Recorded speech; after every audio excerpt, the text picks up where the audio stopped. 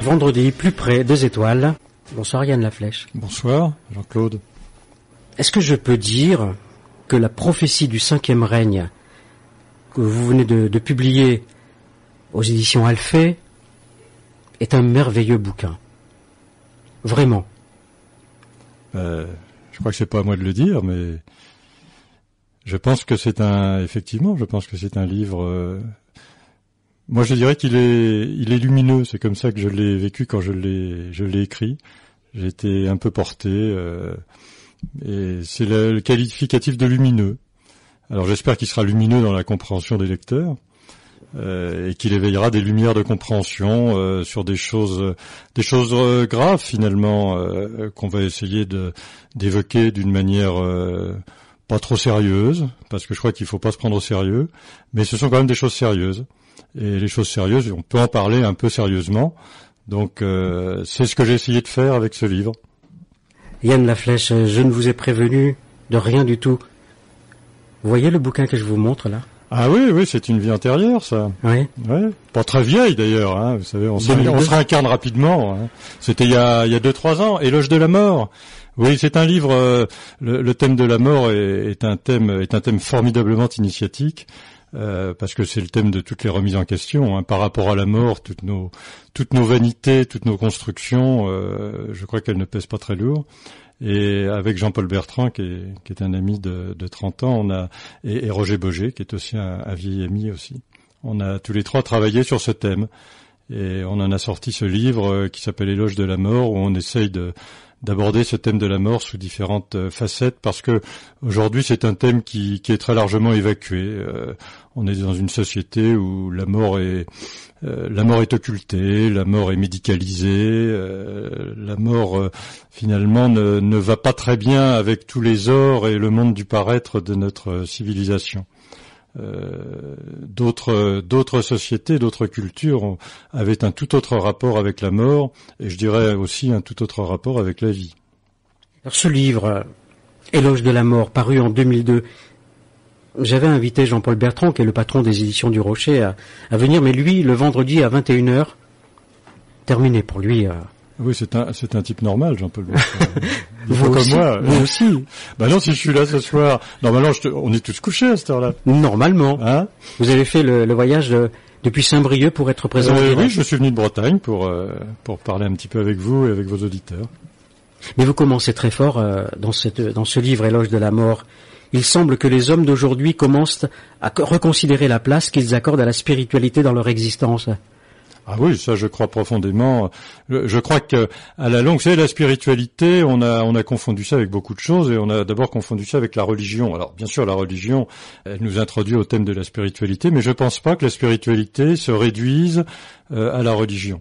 La spiritualité, je crois que c'est simplement la constatation qu'on n'est pas fait simplement de matière et qu'il y a une part d'esprit dans dans l'homme. Donc euh, la spiritualité, c'est la recherche de notre part d'esprit. Alors la part de matière, ça on la connaît bien, on en a fait le tour euh, très largement, on en a usé et abusé. Euh, sur la partie spirituelle, on a un peu plus d'interrogation. D'abord parce que ça se touche pas, c'est moins facile à appréhender la partie spirituelle. Euh, et je crois que les, les êtres de notre époque, les, les, hommes et les femmes de notre époque, ont, ont un peu fait le tour de la partie matérielle et commencent à se dire qu'il leur manque quelque chose. Alors, je dis pas que les gens sont rassasiés de matérialisme, parce qu'il y a des, êtres qui souffrent d'une insuffisance de, biens matériels. Je crois qu'on peut s'intéresser à la spiritualité quand on a un minimum de, confort. Et je crois que ce, droit au minimum de confort, il me paraît parfaitement légitime.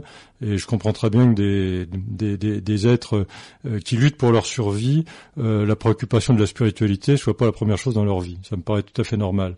Mais s'il y a un progrès, une évolution dans l'espèce humaine, je pense qu'on pourrait aboutir à un monde plus partagé, plus juste. Et justement, à ce moment-là, euh, les gens vont commencer à se poser des vraies questions sur la totalité d'eux-mêmes. Pour l'instant, ils vivent avec la moitié, c'est-à-dire la partie matérielle. Quand je dis la moitié, je serais tenté de dire le septième. Mais ça, je pourrais vous l'expliquer. Je l'explique dans le livre. On ne va pas commencer à parler des plans dès maintenant, parce que non, non, non, non. Hein, je crois que. Mais pourquoi avoir euh, avoir pris ce pseudonyme euh, Je dirais que c'est un choix énergétique. C'est vrai que c'est un pseudonyme. Je le trouve porteur énergétiquement et ce qui m'intéressait, c'est d'avoir un, un, livre qui soit énergétiquement porteur d'un message. Et donc le titre et, l'auteur. Donc euh, on va dire que l'individualité s'efface un peu devant le contenu et le, message du livre. Voilà. Je, pense que euh, l'ego, la personne euh, n'a rien à voir, n'a pas à se mettre en avant dans ces choses-là. Donc je dirais que je ne suis pas venu ici ce soir pour parler de moi. Quelle humilité, Jean-Yves? Je préfère l'humilité à la modestie, pour tout dire. Quelle différence entre, entre les deux? Je dirais que l'humilité, c'est ce qui est proche de la terre. Euh, la modestie, c'est un côté un peu social. Hein, c'est un prénom aussi modeste, respectable. L'humilité me plaît bien parce que justement, c'est ce rapport à la terre, c'est cet enracinement, euh, c'est le fait que nous sommes dans l'humus, nous sommes dans la matière première. Et avec de la matière première, on peut faire beaucoup de choses. Quel était le prénom dans l'humilité. Quel était le prénom de Moussorski Modeste. C'est vrai. C'est un très grand musicien. La prophétie du cinquième règne. Yann Laflèche. Édition Alphée, roman initiatique. Mais c'est votre vie que vous racontez Non, c'est un non. Alors là, je, je, vous dis tout de suite non. C'est un c'est un roman. Hein. Donc, euh, comme c'est un roman, alors il est qualifié d'initiatique hmm. euh, parce que je crois qu'il fait rentrer un certain nombre de monde. Quel est le métier d'Erwan Le métier d'Erwan bah, il a pas de métier, ce pauvre homme. Il est, c'est un chômeur. Mais qui a eu un métier, qui a eu une histoire. Oui, il a bon, bon il a été banquier. C'était tout le monde connaît le monde de la banque il fallait bien lui trouver un métier. Mais je crois que euh, c'est pas très important ça. Le Erwan, euh, euh, c'est effectivement le, personnage. Enfin, c'est un des deux personnages centraux du livre parce qu'il y a quand même, c'est un fondamentalement, il est articulé autour de deux axes qui sont Erwan et, Lionel. Erwan, c'est le Candide. c'est vous, c'est vous et moi. C'est vous et moi. non, non, non. C'est vous et moi. Non, non, Lionel n'est pas candide. Lionel, non. Erwan, Erwan, il est un petit peu candide au pays euh, des spiritualistes, on va dire. Euh, au pays d'Alice. Euh, au pays d'Alice, peut-être, oui, Alice Bellet.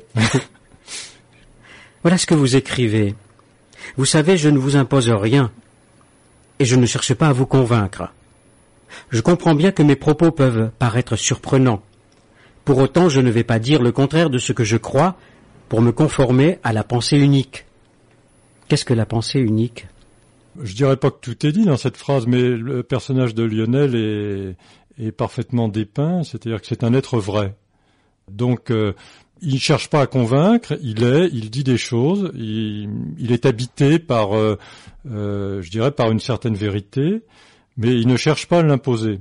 Mais cette vérité est tellement lumineuse que, effectivement, Erwan, petit à petit, est comme subjugué. Et donc, euh, c'est un personnage authentique, comme on en rencontre peu, mais comme il en existe. Subjugué ou manipulé? Alors, Erwan se demande, il est tellement subjugué qu'il se demande s'il est manipulé, mais non, il ne se sent pas manipulé. Il se sent un peu sous influence parce que les propos qui lui sont tenus, les lumières de compréhension qui lui sont données, sont tellement, pour lui, tellement nouvelles, tellement étonnantes, et en fait, tellement naturelles, parce que à plusieurs reprises, il dit mais tout ce qu'on me dit là, je le savais déjà. Je ne fais que réveiller, de réactiver de vieilles mémoires.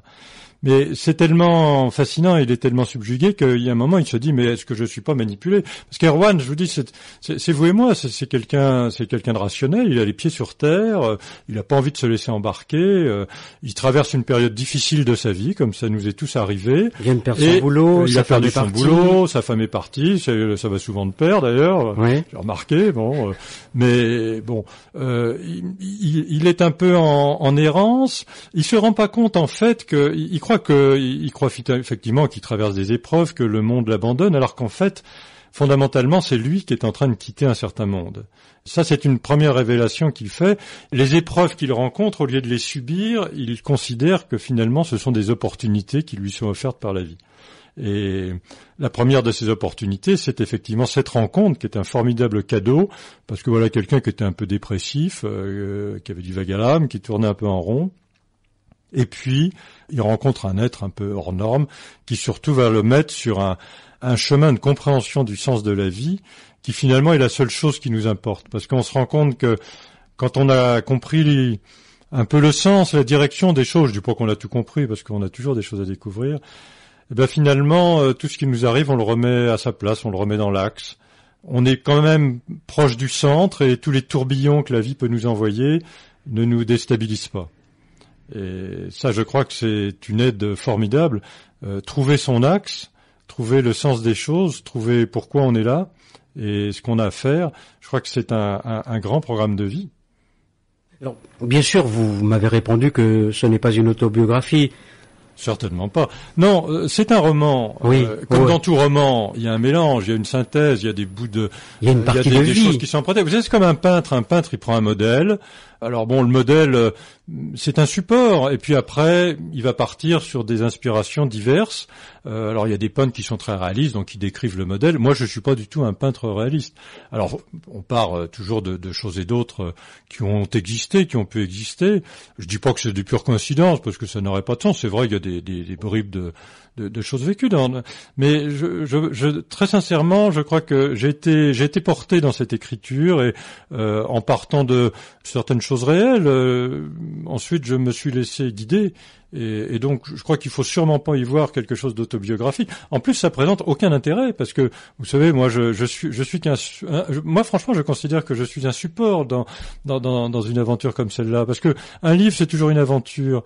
Donc, euh, j'étais l'intermédiaire, j'étais une plume. Euh, J'espère que j'ai écrit des choses qui, vont peut-être aider euh, les lecteurs, aider les gens qui cherchent. Euh, bon, c'est un peu mon plus cher désir, mais mon autobiographie, je pense qu'elle n'intéresse personne. Et, bon, c'est mon histoire personnelle. Euh, mmh. Franchement, non, je crois pas. Hein, oui, mais quelle belle aventure, hein, si c'est votre histoire personnelle. Non, le, le, le livre, je répète, n'est pas mon histoire personnelle. Euh, c'est le livre, c'est le produit euh, de d'années et d'années de, de réflexion, de rencontres aussi, bien sûr, oui, de rencontres, de lecture. Euh, de travail. Euh, vous avez cité tout à l'heure un livre que j'ai écrit avec Jean-Paul Bertrand. Bah, Jean-Paul Bertrand est un, un, un ami qui m'accompagne dans ses recherches depuis longtemps, euh, et puis il y en a d'autres. Bon, donc euh, euh, je crois qu'il faut pas chercher à y trouver. Enfin, c'est un roman, donc comme dans tout roman, le lecteur est libre d'interpréter ce que bon lui semble. la forme du roman est agréable parce qu'elle est très ouverte. Elle permet une liberté. pu faire un essai. Oui, elle permet aussi une liberté d'écriture. Absolument, oui, oui, tout à fait. Liberté, oui. Ça vous est cher, ça? Liberté, c'est quelque liberté. chose de fondamental. Je crois que l'homme, fondamentalement, est libre. On dit qu'il est déterminé. Bon, c'est le, le, grand débat entre liberté et déterminisme. Alors, bien sûr, nous sommes déterminés. Et plus que déterminés, même souvent, nous sommes dépendants. Euh, nous, nous, nous tissons nous-mêmes nos propres chaînes. Mais fondamentalement, nous avons toujours le choix. Euh, bon, on est dans des conditions qui sont des conditions données. Euh, comme disaient les hindous, on, peut obéir à notre karma, on, subit, une certaine destinée, mais on est toujours libre. On est toujours libre de descendre ou de monter, de faire le bien ou de faire le mal, de faire plaisir ou pas, euh, d'être gentil ou de pas être gentil. On est toujours libre. Et c'est en ce sens que je crois profondément qu'on trace, on écrit notre propre futur. Euh, en choisissant un mode de pensée donné dans une situation donnée, en choisissant d'agir de telle ou telle manière, on manipule un type d'énergie. Alors on manipule des énergies positives ou on manipule des énergies négatives. Euh, si je me laisse aller à des pensées de, colère ou de haine, ben, je vais manipuler de l'énergie négative et donc je vais polluer. Je vais polluer autour de moi et probablement il faudra que je nettoie. Donc en ce sens, il faudra que je répare. En ce sens, j'écris mon propre futur. Et nous écrivons tous notre propre futur, et en tant que groupe, l'humanité écrit aussi son propre futur. C'est un des thèmes du livre. Et là, peut-être qu'il commencera à être temps d'arrêter d'écrire euh, la même chose dans la même direction. Croyez-vous aux rencontres inévitables, Yann Laflèche? Les rencontres euh, inévitables, je crois qu'on fait les rencontres qu'on a rencontrées à un moment donné. Alors, euh, oui, il y a des rencontres euh, probablement inévitables, oui, bien sûr, bien sûr. Et le hasard dans tout ça? Euh, moi, je sais, sais plus qu'est-ce qu'il disait. C'est quand Dieu voyage incognito, le mmh, hasard. Mmh, mmh, non, je crois pas du tout au hasard. Franchement, je, euh, le hasard est euh, le, le, hasard implique qu'on vit dans un monde uniquement matériel, un monde de, de, chaos, un monde de hasard et de nécessité, comme ça a été dit. Hein. Bon, le, et bon, bah ça c'est l'approche matérialiste, elle est tout à fait respectable. Moi, c'est pas la mienne. Donc je n'ai pas, je pense pas, je pense que la matière c'est une partie de la réalité, mais ce n'est qu'une partie, et qu'il y a une autre, euh, un autre aspect dans la manifestation euh, qui est en fait euh, l'origine de toute vie. L'origine de toute vie, elle n'est pas matérielle. Quatre personnages, non pas en quête d'auteur, mais il y a Lionel, mm. qui est géobiologue, Erwan, qui momentanément n'a Il y a pas de rien. boulot, il n'y a rien. Il est rien et pourtant il est tellement. Il y a Claire, La femme de Lionel, Oui. et puis il y a Rose qui arrive euh, quelque part dans, dans le roman. Cette rencontre, euh, c'est très fort la rencontre. Le lieu, l'endroit. Il est magique, comme je dis. Oui, il est magique. Il est aussi pollué, hein. Très. Hein Parce qu'au début, euh, effectivement, la rencontre se passe dans un dolmen et Erwan est, est parti de bon matin euh, avec son petit guide touristique de la Bretagne. Il est allé visiter un dolmen. Il est bien chargé, hein, quand même. hein. Effectivement, il rencontre. Alors, il est, il est empreint de la majesté du lieu. Il est très sensible aux énergies de la nature qui s'en dégagent. Mais euh, bon, il rencontre effectivement euh, Lionel qui arrive là. Alors, certains diront par hasard, mais là justement, il expliquera que il, avait rendez-vous. euh, il a été fortement poussé vers ce, cet endroit parce qu'il avait une rencontre à y faire. Il avait à y rencontrer Erwan et il avait à lui dire des choses. Euh, mais, mais il lui dit le lieu, le lieu, franchement, il est pas terrible. Euh, pourquoi il est pas terrible? Tout simplement parce que bah, il y a eu des, des pratiques, euh, des pratiques douteuses qui ont été faites à Pour cet tout dire, ce lieu est encore fautement négatif Ouais. et je ne suis pas sûr qu'il puisse être nettoyé. Le bon lieu est en contrebas dans le vallon près d'une petite cascade. Voilà. Je pourrais vous montrer si vous voulez. Et il va montrer. Hein. Oui, d'ailleurs, les points telluriques euh, euh, sur lesquels ont été construits certains édifices sacrés sont des points qui se déplacent avec le temps. hein. Donc, euh, c'est pas absurde que euh, sur ce de- dolmen, il n'y ait plus rien parce que parce que le point s'est déplacé. Alors la première, la première interrogation ou affirmation de Lionel vis-à-vis d'Erwan, il lui dit Vous ne sentez pas que le père s'est retiré de ce lieu? Oui. Erwan, le père? Quel père? La mère a été souillée, alors le père s'est retiré. On rentre euh, rapidement Oui. dans cette euh, Mm. dans cette histoire qui n'est pas une histoire, qui est un roman initiatique et on reparlera dans cette nuit de l'initiation des initiés. La mère a été souillée alors que le père s'est retiré. Vous comprenez, poursuivit-il, c'est Lionel qui parle. La vie, c'est de l'énergie. Tout ce qui nous entoure est énergie. Notre pensée, nos actes sont de l'énergie. L'énergie qui est manipulée dans un but de pouvoir, on appelle cela des forces. Il ne faut pas confondre les forces et les énergies. Et oui, il y a des énergies de vie et il y a des énergies de mort. Malheureusement, c'est vrai que l'homme emploie plus souvent les énergies de mort que les énergies de vie, même sur le plan, même sur un plan économique. Euh, il n'utilise pas les énergies durables euh, apportées par le soleil, par le vent, par les marées. Il utilise les énergies de la décomposition, du charbon, du bois, du pétrole. Euh, bon, mais ça c'est un petit exemple. Je vous disais tout à l'heure que on, choisit, on doit être très attentif au type d'énergie qu'on utilise. Et on a toujours le choix, on est libre, on est totalement libre. On peut choisir d'utiliser des énergies de vie, des énergies d'amour, tout simplement, ou des énergies de mort, c'est des énergies séparatives, des énergies qui, détruisent, qui analysent, qui décomposent, qui divisent. Voilà. Et donc euh, Lionel, euh, Lionel at- attaque effectivement très fort et lui dit voyez-vous le, père s'est retiré. Et c'est vrai qu'en vous écoutant, ça me faisait des frissons parce que euh, à la limite j'aurais voulu le faire exprès. Je, pense que je l'aurais pas fait comme ça. Je vous disais, j'ai été vraiment porté dans la rédaction de ce livre, vraiment, vraiment guidé, mais sans aucune prétention. Euh, euh, je dirais que je suis pas, j'écris pas en écriture automatique. euh, j'écris euh, normalement à ma table de travail. Mais je pense qu'il y a, bon, il y a, appelons ça, dans le temps on appelait ça l'inspiration. Euh, je pense qu'il y avait un guide. Euh, alors, tu vois pas que c'est un, c'est pas un archange, c'est pas, vous voyez, je, je, je, je me lancerai pas dans ce genre de choses. Mais euh, ça ne s'invente pas.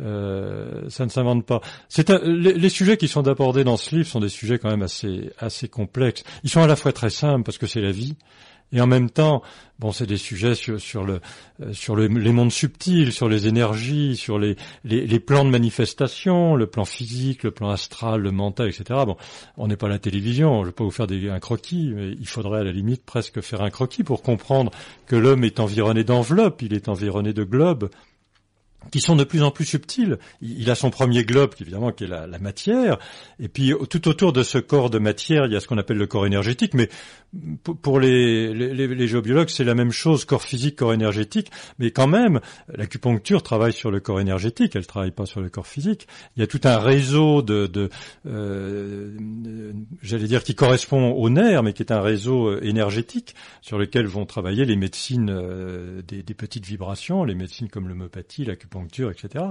Et puis l'autre, l'enveloppe qui suit, c'est tout notre corps émotionnel. Hein, c'est tout le monde d'émotions que nous, nous travaillons, que nous, nous transportons, que nous générons en permanence.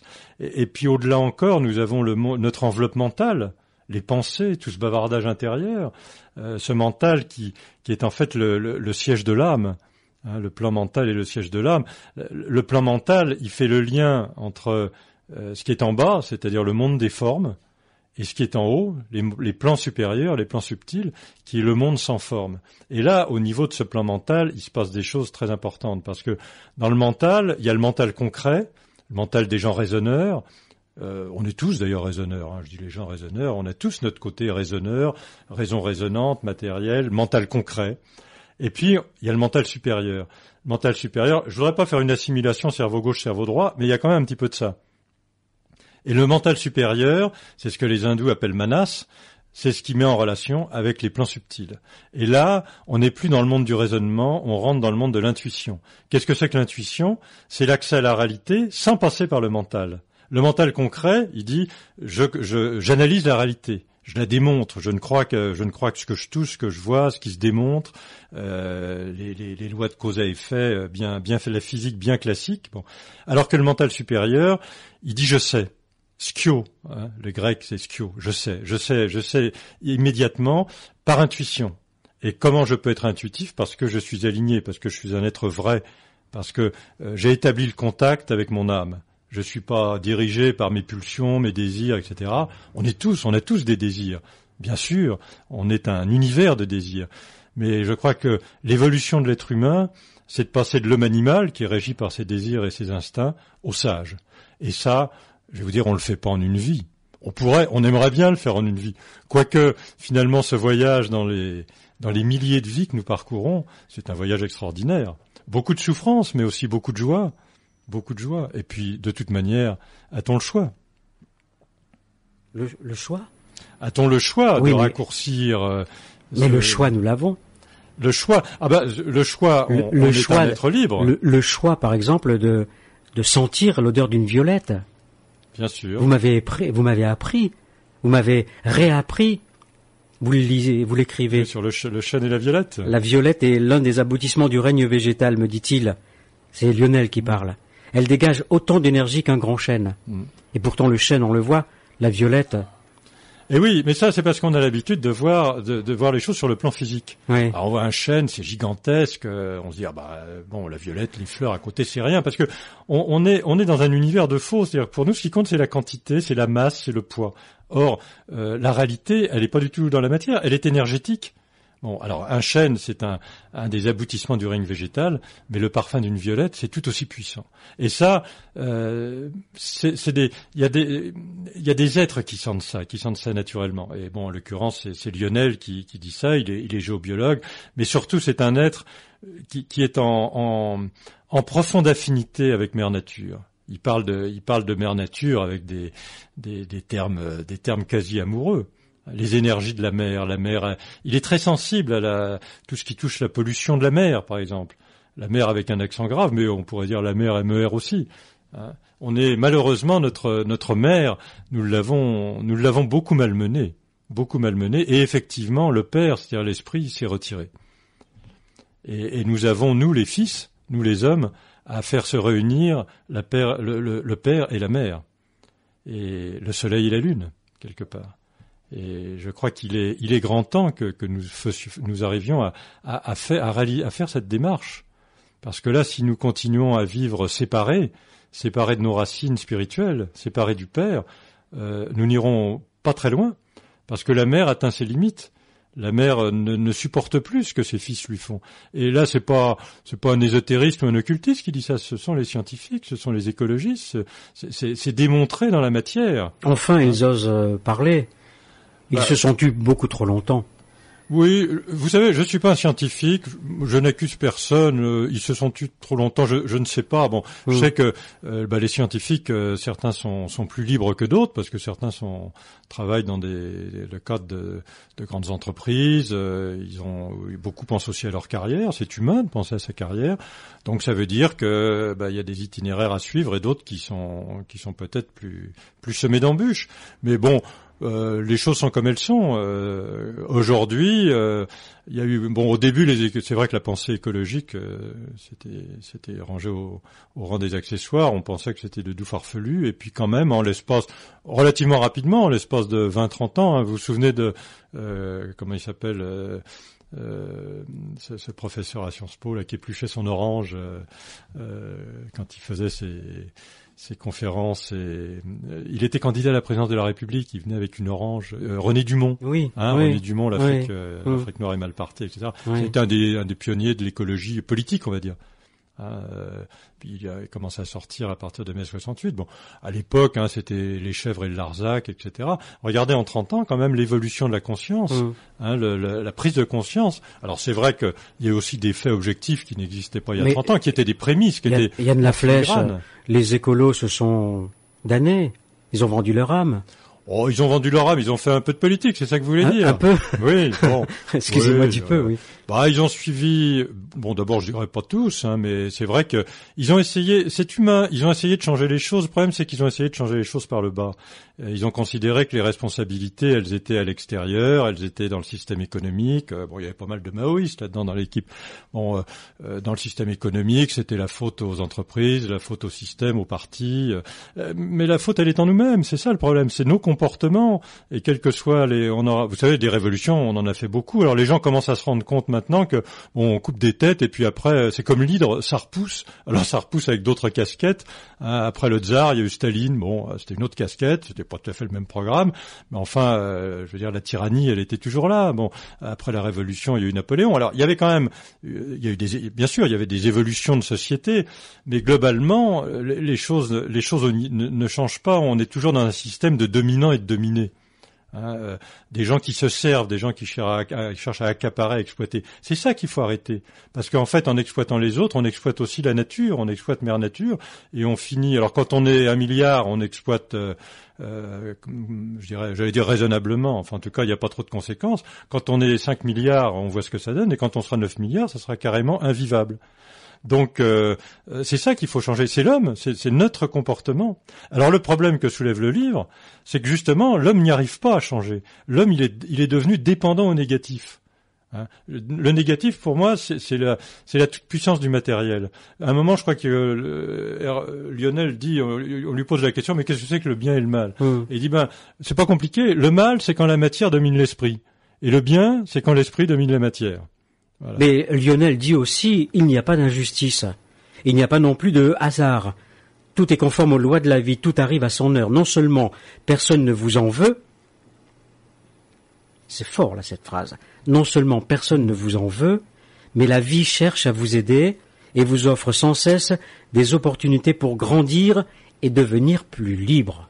Eh oui, eh oui. c'est une belle phrase. Hein, c'est une belle phrase et je crois que ça correspond à une profonde vérité. Mais il y en Alors a, là, il y en a, il y en a des quantités dans, dans votre livre. Oui, mais écoutez, oui, mais c'est c'est vrai. Merci. Vous que je l'ai je l'ai je l'ai relu quand même avant avant de venir à l'émission. Oui. Euh, parce que paradoxalement, c'est on écrit un livre puis après on, on, pense, on est déjà sur le deuxième. On... Puis moi, j'aime pas trop me relire. Bon. Et c'est vrai que pour euh, je, je, je le vois humblement, mais il y a y a des il y a quand même de très bonnes choses dans ce livre. Vous savez, quand la vie vous envoie des difficultés, pardonnez-moi, mais je ne résisterai pas, à mhm. plusieurs reprises, à citer des passages de ce livre. Vous savez, quand la vie vous envoie des difficultés, il faut revenir à des choses simples. Qu'est-ce que la vie? Est-on venu au monde par hasard? Ou bien est-on là pour une raison bien précise, avec une fonction à remplir, une tâche à effectuer? Regardez cette merveilleuse nature qui vous entoure, cette harmonie parfaite. Est-ce la combinaison aléatoire des molécules qui se cherchent, qui se sont tournées autour depuis des milliards d'années et qui se sont enfin trouvés par hasard? Même les scientifiques admettent que la vie est d'une telle complexité que la probabilité qu'elle soit le résultat du hasard est pratiquement nulle. Oui, ce que vous disiez tout à l'heure, bon, ça, on en a parlé tout à l'heure. Moi, je ne crois pas, je ne crois pas au hasard. Mmh. Je crois que la, la vie, euh, la, vie est une émanation de l'absolu. Alors, euh, l'absolu, pour moi, c'est pas, c'est même ni un dieu ni, ni un être, c'est l'être-té. Et cet absolu émet en permanence des vagues de vie. Et c'est tout le mystère de la création. Qu'est-ce qui fait que l'absolu, qui n'a rien à voir avec le monde manifesté, se traduit par une manifestation? Alors là, je vais vous dire, le cerveau rationnel ne démontrera jamais ça, mais je pense fondamentalement qu'il y a des, vagues de vie, des pulsions de vie. Et elles s'organisent selon des, hiérarchies qui vont du microcosme au macrocosme. Et toute, euh, toute pulsion de vie, toute unité de, toute unité de vie parcourt un chemin qui va du microcosme au macrocosme. Et euh, nous ne sommes pas uniques dans la nature. Ce qui est unique dans l'homme, c'est qu'avec lui commence l'individualité de conscience. Dans les règnes qui le précèdent, dans le règne minéral, dans le règne végétal, dans le règne animal, il y a euh, la vie acquiert des qualités. Dans le règne euh, minéral, la vie passe de l'inertie à la mobilité. dans le règne végétal, la vie acquiert une qualité qui est la sensibilité. Et dans le règne animal, la vie acquiert l'instinct. Mais jusque-là, on est dans ce que j'appellerais des âmes groupes. Euh, la vie n'a pas besoin d'une individualité, euh, d'avoir euh, chaque fleur, chaque plante, chaque minéral n'a pas besoin d'une individualité. L'individualité de conscience, elle commence avec le règne humain. Mais la vie ne s'arrête pas au règne humain. Le règne humain, c'est le quatrième règne, mais je crois que l'homme est bien, bien vaniteux de penser que c'est fini après. il y a d'autres règnes, et il y a notamment, évidemment, le cinquième règne. Mais il y a le sixième règne et le septième règne. Pourquoi? Parce que finalement, quand vous regardez la vie, toute vie est composée d'un ensemble d'autres vies. Euh, je vous parlais tout à l'heure du chemin qui va du microcosme au macrocosme. Un être humain abrite des, milliards de vies des formes vivantes, des molécules, des bactéries, des vies qui se regroupent, qui forment des organes. C'est une merveilleuse alchimie. On a géré tout un monde extraordinaire et on a une intelligence naturelle de cette organisation de la matière. Mais euh, nous, nous ne sommes pas suspendus dans le vide, nous sommes nous-mêmes dépendants d'unités plus vastes, nous sommes portés par la Terre, et la Terre elle-même n'est pas non plus suspendue dans le vide, elle est, elle est dépendante du système solaire, elle est inscrite dans un système qui est le système solaire, et lui-même il est dans des galaxies.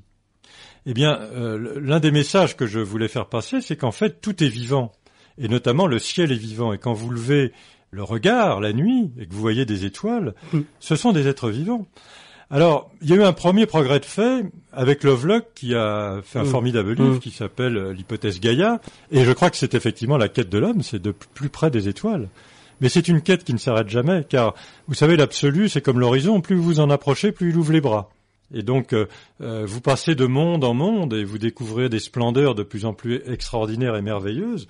mais l'homme est final, enfin l'être humain, la vie, c'est un, un éternel pèlerin. J'aimerais revenir euh, sur ce que vous venez de dire précédemment. Oui, on parlait de Lovelock. La Terre est un être vivant. Avant les cinq, euh, le cinquième règne, mhm. je pensais qu'il y avait d'abord le règne élémental, c'est-à-dire la terre, l'air, le feu et l'eau. Ensuite le règne minéral, le règne végétal, le règne animal. Et je pensais que le cinquième règne était le règne humain. Oui, alors, bon, il y, en a qui disent que le cinquième règne, c'est le règne des champignons aussi. Hein. Je le signale. Oui, j'ai vu ça, oui. Euh, on peut tout imaginer. Disons que là, dans ce livre, le règne, euh, le, premier règne, c'est le règne minéral, dans lequel on peut inclure euh, ce que vous appelez l'élémental. Ça me, ça me choque pas, mais enfin, c'est, ce sont les, les, premières formes, les, les, formes les plus élémentaires de vie, les plus, les plus inertes. Et pourtant, en symbolique, regardez toute la richesse de la pierre, la pierre taillée, la pierre vivante, le feu est dans la pierre. Et ça, je crois fondamentalement que la, la, pierre est habitée par la vie du Père. D'abord, il y a des pierres brutes et puis il y a des pierres précieuses. Il y a aussi toute une évolution dans le, règne minéral. Donc ça, c'est le premier règne, le règne minéral. Le deuxième, c'est le végétal.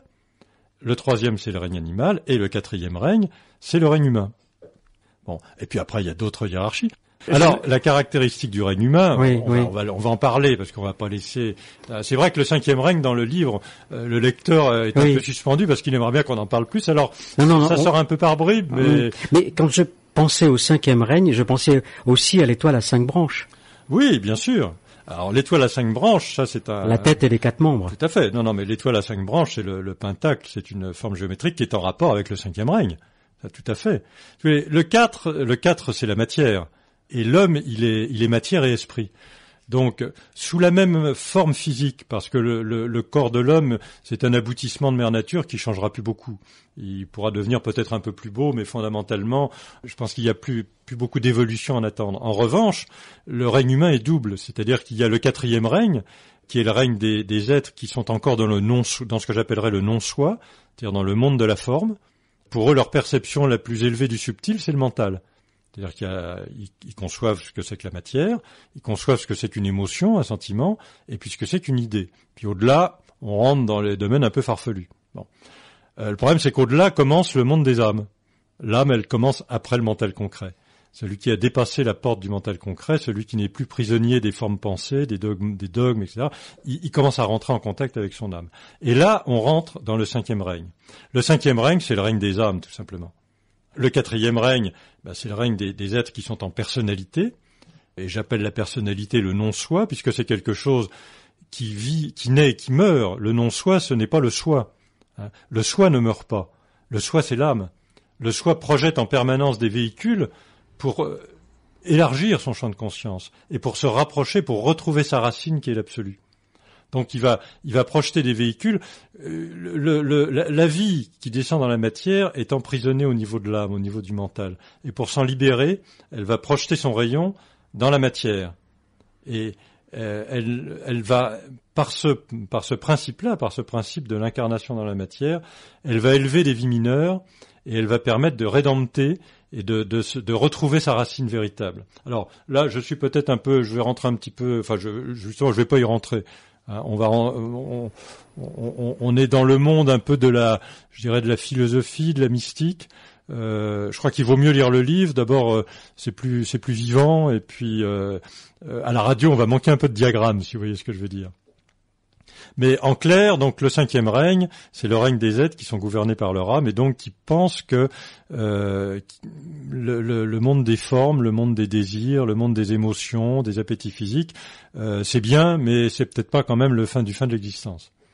Lionel, Aerwan, c'est la première rencontre, hein, il y en a plusieurs, mais là, je pense que tout début, la première rencontre. Là, on est parti jusqu'à plus de 6 heures du matin. Va être déterminante. non, non, on pourra pas aller au-delà de, de 6 heures. 280 pages à lire. Euh. Mais la première rencontre, elle est, elle est extraordinaire cette première elle rencontre. Elle est déterminante en tout cas. Oui. On parle, Lionel parle de la planète. Il parle de, des humains. C'est un monde sans repère, un monde spectacle, où la violence et la souffrance sont livrées en pâture comme autant des jeux de cirque.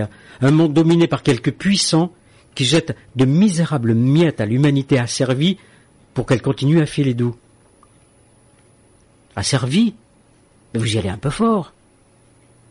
Asservie par les désirs de possession ou de jouissance, asservie par la peur de perdre ou de manquer.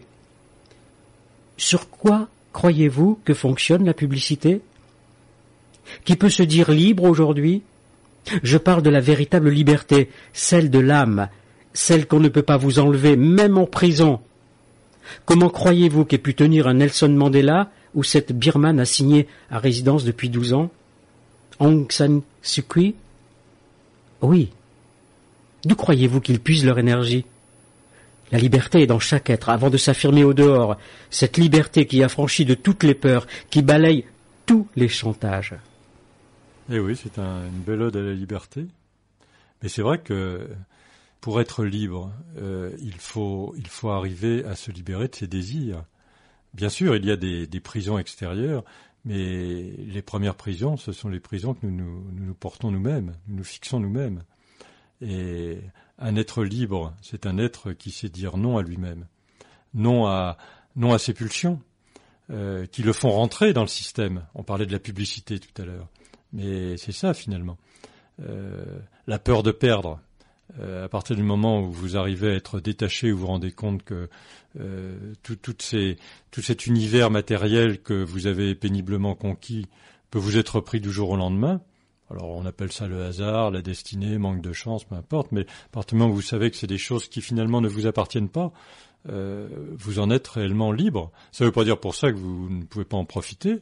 Il y, a, il y, a, un grand plaisir à profiter des opportunités que vous offre la vie, mais il ne faut pas en être dépendant. La clé, je crois que c'est ça, c'est ne pas être dépendant. Et là, on, on, on, rentre dans un monde, on rentre véritablement dans un monde de liberté. Mmh. S'il vous plaît, parlons encore des étoiles, Yann Laflèche. Je continue la lecture. Hein. La voûte céleste était remplie d'étoiles, des constellations, de galaxies lointaines.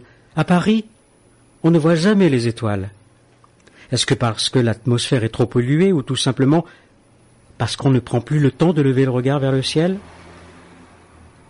Connaissez-vous les étoiles? Vous voyez là-bas à l'horizon, au-dessus de la ligne des arbres, cette étoile très brillante s'appelle Sirius.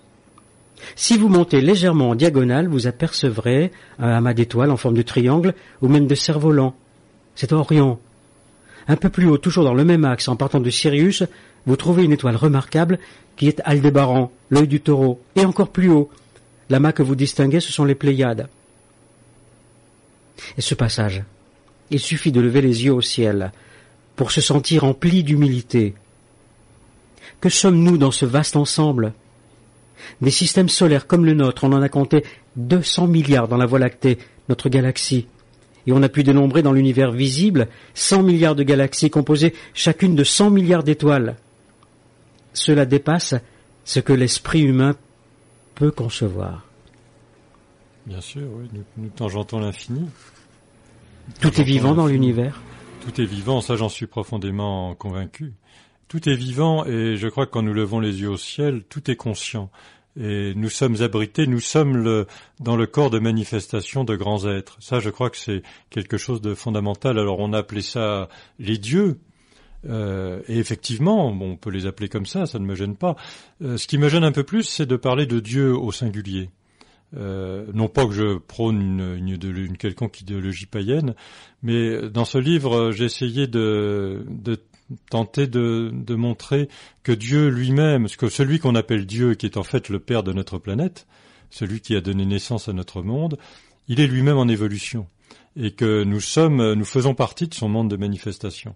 On parlait tout à l'heure de Lovelock qui avait, avec son hypothèse Gaïa, mm. disait la Terre est un être vivant. La mm. Terre a une forme d'intelligence, elle réagit euh, si on lui perturbe son climat, etc. Bon, il y a des équilibres très subtils que, que, que l'homme peut perturber, et la Terre va se défendre. Elle va se défendre. Alors, simplement, euh, la différence que je fais avec Lovelock, c'est que pour lui, c'était une approche encore mécanique et matérialiste. C'est-à-dire que tout ça, c'était un enchaînement mécanique de, de, de causes et d'effets. Et moi, je dis que la Terre est un être vivant, elle a une forme d'intelligence, et j'irai plus loin, je pense qu'elle a une conscience. Et c'est tout simplement quand on s'adresse à Dieu le Père, on s'adresse à la conscience de cette planète. On s'adresse à celui dont le corps de manifestation est la planète. Mais nous-mêmes, nous avons notre corps de manifestation, notre tête, nos, jambes, nos bras, et, et, notre réalité ne s'arrête pas à notre tête, nos jambes, nos bras. Nous avons un esprit, nous avons des émotions, nous avons des choses subtiles qui ne se voient pas. Je pense que la Terre, c'est la même chose. Et la Terre est un être vivant à part entière, et je dirais d'un niveau de conscience autrement supérieur à celui de l'être humain. Euh, nous sommes, nous, les molécules de cet être-là. Nous, nous abritons nous-mêmes des molécules, et nous abritons, et, toutes ces molécules, toutes ces formes de vie ont aussi leur aspect subtil, euh, qui sont, qui ont leurs racines de vie dans nos enveloppes, par exemple, dans notre corps astral, dans notre corps éthérique. Et c'est ça, le monde des désirs, tout ça, quand on dit, il faut dominer les vies mineures, il ne faut pas dépendre de nos pulsions c'est pas moi qui le dis, c'est Bouddha l'a dit il y a 2500 ans. Il est venu, c'est un des grands guides de l'humanité. Il est venu dire si vous voulez arrêter de souffrir, maîtrisez vos désirs. Bon, c'était pas un discours moralisateur, c'est simplement pour aider les gens. Et pourquoi? Parce que tout ça, ce sont des, des vies mineures qui veulent en faire qu'à leur tête. Euh, le problème est de savoir dans un être humain qui est le patron. Est-ce que c'est votre esprit ou est-ce que c'est votre corps de manifestation? Eh bien, au niveau de la Terre, c'est pareil. Nous, nous sommes euh, des vies mineures du Père et nous tirons dans toutes les directions et nous polluons gaillardement la matière, c'est-à-dire la mer. Et le Père, la fonction du Père, c'est de faire en sorte que cette planète soit sacrée, et donc en fait, tous les êtres humains arrivent à peu près, euh, je dirais à peu près, non, ils arrivent au niveau de conscience où le Père était quand il s'est incarné dans cette terre. De, c'est ce que j'appelle dans le livre le contrat mmh, d'inclusivité. Mmh, mmh. C'est-à-dire que nous avons un contrat avec la vie. Les vies mineures, il faut les amener à notre niveau. On y reviendra, Yann Laflèche. Euh, mais vous venez de parler, prononcer le mot conscience. Pourquoi Lionel affirme que les étoiles n'ont pas de conscience? Je tiens à mes étoiles. Oui, mais Lionel, euh, Lionel, euh, c'est pas Lionel qui affirme que les étoiles n'ont pas de conscience, c'est Erwan. Euh, Lionel, lui, il est tout à fait conscient qu'elles ont une conscience. Mais Erwan, lui, il est, c'est un, c'est Monsieur Tout le Monde, c'est, c'est, vous et moi. Il dit, enfin, vous plaisantez. Les étoiles, c'est des objets les étoiles, c'est pas vivant. Euh, les seules choses vivantes, la seule chose vivante dans l'univers, c'est l'humanité, c'est les hommes. Et c'est là où on a une prétention sans borne. Parce que après le quatrième règne, il y a le, cinquième règne, et après le cinquième règne, il y a le sixième règne. Et puis après, on va plus parler de règne, mais il y a des êtres qui donnent naissance à des systèmes solaires et à des systèmes cosmiques. Et c'est pour ça que quand nous levons les yeux au ciel, nous voyons le corps de manifestation des êtres qui nous abritent. Quand on parle de matière et d'esprit, finalement, on va faire une comparaison un peu simpliste, mais elle n'est pas fausse. Qu'est-ce que c'est que la matière? Ce sont les mondes qui sont que, nous recouvrons, qui, nous habitent. Nous, habitons, je vous l'ai dit, des, milliards de, de micro-mondes, de molécules, etc. Eh bien, ces mondes-là, ces mondes qui sont inclus en nous, c'est notre matière. Et les mondes dans lesquels nous sommes inclus, c'est l'esprit. Et le problème, c'est d'arriver à communiquer. De même que nous essayons de maîtriser euh, notre monde de vie mineure, nous avons à essayer de communiquer avec les mondes qui nous incluent parce que chaque cellule a sa fonction et que si on commence à ne plus remplir notre rôle et à tirer dans toutes les directions, eh bien, euh, je dirais, il y a une espèce de cancer cosmique qui se fait. Et la Terre elle-même, elle a un rôle dans l'univers, dans le monde cosmique. Et la Terre, elle a à être à un rendez-vous à un moment donné, elle a à remplir une fonction. C'est comme s'il y avait une glande dans un être humain qui n'arrivait pas à se réveiller. Euh, bah, on serait malade. Bon voilà. Hein, si vous avez votre thyroïde qui fonctionne pas bien, euh, vous êtes malade. Euh, eh bien, imaginez la croissance d'un jeune garçon, d'un jeune enfant. Si cette thyroïde ne, se développe pas au même rythme que le reste de son corps, euh, il va avoir des malformations. Eh peut-être que dans le système cosmique, c'est la même chose et que on attend de la Terre qu'elle émette une vibration. Et je pense que c'est une vibration d'amour. Et cette vibration, elle tarde un peu à se manifester. Et c'est en ce sens que je dis que la Terre n'est pas à son rendez-vous et que donc dans l'univers entier, il y a euh, des présences, des formes de vie qui viennent voir ce qui se passe sur la Terre qui viennent se dire tiens, mais c'est curieux ça, ils sont bien en retard ces, ces humains, cette planète, qu'est-ce qui se passe hein? C'est un peu, vous savez, on sent les, gens, on sent confusément qu'il y a des, des, choses qui se passent, il y a des événements qui sont en train de, de, surgir, de se préparer, des choses qui s'inscrivent dans, dans l'invisible, mais euh, qui sont un peu suspendues. On a l'impression qu'on est un peu avant un orage. Hein eh bien, euh, dans ce livre, j'essaye de dire pourquoi. Pensez-vous que de l'intelligence à la conscience, il y a une euh, grande distance?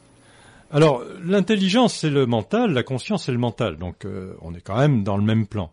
Alors, simplement, l'intelligence toute seule, euh, c'est pas grand-chose. L'intelligence toute seule, c'est le mental concret.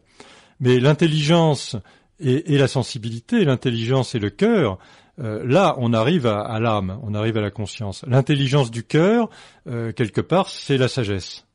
Et là, on arrive dans des plans supérieurs. Hein. L'émotivité toute seule, je dirais que c'est un monde de, sentiments, de réactivité, c'est l'affect. on est dépendant de notre émotivité. L'intelligence toute seule, bon, c'est de la, c'est du rationalisme, c'est froid, c'est, c'est pas, c'est pas humain. Bon, et en plus, euh, on, peut raisonner juste sur des, bases fausses.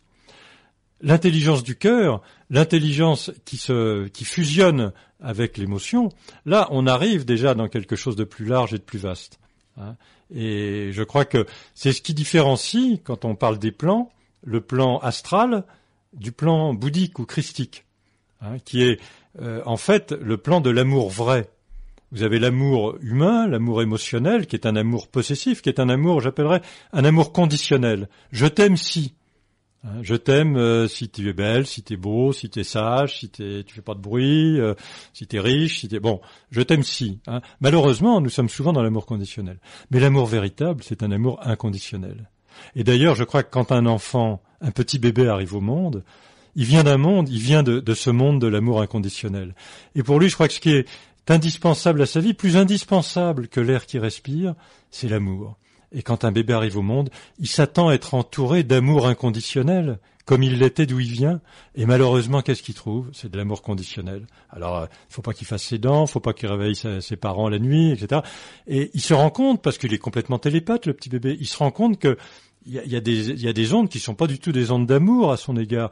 Et, et, il va se dire, mais qu'est-ce que j'ai fait? Je suis coupable. Et c'est là où il va commencer à se construire une fausse personnalité. Il va quitter euh, ce lien fondamental avec son âme et avec sa racine de vie. il va chercher à se conforter, à faire plaisir, etc. Hein. Mais à l'origine, euh, le, le, le plan d'où il vient, c'est un plan d'amour inconditionnel. Et je crois que c'est la première chose que nous avons à retrouver. Un être qui passe du quatrième au cinquième règne, c'est un être qui passe de l'amour conditionnel à l'amour inconditionnel. Alors je dis pas qu'il le fait en une vie, qu'il le fait d'un seul coup, mais il prend conscience. Déjà prendre conscience, c'est énorme. Hum, hum. C'est énorme de dire, c'est vrai qu'en fait mon amour, l'amour que je porte à ma femme, à mes enfants, euh, euh, dans mon travail, on a tous des formes, des relations quand même de, je, crois il faut le dire, d'amour. On aime, on peut aimer son métier, mais c'est souvent un amour conditionnel. Et c'est là où ça va pas parce que là cet amour, on a peur de perdre quand on est dans l'amour conditionnel on commence à menacer, ou euh, même si c'est inconscient. Donc c'est un amour qui est faussé, c'est de l'amour australien. Et il faut arriver à ce que j'appelle l'amour bouddhique ou l'amour christique, l'amour de ce plan supérieur, qui est l'amour vrai.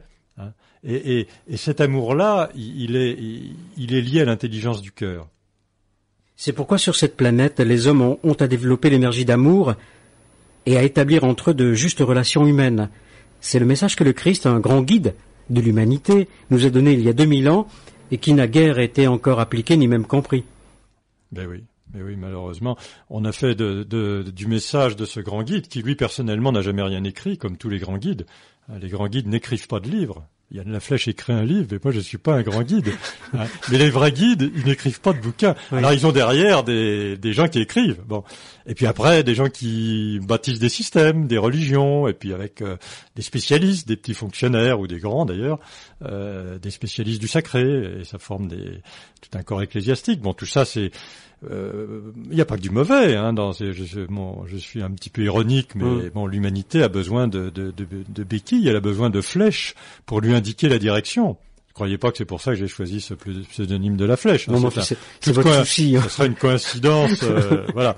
Mais il faut effectivement indiquer la direction. On reproche, euh, on reproche à l'être humain de ne pas être en évolution.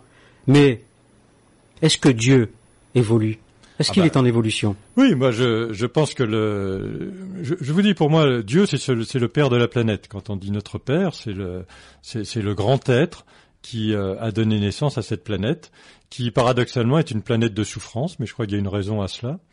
Et, et cet être-là, il, il, est, il est lui-même euh, en évolution. Et il a donné naissance à une planète et un jour, je pense, il donnera naissance à un système solaire et puis peut-être à un système cosmique. Il est lui-même intégré, il n'est pas suspendu dans le vide comme ça. Euh, c'est une forme vivante avec une matière, euh, un esprit et, et, aussi une conscience, comme tout être vivant. Et, et, donc il, a, il attend de nous euh, que nous fassions de cette planète une planète sacrée. Et quand nous aurons euh, compris euh, ce que ce mot-là voulait dire et ce que ça implique comme chemin à faire, notamment en démarche d'amour, eh bien quand on va dire les deux tiers de l'humanité en seront arrivés à ce stade-là, mm. eh bien il y aura éthérisation de la planète. Euh, ça sera pas l'apocalypse euh, nucléaire. Quand je dis éthérisation, c'est-à-dire que la Terre n'aura plus besoin de son corps physique, elle sera encore éthérique. Et, et donc et les formes de vie seront encore éthériques. Mais bon, là, on rentre un peu dans des discussions de, pas de scientifiques, mais de, de spécialistes. Hein, et on, va un peu égarer nos, nos auditeurs. Non, non, non, non, non. Même nos éditeurs, parfois. Oui, non, non, mais... Hein, mais en tout cas, oui, je crois que Dieu est un être vivant, Dieu est un être en évolution. Et il évolue plus vite ou moins vite que... Il, il évolue, vous savez, je pense que ça fait 18 millions d'années qu'il nous attend. Euh, euh, donc, euh, il peut pas dire. On n'a pas la même échelle de temps. Vous savez, une, une seconde cosmique, c'est 100 ans, c'est 1000 ans. Euh, euh, c'est pour ça que les voyants ont du mal à faire des prédictions datées parce mmh. que bon, ils rentrent dans des des, des, des vibrations différentes, plus subtiles. Mais là-dedans, le, le, temps, le, le, temps n'a plus du tout, du tout la même signification. Donc, ils peuvent se tromper de 10 ans. Quand ils se trompent de 10 ans, c'est très précis. Euh, on peut se tromper de 100 ans ou de 1000 ans.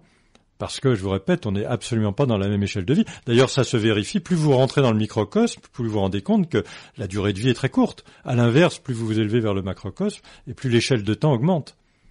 Alors en préparant... Le euh, temps, c'est le père, la mer, c'est l'espace. Oui. Donc, euh, Mm. euh, plus on est dans des pères grands, si je puis dire, Mm. des pères qui donnent naissance à des formes de vie, Et non pas des grands-pères. hein. et non pas des grands-pères, merci. Mm.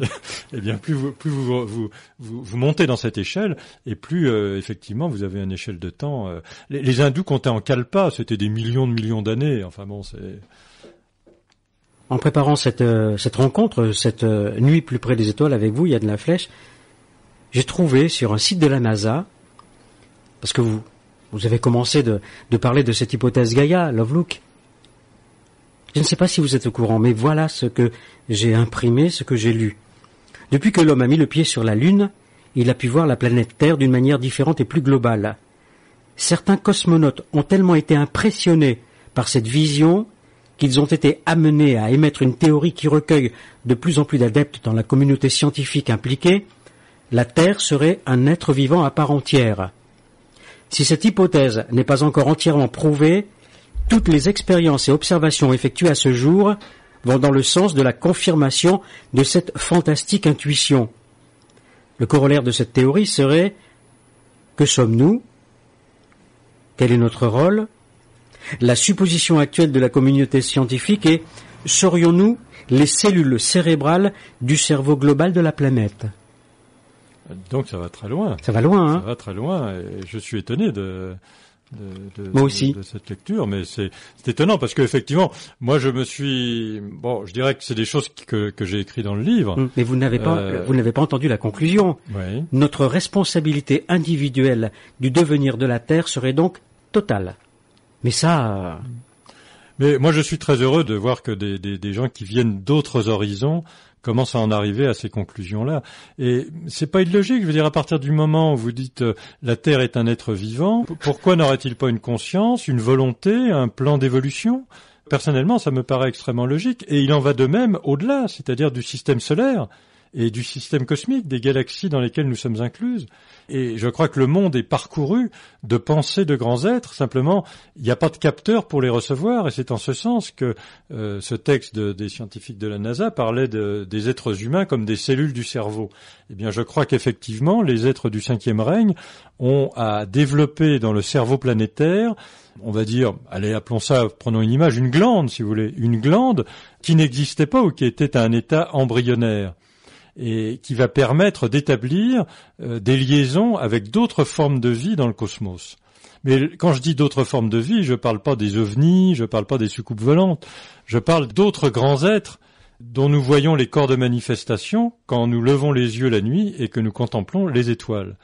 Le ciel est vivant, c'est un des titres, euh, c'est, enfin c'est le titre d'un des chapitres, pardon, dans le livre. Le ciel est vivant. Oui, le ciel est vivant, et il abrite des formes de vie qui sont passées par le règne humain il y a des milliards et des milliards d'années. Car toutes ces formes de vie, à un moment donné, sont passées par le règne humain, car toutes ont dû passer par l'individualité de conscience.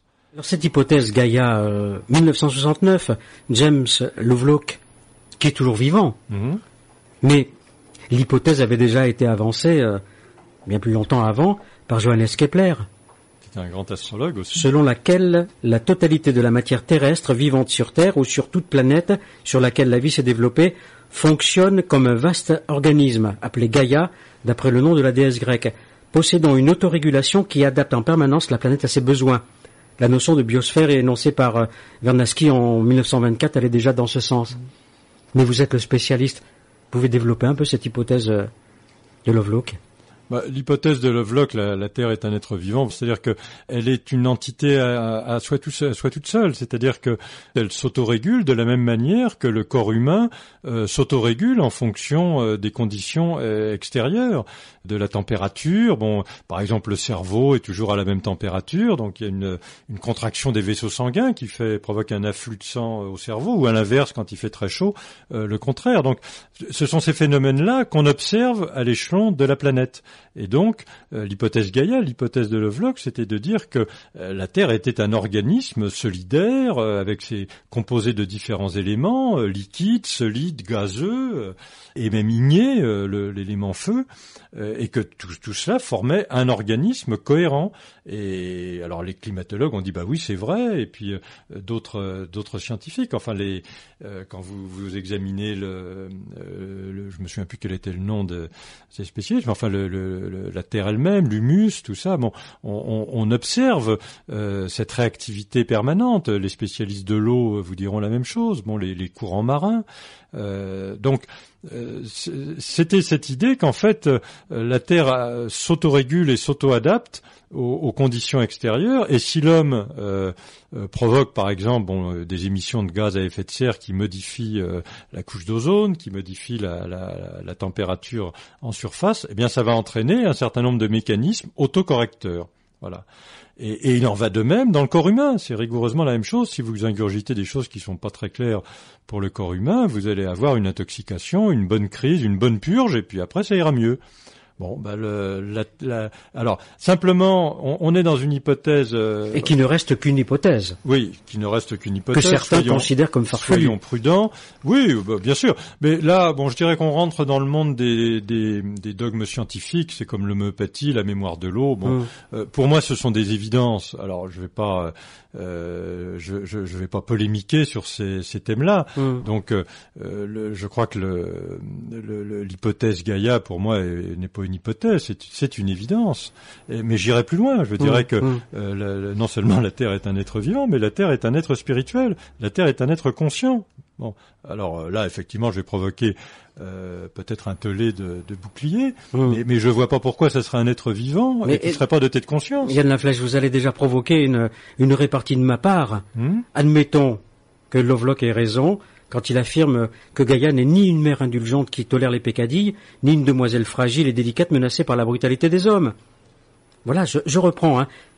Quand il parle de Gaïa, il dit elle est ferme et sévère, maintenant constamment la planète chaude et confortable pour ceux qui obéissent à ses règles, mais se montre impitoyable dans sa destruction de ceux qui les transgressent. Si les humains lui font obstacle, ils seront éliminés, laissant la place à d'autres formes de vie dont ils seront exclus. Oui, alors là, moi, je suis pas tout à fait d'accord parce que je pense que le règne humain a une fonction sur la Terre ou sur d'autres planètes d'ailleurs, parce que je pense pas que euh, la Terre soit le seul euh, endroit qui abrite des êtres du quatrième règne. Enfin bon, prenons, la Terre. Euh, le, règne humain euh, est un point de passage obligé dans l'évolution de la vie, puisque c'est le point par lequel la vie acquiert l'individualité de conscience. Donc je je, je crois pas je, je, crois pas beaucoup à la destruction de, de l'humanité en tant que telle. Alors effectivement peut-être la destruction de l'humanité de la Terre, oui, euh, pourquoi pas. Écologie politique avec un point d'interrogation? Non, je, je, dirais pas ça, mais euh, moi mon approche, si vous voulez, elle, est énergétique et spirituelle. Donc euh, le, pour moi la politique c'est c'est le, je dirais qu'on est dans le monde des conséquences, on n'est pas on n'est pas dans le, le monde des causes. Euh, le, problème de l'évolution euh, de, l'évolution de, de l'homme, euh, c'est qu'il risque d'être obligé de repartir à zéro parce que, à force d'aller dans le mur, il va recevoir une correction qui va l'amener à comprendre qu'il n'était pas dans la bonne direction, tout simplement. Bon, alors là, on est rentré, je dirais, dans l'ère des catastrophes pédagogiques. Hein. on n'est pas rentré dans l'ère des catastrophes apocalyptiques. Euh, je crois que le but du Père, c'est pas de supprimer les êtres humains sur la terre. Euh, il le fera si vraiment, enfin il le fera. Je pense que ça arrivera si vraiment euh, les êtres humains ne veulent pas comprendre. Mais on les, ils seront pas supprimés, ils vont repartir à l'âge des cavernes. On va remettre les compteurs à zéro. Je pense qu'on n'en est pas encore là aujourd'hui. Mais je vous répète, on rentre dans l'ère des catastrophes pédagogiques. C'est-à-dire qu'il y a quand même un certain nombre de choses maintenant qui sont euh, euh, perçues par des, scientifiques, des, gens raisonnables, euh, et qui, interpellent les politiques, qui interpellent les, les, les hommes d'affaires, les entreprises, en disant attention, ne continuez pas comme ça, voilà ce qui va vous arriver dans 100 ans ou dans 150 ans. Bon, quand ils disent 100 ans ou 150 ans, je crois qu'ils sont assez optimistes. Ou alors ils veulent pas inquiéter les populations. Parce que les échéances, je crains, sont un peu plus courtes. Voilà. Donc je ne crois pas à la disparition de l'espèce humaine, mais je pense qu'on, je pense qu'on va rentrer dans des périodes correctrices fortes et que si malgré cela l'humanité ne comprend toujours pas, mm. alors là on risque effectivement de revenir avec des les, cailloux et, mm. et, le, morceau de bois. On n'est pas dans le mur, hein mais on n'en est pas loin. Ah bah là, je pense qu'on va dans le mur, ça c'est clair. Mm. Mais c'est pas moi qui le dis. Hein, y est-on déjà bah, on commence, oui, on commence à y rentrer. Hum. On commence à y rentrer. Hum. La, terre va se secouer comme un chien mouillé. Mais elle va le faire, je pense que si mon, mon hypothèse, qui n'est pas l'hypothèse Gaïa, mais si ce que je dis dans ce livre est, est juste, c'est-à-dire si la Terre est vraiment non seulement un être vivant, mais un être conscient, je pense que ce qui va nous être envoyé, ça va être un événement sans équivoque. Mhm. C'est-à-dire que ça va être la juxtaposition de phénomènes euh, qui en soi pourraient passer pour des phénomènes naturels, mais dont la coïncidence, la simultanéité fera que ça ne sera pas possible. Et puis en plus, avec le livre qui a été écrit, on pourra pas dire c'est arrivé par hasard, puisque on a écrit, euh, Yann de la Flèche a écrit qu'il allait quand même se passer quelque chose et qu'il fallait pas aller nous raconter ensuite que c'est arrivé par hasard. Mhm. Et Ah, je dirais que c'est la première raison, je, Oui. je le dis au début, mais c'est Oui. la première raison pour laquelle j'ai écrit ce livre. oui. Hein, c'est la première raison. Avez-vous fait un rapprochement entre euh, le chiffre de Dieu et le, le 24 décembre, 2 24 décembre, Non, je- un honnêtement- tsunami, une tempête Honnêtement, je suis pas un numérologue, mais je pense qu'effectivement, le, le- non, c'est vrai, je suis pas, on peut pas être un spécialiste de tout. D'ailleurs, Mm. je suis pas sûr que je sois un spécialiste de, je suis un généraliste. Vous savez, Mm. comme les, un peu comme les médecins généralistes d'antan. Je suis pas euh, pointu dans tel ou tel domaine, mais bon, j'ai essayé de retirer après une bonne, euh, une bonne cinquantaine et presque une soixantaine d'années de vie, euh, un, un peu de substantifique moelle. hein, c'est ma culture de généraliste. Mais Bon, alors le tsunami, bon, Oui. les, les dates, la numérologie, je pense que ça, c'est pas non plus arrivé par hasard. La Mmh. date, elle n'est pas arrivée Mmh, par hasard, mmh, et mmh. on peut souvent, après coup, retrouver des choses. Mais moi, les raisonnements après coup m'intéressent pas. Ce que je voudrais, c'est quand même dans ce livre, c'est de dire aux gens, attendez, si on pouvait changer un petit peu, ça serait bien dès maintenant. Et puis surtout, quand on va avoir la correction qu'on va avoir, s'il vous plaît, après, ne recommençons pas sur les mêmes bases. Parce que là, je pense qu'on n'aura plus de catastrophe pédagogique. C'est ça le, but. Et il y a un autre livre qui va suivre, parce que là, je dirais que c'est le livre qui pose un peu les conditions générales. Mais ensuite, je voudrais essayer d'écrire un livre pour imaginer euh, quelles seront les un peu les règles de vie qu'on pourrait avoir entre gens normaux, entre gens qui ont qui ont commencé à recevoir un peu la conscience d'amour. Hein, les justes relations humaines, tout simplement. Ce que le Christ a essayé de nous enseigner il y a 2000 ans. Faites à autrui, ne faites pas à autrui, pardon, ce que vous voudriez pas qu'on vous fasse. Yann Laflèche, euh, si déjà, je m'excuse, déjà ça, c'est beaucoup. Oui, non mais Alors l'étape suivante, Oui. c'est faites à autrui ce qu'il aimerait bien qu'on lui fasse. d'accord, mais Yann Laflèche, si Dieu existait, il n'y aurait pas eu le tsunami. Ah, pas du tout. Alors au contraire, euh, Pour éviter que la question soit posée. Oui, oui, que- non, non, mais euh, je, je crois. Bon, ça c'est un, un grand problème. On a une approche un peu moralisante de tout ça. Hein, C'est-à-dire, euh, on dit, bah oui, Dieu, comment ça se fait que Dieu, Dieu, Dieu, pourquoi Dieu permet-il le mal? Mais Dieu permet le mal, c'est- il permet le mal. C'est l'homme qui crée le mal. L'homme, fab- je vous disais tout à l'heure, l'homme fabrique, crée son propre futur. Donc, euh, c'est ce que les hindous appellent la théorie du, karma. Mais quand vous utilisez des énergies négatives, vous allez devoir les transformer en énergie positive. Donc, il va arriver des événements que j'appellerais des épreuves correctrices ou des épreuves libératrices qui vous permettent de basculer la charge d'énergie que vous avez utilisée. hein. Euh, vous êtes en positif, vous utilisez du négatif, il va falloir repasser en positif. Donc c'est aussi ça. Le mal, c'est aussi simple que ça. Les êtres sont libres. Ils peuvent faire, ils peuvent être dans le beau, dans le bien, dans le vrai, mais ils peuvent être aussi dans le laid, dans le mal, dans l'erreur, dans le faux. Bon. Ils ont la liberté de le faire. Mais simplement, s'ils le font, ils commencent à créer des micro-mondes qu'il va falloir, ils polluent, il faudra qu'ils nettoient. Donc toutes les catastrophes et tous les problèmes qui nous arrivent, c'est la conséquence des comportements des humains. Mm. Alors il y a des conséquences individuelles, il Mm. nous arrive à tous des, des histoires, on a tous des comptes à solder avec nous-mêmes. c'est pas avec les autres. Je- Des je- comptes à solder avec nous-mêmes. Vous, Et vous me permettez il, y a, il y a des groupes, Oui. et il y a l'hum- l'humanité elle-même a, a ses propres comptes à solder avec elle-même. Permettez-moi de, de continuer sur le tsunami comme ça. On évécuera la, la question une bonne fois pour toutes quand ce sera l'heure aux éditeurs de, de parler avec vous, de discuter avec vous. Mais la Terre ne nous aime plus puisque le tsunami est arrivé. Je crois que la, la- C'est loin, hein. Oui, non, mais je crois que là, je vais, sûrement en choquer plus d'un, mais c'est un acte d'amour. Toute correction est un acte d'amour. L'amour, c'est pas de, c'est pas de laisser faire, parce que à la- à- si vous laissez faire, la, la vie disparaît. Donc, euh, quand vous élevez un enfant, il y a des moments où vous êtes obligé de lui expliquer qu'il y a des choses qu'on fait pas. Et puis, euh, il faut euh, quelquefois être un peu, un peu sévère et être exigeant. Je dirais que c'est comme ça qu'on aide un- euh, quelqu'un à grandir. C'est par l'exigence. Bon. Euh, Qu'est-ce qui se passe au niveau des catastrophes naturelles? On a rompu des lois d'équilibre, donc on, a, euh, je dirais, la correction, mais la correction au sens euh, scientifique du terme. On a la correction à un déséquilibre, et, ça, ça permet tout simplement à la vie de continuer. Alors évidemment, si on voit ça sur le plan individuel, c'est clair que euh, c'est totalement injuste, c'est affreux, il y a des souffrances. Alors qu'est-ce qui explique qu'il y ait ces départs collectifs? Ça, c'est une vraie question, euh, parce qu'on a des karmas individuels, on peut comprendre que euh, par rapport à une histoire passée, par rapport à des, fautes, des erreurs, des, actes graves qui ont été commis, il y a un rééquilibrage dans cette vie-là ou dans une autre d'ailleurs qui, fait que notre être, parce que notre être est notre principal agent, agent karmique, nous envoie une épreuve pour solder le compte, une épreuve libératrice. Eh bien, sur le plan d'un groupe, ça peut être la même chose. Mais bon, moi, je je suis pas devin, j'émets des hypothèses. Et je dis quand il y a des départs collectifs comme ça, il peut y avoir plusieurs approches, plusieurs hypothèses. Ça peut être euh, simplement, euh, euh, bon, vous savez, c'est là où il y a eu le tsunami, par exemple, il y avait des, des je, je dévoile pas de secret, des phénomènes de prostitution d'enfants. Mmh. donc il y a quand même constitution de karma de groupe assez lourd, assez lourd, parce qu'il y a toute une société qui vivait de ça. Bon, euh, à, commencer d'ailleurs par nous, nous autres occidentaux qui entretenons ce système-là. Enfin, localement, euh, il y, a, y, a, une offre. Oui, mais c'est une petite partie. C'est une petite partie. Pourquoi mais nous, nous, nous raisonnons, si vous voulez, pour nous, la mort, c'est la fin de la vie. Pour les orientaux et pour d'autres personnes, euh, la mort, c'est simplement un véhicule qui est usé, qui ne peut plus remplir sa fonction et qui va être remplacé. Hein, c'est comme euh, bon, on n'a pas une seule voiture dans toute sa vie. On à un moment, on change de voiture, on l'adapte à notre à notre vie, au trajet qu'on a à faire, etc. Ben, l'âme, elle fait la même chose. Elle projette des véhicules qui sont des des, des, corps humains. Alors nous, simplement, comme on, voit les choses au ras des pâquerettes, on se dit ah ben quand je vais mourir, c'est fini. Mais non, la vie s'arrête pas euh, avec la mort. Ça, c'est une c'est une erreur.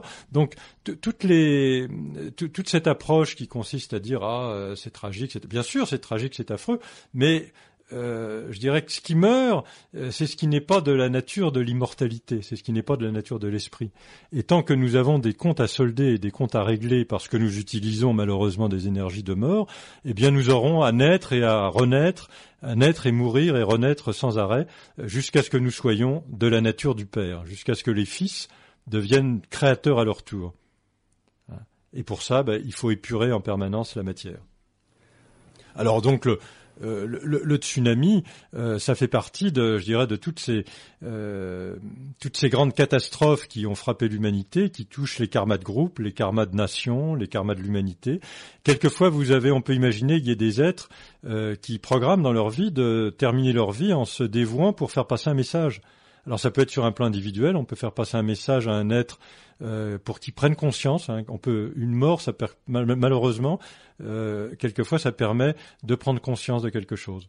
Et, et, bien sûr, un plan de groupe, c'est la même chose. Oui, mais le, le, malheureusement, je dirais que notre société est faite de telle sorte que hum. quand il y a trois morts dans un tremblement de terre, on n'en parle pas, mais quand il y en a mille, on en parle. Bon, euh, c'est comme ça.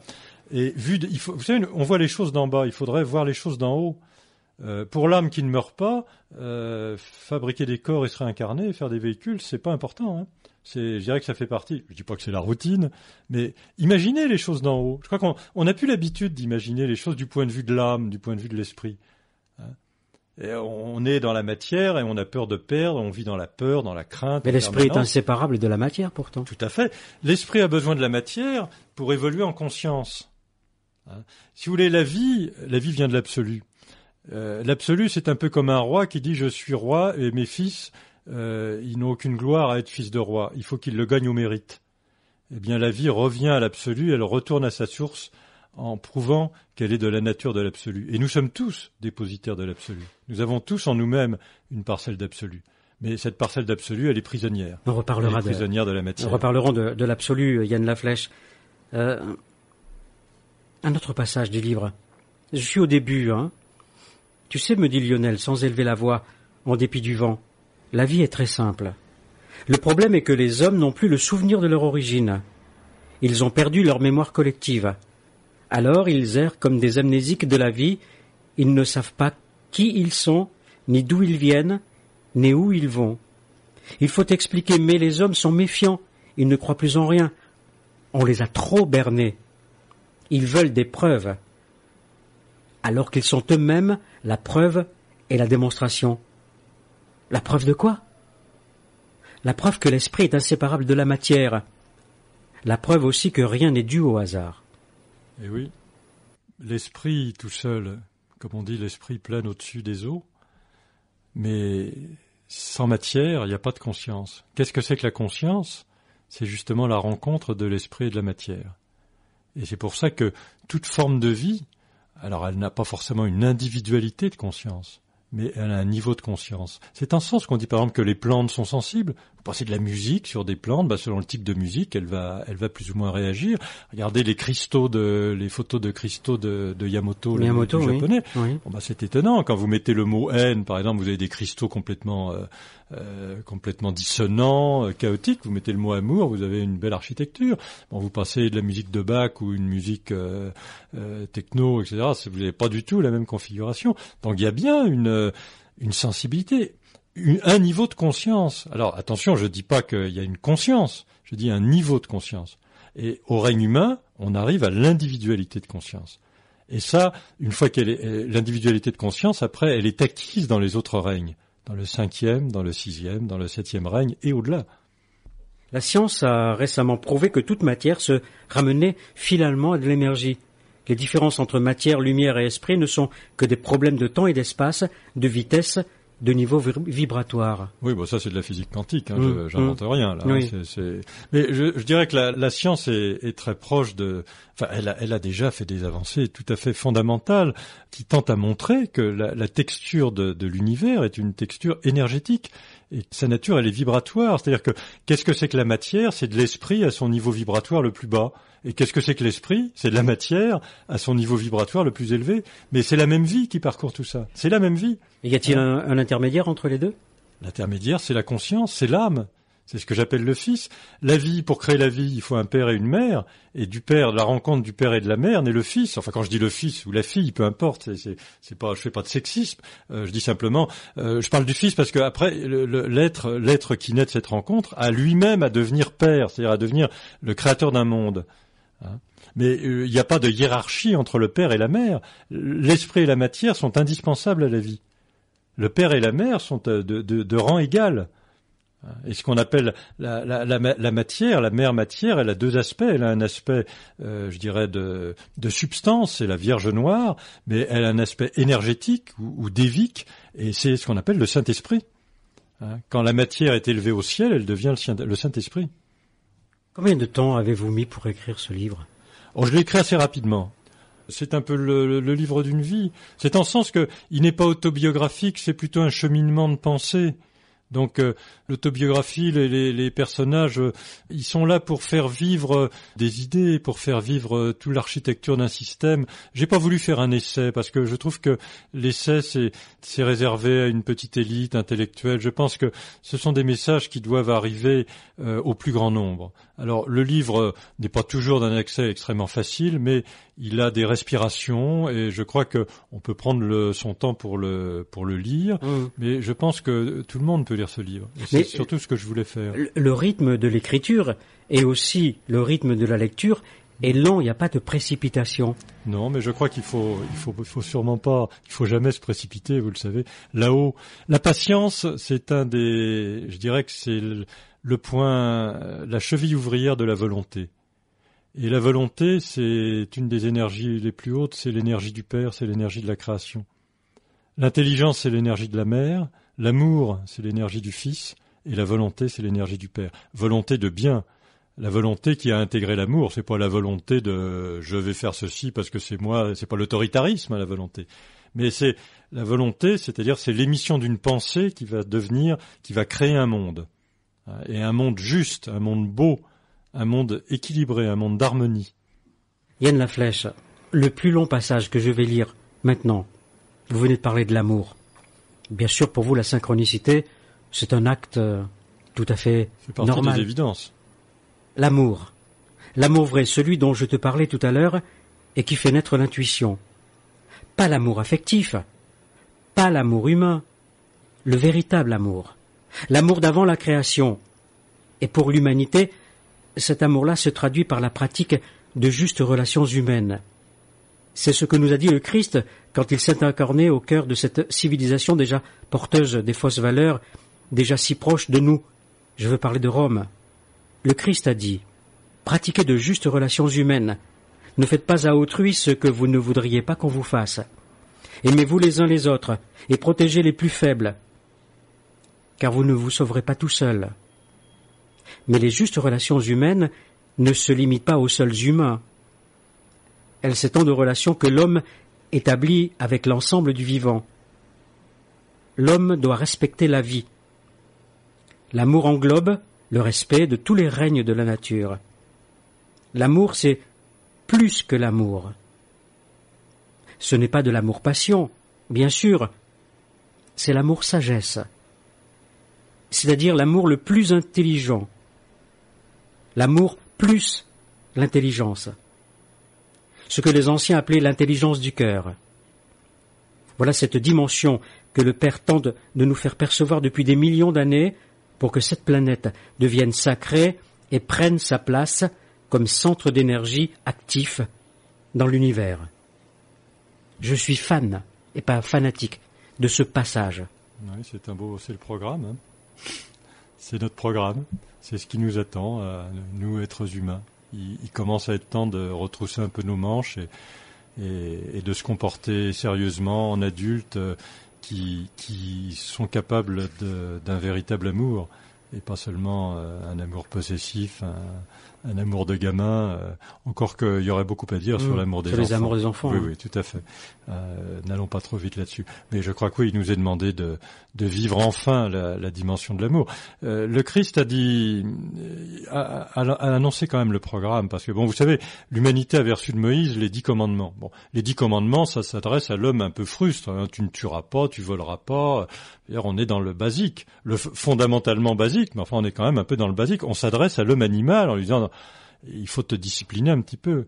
Quand le Christ arrive, il intègre les dix commandements, mais il en rajoute deux autres. Le onzième commandement, c'est aimez-vous les uns les autres. Donc c'est la dimension de l'amour, c'est le plan christique, le plan bouddhique. Et ensuite, le douzième commandement, c'est que la volonté du Père soit faite, sur la terre comme au ciel. Que la volonté du Père. Et là, il nous introduit dans le plan que les hindous appellent le plan atmique, la volonté de création.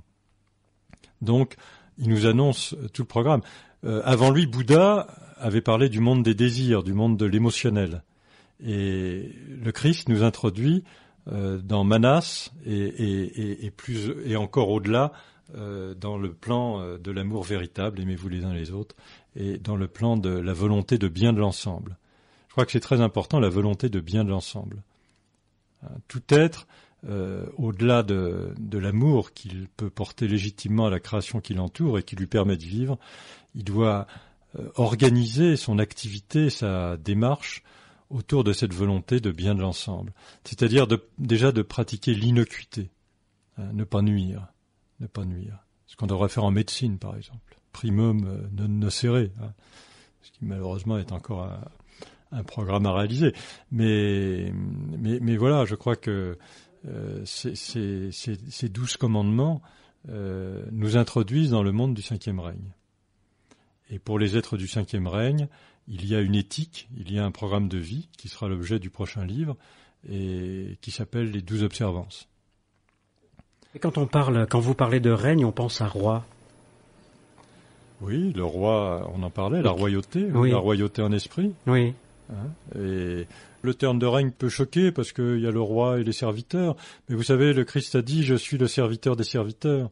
Donc à un certain moment, je crois que, vous savez, dans le quatrième règne, je vous le disais, on est dans le monde de la domination, dominé, dominant, euh, les, maîtres et les serviteurs.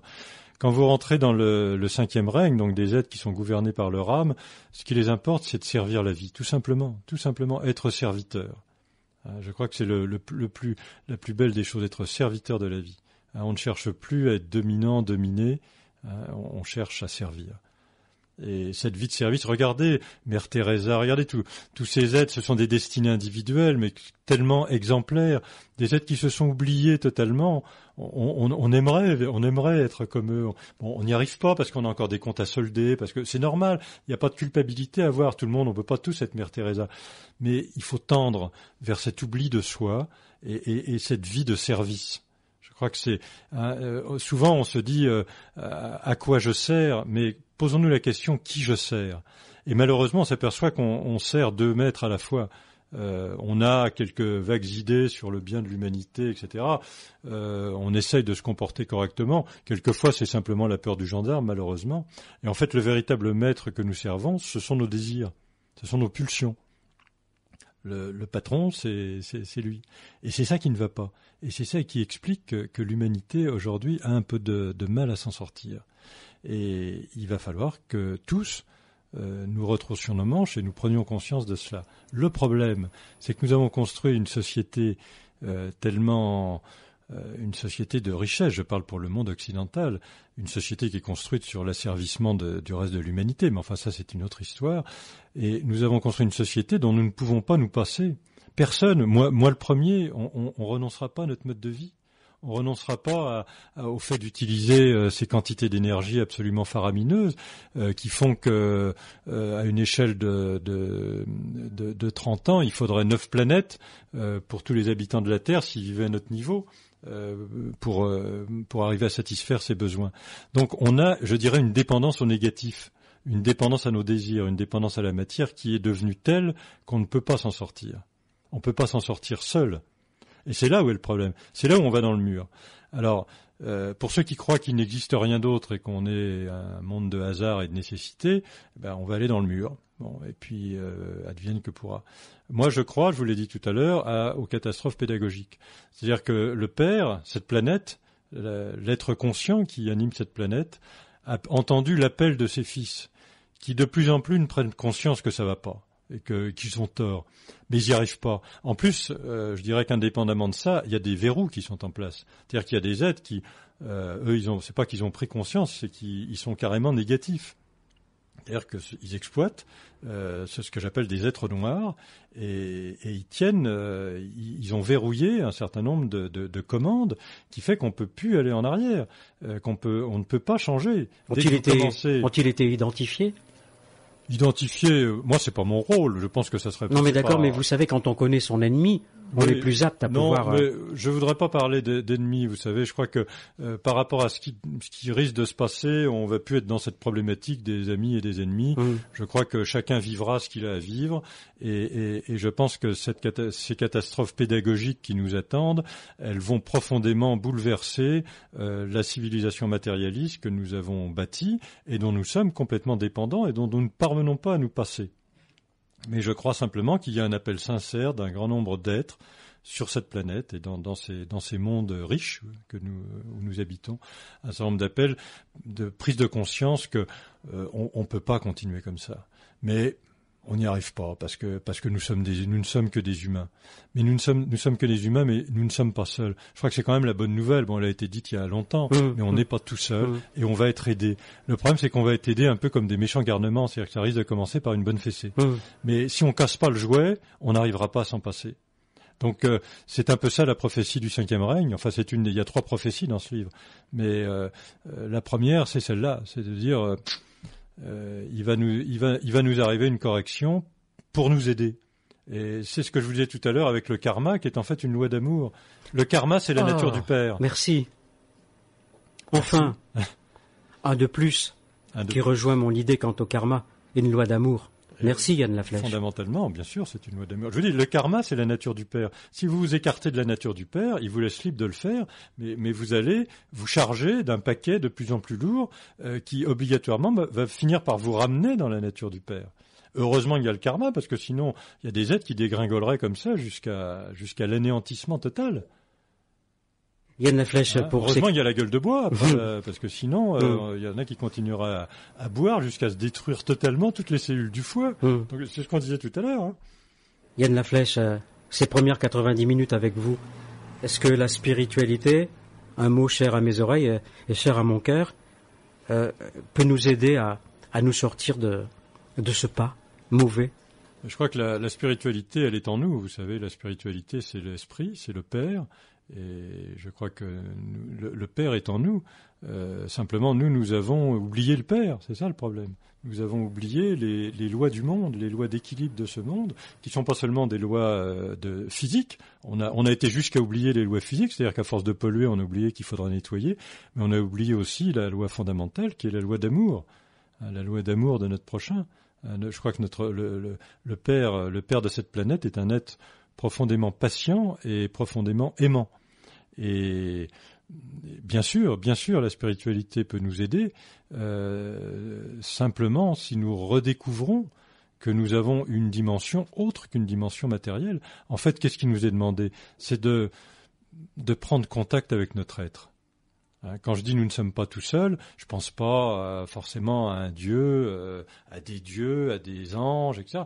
Mais avec cette partie de nous-mêmes qui ne meurt pas, cette partie de nous-mêmes que nous allons rejoindre toutes les nuits dans notre sommeil, car la nuit nous remontons jusqu'au niveau de notre âme et nous travaillons avec elle.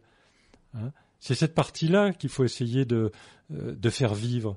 Et en fait, le jour où notre personnalité, notre, nos corps physiques, émotionnels, mentaux, seront le reflet pur et sans de notre âme, je crois que là, nous serons une fontaine de vie sur la terre et l'homme sera pleinement dans son rôle. Donc, vous parliez de spiritualité, effectivement, rétablissons le contact avec notre être. Hein. Faisons en sorte que ce soit notre âme qui dirige le bateau et non pas euh, notre personnalité, notre ego. Hein. Faisons en sorte que c'est ce qui est éternel qui gouverne notre vie et non pas ce qui est mortel. Voilà parfois plus facile à dire qu'à faire, mais il faut quand même le dire. Merci Yann Laflèche.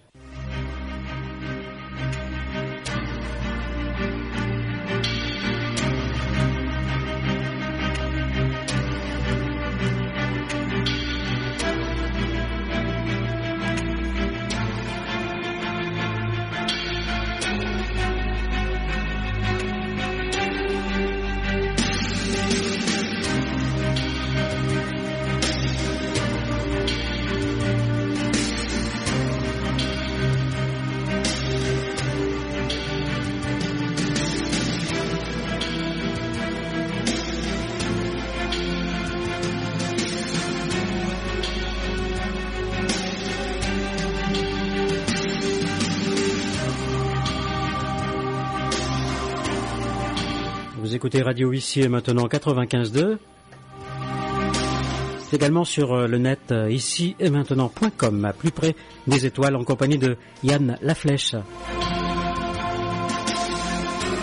Yann Laflèche euh, qui vient d'écrire La prophétie du cinquième règne, roman initiatique. Je mettrai roman entre guillemets, mais bon, il n'y a que moi qui peux juger roman initiatique aux éditions Alphée. Alphée s'écrit A-L-P-H-E-E.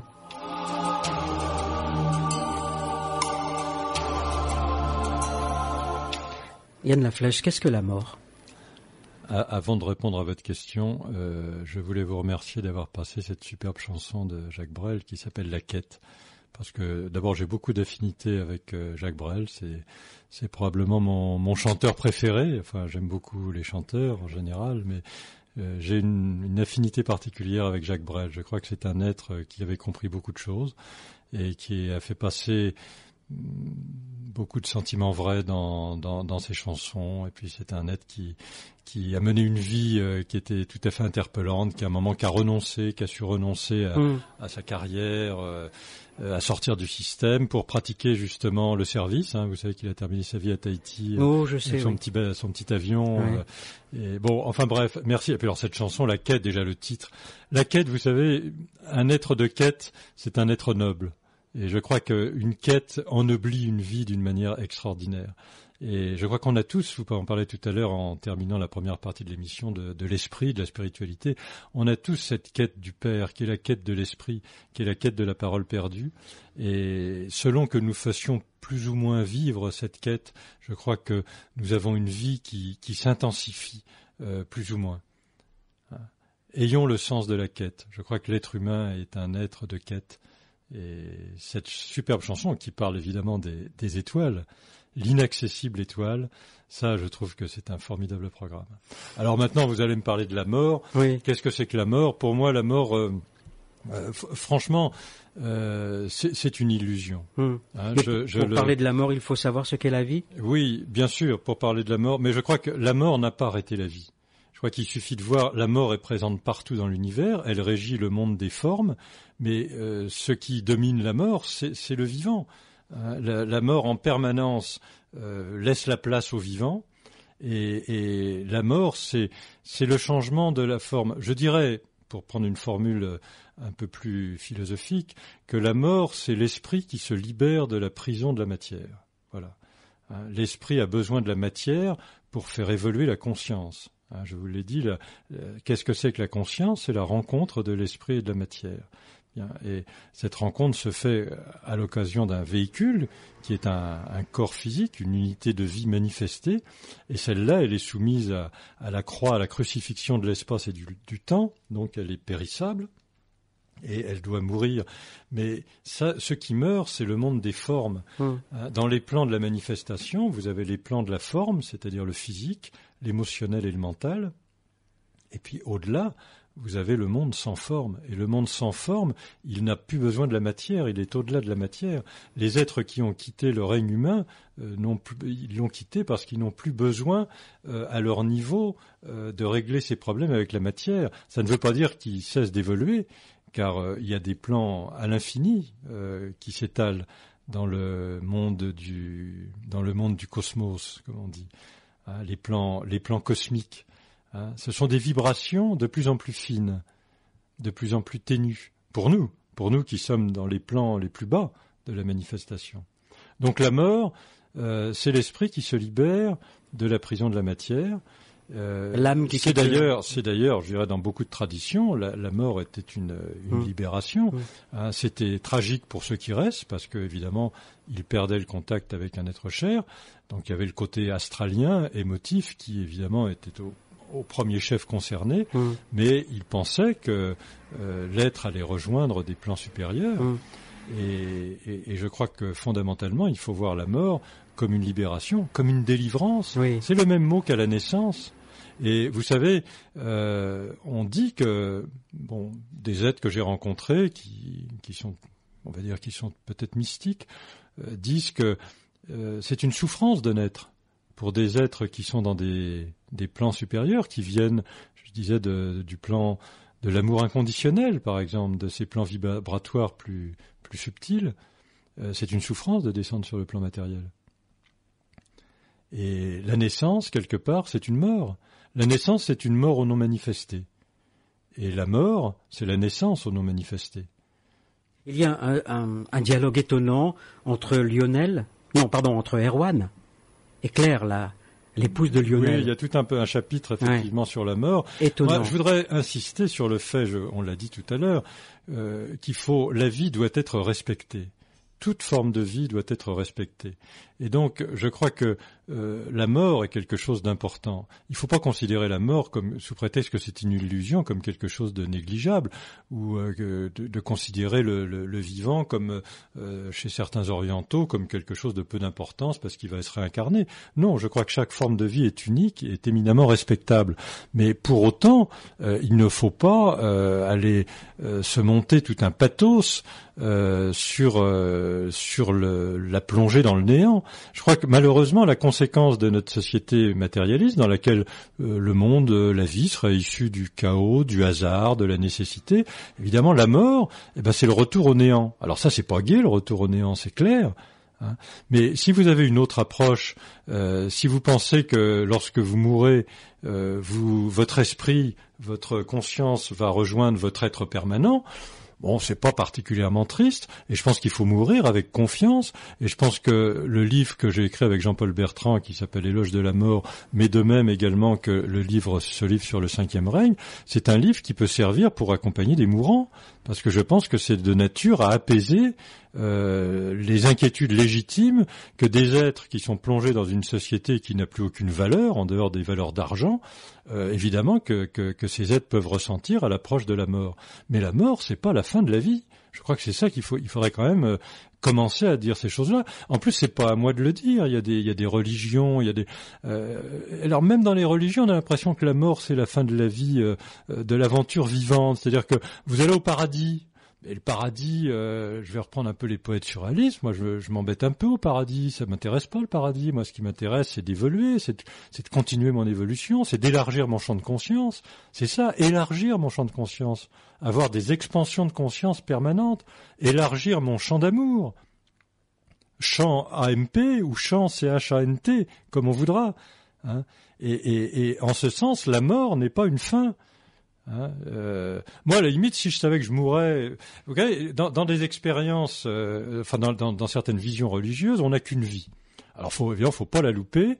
Alors là, je trouve que c'est profondément injuste parce que comment expliquer qu'il y ait des êtres qui naissent avec des, inégalités aussi aussi faramineuses, des inégalités physiques, des inégalités intellectuelles, des inégalités sociales? C'est totalement injuste. S'il y a un Dieu, comment peut-il tolérer ça si on n'a qu'une seule vie? C'est la loterie. Bon, et ça, moi, je, crois que ça, c'est une erreur profonde. Ça, me paraît évident. S'il si, y a un Dieu, euh, il ne peut pas y avoir d'injustice. C'est un Dieu de justice. Donc je vous l'ai dit, les souffrances, je crois que c'est nous qui nous les créons par l'usage de, des énergies de, mort, des énergies négatives que nous utilisons. Et, dans tous les cas de figure, si nous choisissons de nous incarner euh, avec un corps physique plus ou moins résistant ou dans une situation sociale plus ou moins difficile, bah c'est parce que nous avons des choses à apprendre.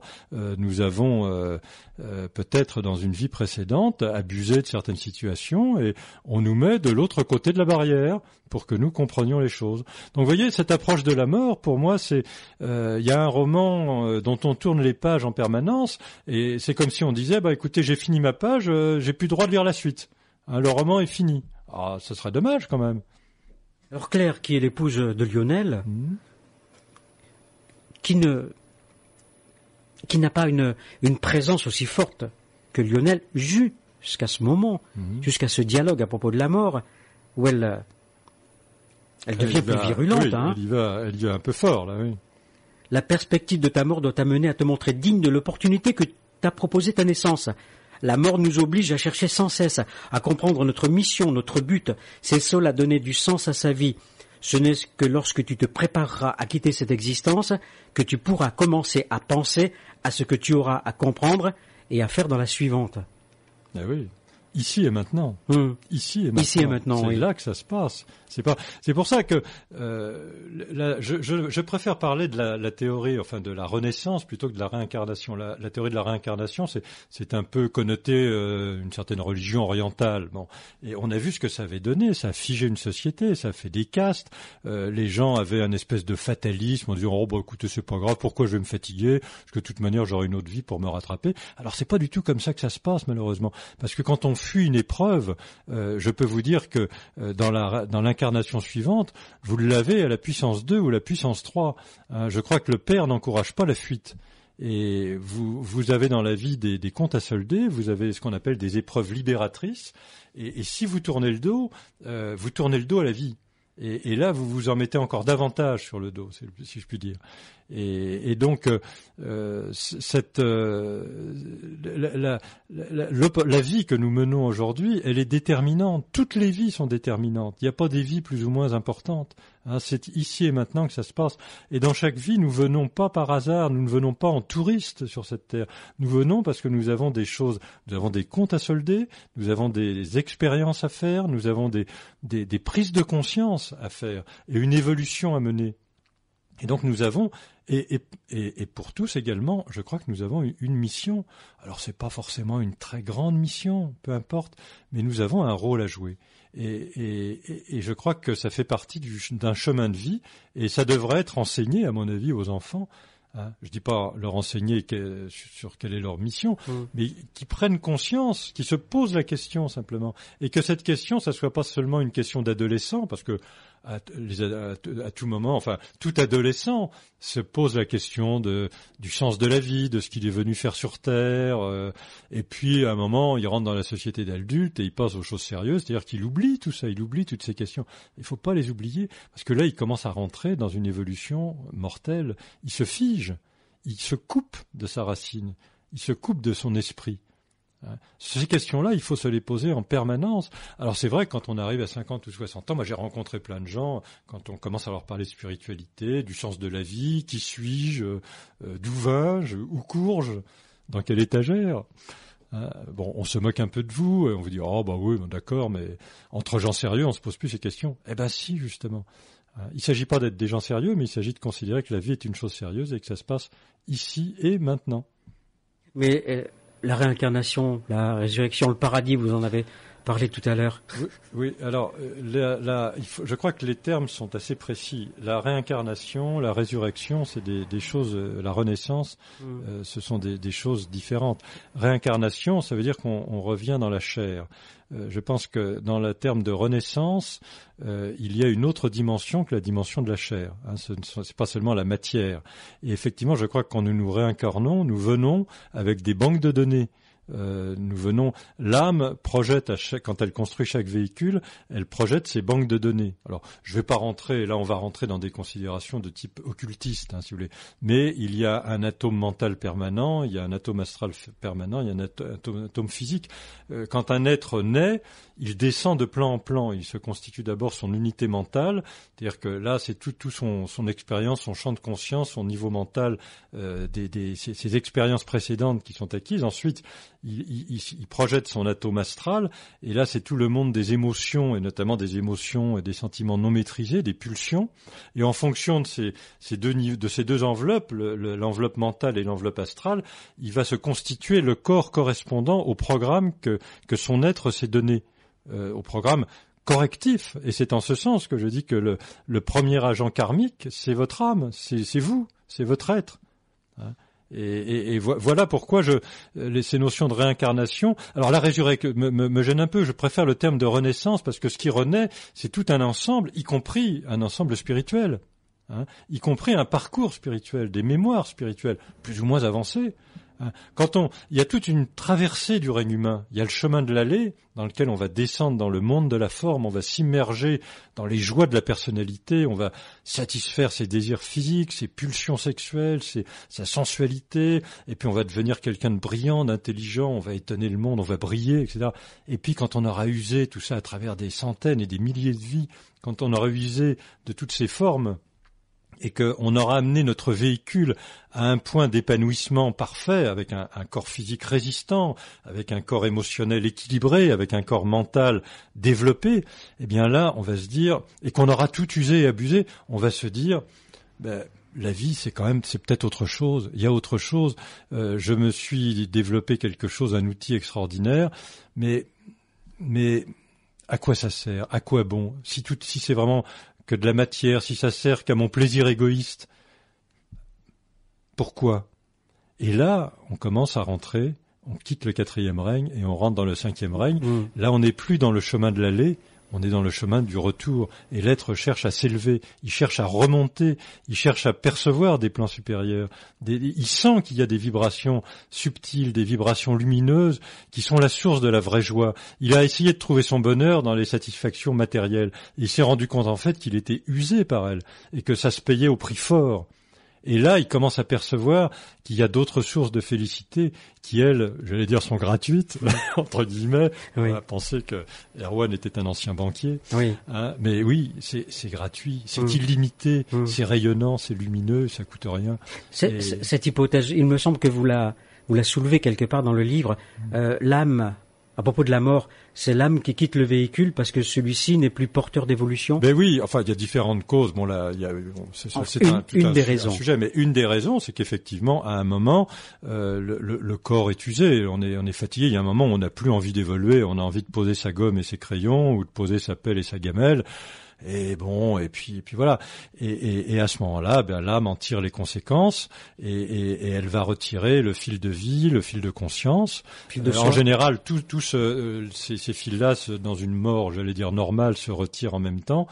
Euh, parfois, il y a des êtres qui ont obstinément euh, refusé de prendre, de faire des prises de conscience, de remplir la mission que pourtant euh, la vie, leur, leur, âme leur avait proposée et leur avait rappelé à l'occasion de différentes opportunités de vie, des accidents, des choses comme ça, des, des, des coïncidences. Bon, mmh. Et l'être a continué à fermer les yeux.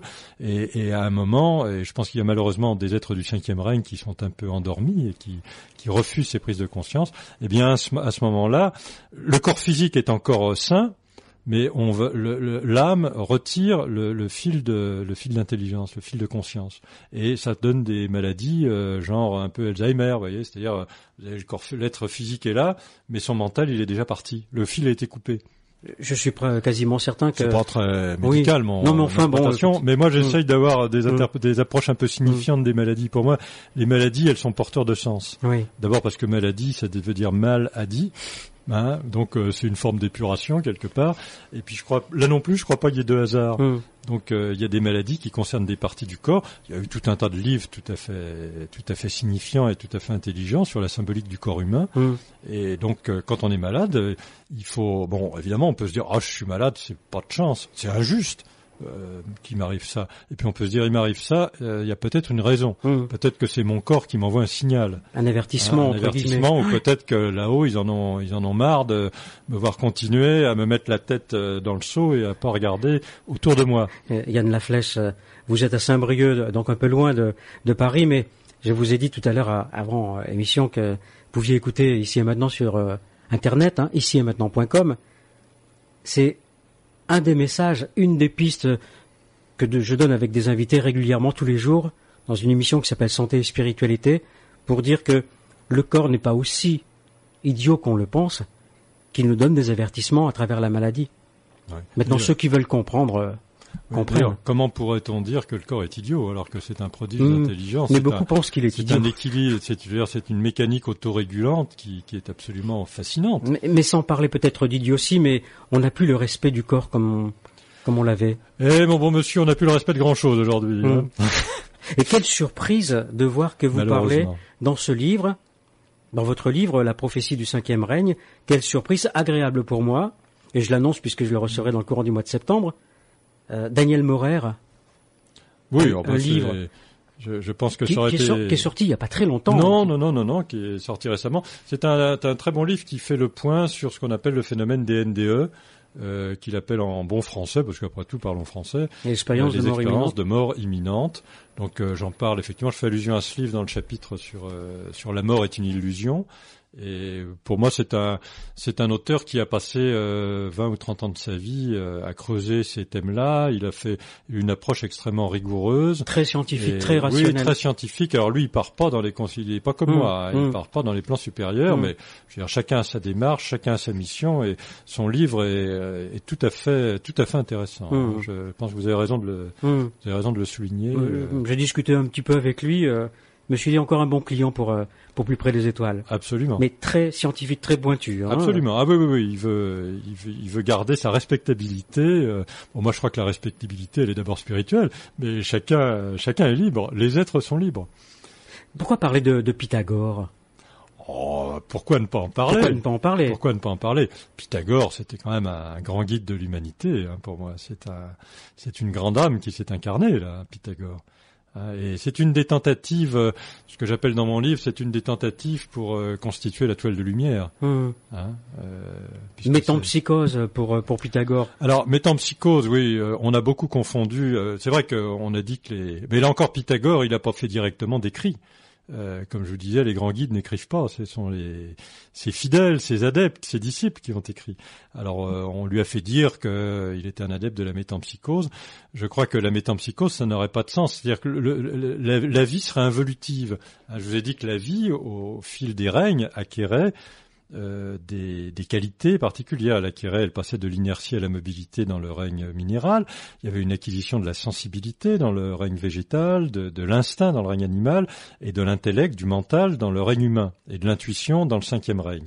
Euh, une fois que la vie la, vie est en évolution permanente. Donc je vois pas bien pourquoi, euh, même si vous faites des fautes, si vous vous comportez comme n'importe quoi, euh, ça ne sert à rien de revenir, de passer du règne humain au, règne animal à partir du moment où vous avez déjà assimilé en tant qu'unité de vie l'instinct. Donc euh, ça n'a pas de sens. Le seul domaine où ça a un sens, je le dis dans le livre, c'est pour ce qu'on appelle les frères noirs. Alors qu'est-ce que c'est que les frères noirs? C'est des êtres qui sciemment ont choisi, ont refusé de solder les comptes. Ce sont des êtres qui sont déjà, qui ont déjà évolué, qui sont arrivés à un niveau de conscience euh, que je qualifierais de, vieilles âmes et euh, qui, conscients du prix qu'ils ont à payer pour certains de leurs actes, ont refusé de solder ces comptes. Et ils sont devenus des serviteurs du négatif.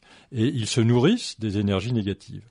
Et ces êtres-là, euh, donc, qui ont compris par leurs euh, pratiques occultes comment on pouvait éviter les, on pouvait biaiser les lois karmiques, eh bien ces êtres-là, euh, quand ils se font prendre, parce que quelquefois ils sont quand même, quelquefois, même souvent, ils sont pris, ils finissent par être pris au filet, euh, ils peuvent être euh, soumis à ce qu'on appelle la métampsychose, c'est-à-dire que là ils repartent vraiment à la case départ, et d'ailleurs pas forcément sur cette terre.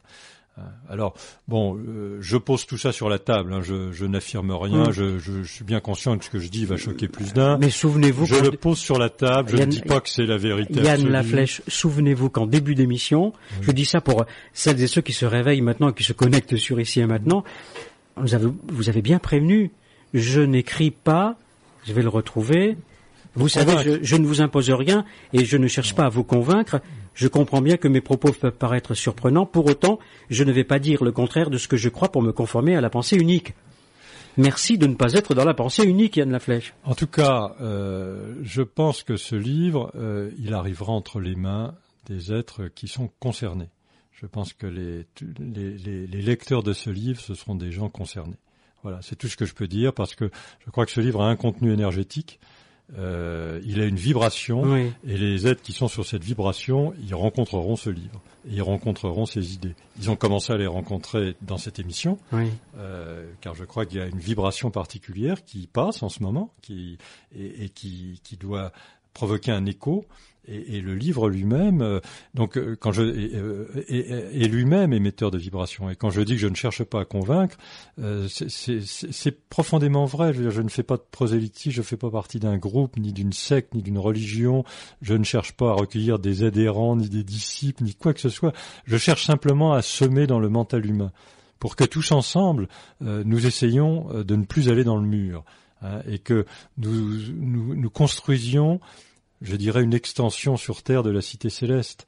Nous construisions une cité où il fasse bon vivre, où les gens ne se tapent pas dessus, où les gens ne s'exploitent pas en permanence, hein, simplement où les gens se respectent. Hein, On Mm. parlait du respect tout à Mm. l'heure. Il ne s'agit pas de respecter n'importe quoi. Je veux pas respecter l'abruti du coin sous prétexte qu'il est galonné ou euh, que euh, c'est un, un grand homme politique, ceci, cela. Non, je parle du, du respect de toute forme vivante, du respect de la vie. Hein. Y a, je crois qu'il ne faut pas respecter les colifichets, les ors et le paraître. Mais tout être humain est profondément respectable. Donc c'est ça, une société qui est fondée sur le, notamment le respect de la différence. Hum. La vie est riche de toute cette diversité extraordinaire. Hein, s'il y avait, on parlait de la pensée unique, mais c'est triste la pensée unique parce que ce qui, ce qui est formidable dans la pensée, c'est un bouquet de fleurs. Vous êtes gentil. Hein, c'est une myriade de, de, de vibrations. S'il y en a plus qu'une, mais c'est triste à pleurer. Mais vous savez, si on fait des clones, un monde de clones. Enfin bon, Savez-vous, oui, le Da Vinci clone. Hmm. Euh, mais savez-vous, Da Vinci clone, vous oui, oui, j'ai inventé ça, Da Vinci. oui, c'est pas Bon, mal, oui. Euh, On va pas critiquer. Je- Du non, non, mal non. sur autrui ne dit, ne cause, ne voit, ne provoque. hmm, non, mais bon, il y en a plein de clones du Da. Vinci. Hein. Comment? Il y en a plein de clones du Da Vinci Code. Ah oui, oui, ça c'est un oui. gros succès littéraire. Oui. Et, bah, tant mieux, il faut Oui. s'en pour l'auteur. Je lisais récemment euh, sur le forum euh, de plus près des étoiles sur ici et maintenant euh, une pensée d'une auditrice qui disait et peu importe comment chacun va réagir, chacun a sa vérité. Souvenez-vous, Ponce Pilate disait qu'est-ce que la vérité? Oui, il n'y a que ceux qui font. aussi. Il n'y- il n'y a que ceux qui font qui dérangent et non pas ceux qui défont. Oui, je crois que c'est plus facile effectivement de détruire que de construire, ça c'est Mm. clair. Euh, il y a aussi un moment où il faut effacer. On dit que quand Dieu efface, c'est qu'il se prépare à écrire. C'est un des, une des, un des sens de la prophétie du cinquième règne. Hum, Quand Dieu efface, c'est qu'il se prépare à écrire. hum. Mais bon, je crois que euh, là, là, qu'est-ce qui, doit être détruit? Ce qui doit être détruit, c'est ce qui s'oppose à l'harmonie de la vie. Hmm. C'est ce qui est contre la vie. Et je crois que ça, il faut pas avoir peur de le dire. Ça doit être détruit, et ça va être détruit. Alors juste euh, ce dernier passage et puis euh, nous allons euh, ouvrir le standard pour les auditeurs et les auditrices parce que j'essaie à travers cette émission de donner l'envie d'acheter le livre et de lire le livre. Et je pense que ça peut être un, un excellent livre pour euh, pour les vacances. Ah, c'est un bon livre de plage. Mais oui, mais oui. Il n'y a pas de, de- il y a pas de saut endroit pour lire un bon livre. Dis Plutôt pas que de lire que du la Barbara plage est un endroit saut. non, non, non, mais plutôt que de lire du Barbara là, En Catlan. Bretagne, on, Et- on a de belles plages. La dernière, le dernier passage euh, de lecture euh, du livre de Yann Laflèche, La prophétie du cinquième règne, aux éditions Alphée. Bien entendu, assura Lionel, même s'il n'y a qu'eux évidemment qui en font partie, c'est vrai qu'un certain nombre de chefs d'entreprise, de cadres supérieurs, de professions libérales, de thérapeutes appartiennent au cinquième règne. Entre l'égoïsme forcené du quatrième règne et la conscience d'être un tout dans un vaste ensemble qui caractérise le cinquième règne, le fait d'avoir en charge la responsabilité d'un groupe, d'une petite collectivité, dans le cadre d'une activité économique, juridique ou médicale, invite ces êtres à se préoccuper du bien de l'ensemble des groupes en question et à y établir de justes relations humaines. Ces êtres se retrouvent à la tête d'entreprises, d'administrations, d'associations, pour se préparer au travail plus général d'harmonisation du bien général de l'humanité. Le problème est que certains cèdent encore à l'égoïsme et tirent la couverture à eux, en cherchant à tirer profit du groupe dont ils ont la charge, alors que d'autres mettront l'intérêt de l'entreprise au premier plan. En tant qu'ancien chef d'entreprise, hmm. vous avez côtoyé un monde oui. un peu à part, le monde de la banque. Oui, enfin le monde de la banque, le monde des entreprises. Oui, euh, oui je suis pas un être euh, désincarné. Euh. Mmh. Je crois que vous savez, ce qui est difficile, euh, c'est pas tellement de se retirer dans un monastère, c'est de vivre la spiritualité ici et maintenant, c'est-à-dire dans, dans, dans, la ville, dans Mais ne dites pas de, ne dites, surtout pas de mal de ceux qui se retirent dans les monastères. dit du mal les de monastères. Ils sont utiles pour l'humanité. Tout à fait. la prière est utile. Tout à fait. Mais je, je dis simplement qu'il est difficile de vivre sa spiritualité dans la ville de, dans les villes de aujourd'hui, dans la, vie de tous les jours, avec toutes ces tentations et, ces, dispersions. Alors maintenant, le passage que vous avez cité euh, tout à l'heure me paraît effectivement une évidence. Je crois que les êtres qui accèdent à des, responsabilités de groupe, euh, ce sont des êtres qui sont, euh, je dirais, dans le quatrième règne avancé ou qui viennent de rentrer dans le cinquième règne, c'est-à-dire qu'ils ont développé leur personnalité, ils l'ont poussé à un point d'épanouissement qui les rend notamment le corps mental, qui les rend aptes à s'occuper d'autre chose que de leur simple personne. Et ils ont effectivement des responsabilités de groupe. Et j'ai rencontré euh, des, dans ma dans ma vie beaucoup de chefs d'entreprise, beaucoup de responsables d'associations, qui étaient des gens qui avaient qui mettaient en premier euh, le sens du bien de l'ensemble, qui étaient tout à fait conscients, euh, notamment des responsables de PME, des responsabilités qu'ils avaient au niveau de l'emploi, au niveau de leurs collaborateurs. Et bon il est certain que ce que j'ai vu au niveau des petites entreprises euh, se vérifie euh, plus difficilement dans les très grandes structures, où là on est dans, un, dans des, des univers beaucoup plus déshumanisés et désincarnés. Euh, mais je crois que un être du cinquième règne est un être qui naturellement a vocation à quitter sa sphère individuelle euh, pour s'occuper euh, du bien-être de l'ensemble, du bien-être d'un groupe. Alors ça commence par des groupes plus ou moins importants, euh, et je pense que ça a vocation à s'étendre au bien général. le bien général étant entendu d'ailleurs pas seulement dans le monde matériel, mais également dans le domaine de la pensée. Car je crois qu'un être qui est aligné avec son être est un être euh, qui se situe au niveau, je dirais, du corps éthérique planétaire, et à ce moment-là, il peut semer dans le mental humain. C'est-à-dire que ses pensées d'amour, ses pensées euh, de bonté, de beauté, de justice, elles vont se répandre dans les éthers. Hein. quand on parle du corps éthérique planétaire, ce sont les éthers, c'est le domaine où, circulent les pensées qui sont émises. Et elles vont être reçues, ces pensées, par des capteurs, euh, que sont des hommes politiques, des savants, des intellectuels, des artistes, qui vont cueillir des tendances, des, des inventions. Euh, ils vont penser que c'est eux qui ont inventé ça, ou ils penseront pas. D'ailleurs, peu importe. Tout le monde ne croit pas qu'il est le centre de la Terre. Mais c'est comme ça que les choses évoluent dans notre dans notre monde. Et donc, euh, ces êtres du cinquième règne, ils ont, ils commencent peut-être comme chefs d'entreprise. Ou euh, alors, entendons-nous bien. Il n'y a pas que. Je me faites pas dire ce que je ne dis pas. Tous les êtres du cinquième règne ne sont pas chefs d'entreprise et réciproquement, tous les chefs d'entreprise ne sont pas du cinquième règne. Mais je dis simplement qu'il y a, il y a un élargissement. Mmh. Euh, progressif du, du, cercle égoïque. Mmh. Hein, on, on, passe du cercle égoïste à un cercle altruiste. Bon, et on s'intéresse effectivement à établir autour de soi de justes relations humaines. Et au-delà, bon, ça c'est un premier stade, et je crois que dans un deuxième stade, il y a ce que j'appellerais l'identification avec le Père, qui fait que l'être devient un sans bras. symboliquement, vous savez, les, il y a des statues qui étaient représentées sans bras. Un sans bras, c'est quelqu'un qui n'a plus besoin des bras pour agir. Il agit avec son mental, et c'est son mental supérieur. Parce qu'avec ce mental supérieur, il crée des mondes. Il ne les crée pas directement, mais il sème dans le mental humain, et ses pensées sont recueillies par des êtres qui vont euh, euh, concrètement, euh, qui vont concrétiser, cristalliser ces vibrations. Alors, je le développe d'une manière plus, substantielle, on va dire plus large dans le livre, mais c'est, on va dire, c'est un peu le, schéma simplifié que je vous dis là. Alors, je, je vous ai dit, avant que nous nous rencontrions tout à l'heure, Yann Laflèche, que je n'avais pas lu les 50 dernières pages, dernières pages du livre. Et là, j'ai ouvert le livre à la dernière page. Vous savez, juste avant le mot fin. Oui, la dernière phrase. La dernière phrase. Oui. Et je vous avais dit par intuition, et voilà ce que vous écrivez. L'horizon spirituel recule au fur et à mesure que l'on croit s'en approcher. Erwan. Et cela rend très humble. Eh oui. Ça ne pouvait pas être autrement ce mot de la fin. Je crois que c'est un livre qui essaye de dire beaucoup de choses, de faire passer un certain nombre de messages, mais je crois qu'il faut.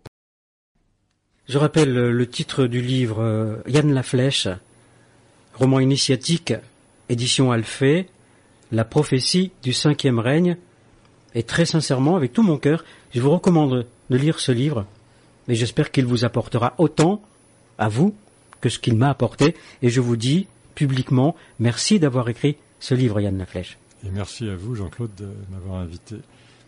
On va passer aux questions des auditeurs. Si vous voulez.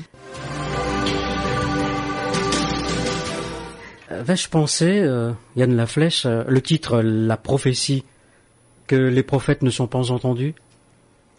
Oh, Nul n'est prophète en son pays, nul n'est prophète en son moment. Je pense que les, les, prophètes actuellement qui ne sont pas entendus, et je le regrette, ce sont les scientifiques. Euh, qui commence à d'une seule voix parler d'une seule voix pour euh, dire qu'il est temps que l'humanité change ses comportements et il nous prophétise euh, il nous prophétise un avenir difficile et ceux-là ne sont pas entendus. Peut-être peut-être devrions-nous lever un peu plus le voile. Alors levons-le mais pas trop.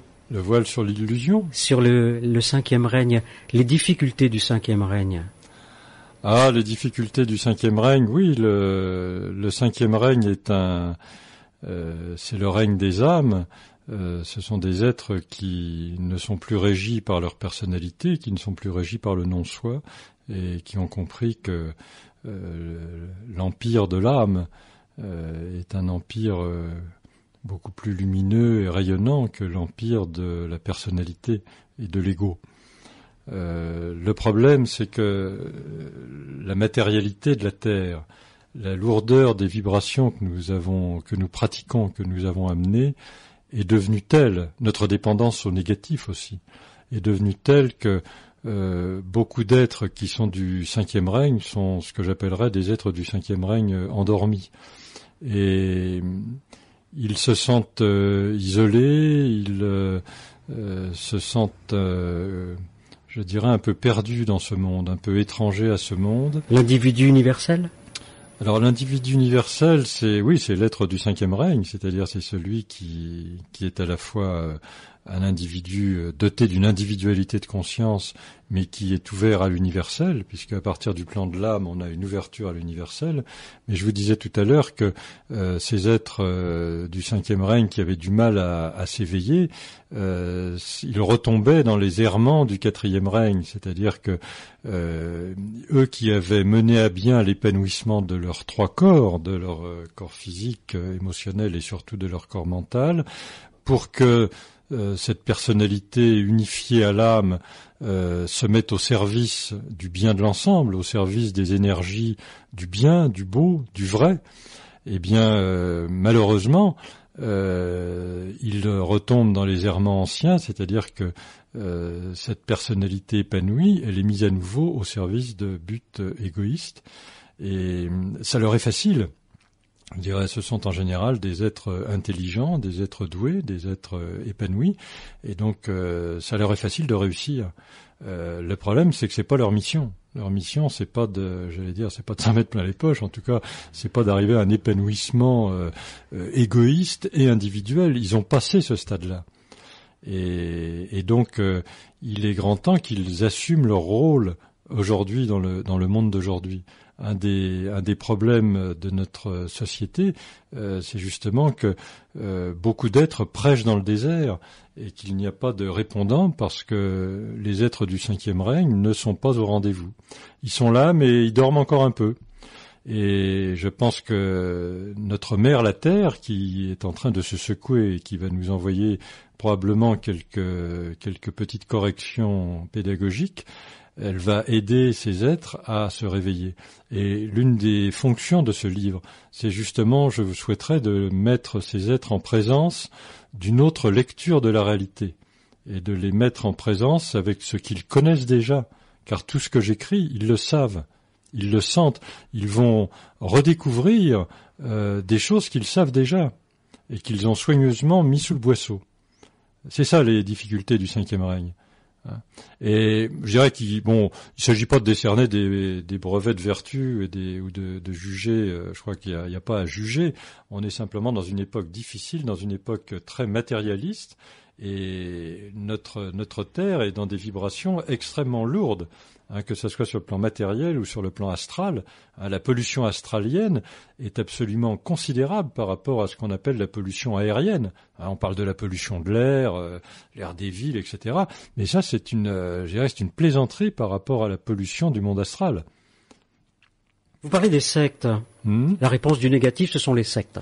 Oui, alors non, je parle de la vocation des êtres du cinquième règne à travailler en groupe. Hmm. Euh, je parle de la toile de lumière qui doit se tisser, qui est une toile énergétique, une toile composée d'êtres du cinquième règne et même d'êtres du sixième règne, euh, qui est là pour euh, préparer justement, pour, je dirais, préparer un réseau de capteurs par rapport aux grands êtres euh, dont nous sommes le corps de manifestation et euh, avec lesquels nous pouvons rentrer en canal, nous pouvons rentrer en alignement. Et donc euh, la notion de groupe, elle est, je dirais, elle est presque instinctive chez l'être du cinquième règne. L'être du cinquième règne a dépassé le stade individuel. Il sait qu'il ne travaillera bien sur le plan énergétique qu'avec d'autres êtres du cinquième règne. C'est ce que j'appelle tisser la toile de lumière. Alors la réponse du négatif à ce phénomène, je dirais, de regroupement énergétique, euh, c'est le phénomène des sectes, c'est-à-dire qu'on a introduit le faux dans une démarche spirituelle, hmm. et là on, détourne des, centaines et des milliers d'êtres euh, de leur réalité. C'est-à-dire au départ on a des êtres qui, qui, ont une démarche spirituelle, qui ont un vrai questionnement, pardon, et qui sont manipulés, qui sont réellement manipulés. bon, l'un des critères des sectes, évidemment, c'est l'aspect financier. Euh, mais il y en a d'autres. Et c'est effectivement une des réponses du négatif à l'avènement, à l'émergence euh, du cinquième règne. Est-ce que les, groupes euh, ont la même évolution que les individus? Oui, absolument. Les groupes sont d'abord en personnalité, et puis ensuite ils arrivent en contact avec, ils entrent en alignement avec leur être, avec leur, leur essence d'être. Mais au début, les groupes en personnalité, c'est des groupes qui sont euh, je dirais, régi par des conflits internes, des gens qui veulent euh, prendre, euh, prendre tous les phénomènes de pouvoir qui sont très classiques, les phénomènes d'influence, les, luttes d'influence. en fait, la vocation du groupe est oubliée par rapport au phénomène de personnalité de ses dirigeants et de ses animateurs. Voilà le, le premier appel de ce plus près des étoiles avec vous, Yann Laflèche. Anne, bonsoir Anne. Bonsoir Yann Laflèche, bonsoir Bonsoir. Euh, dans votre présentation, tout à fait au début, euh, il a été très peu question de vous. On vient d'apprendre que vous aviez été chef d'entreprise.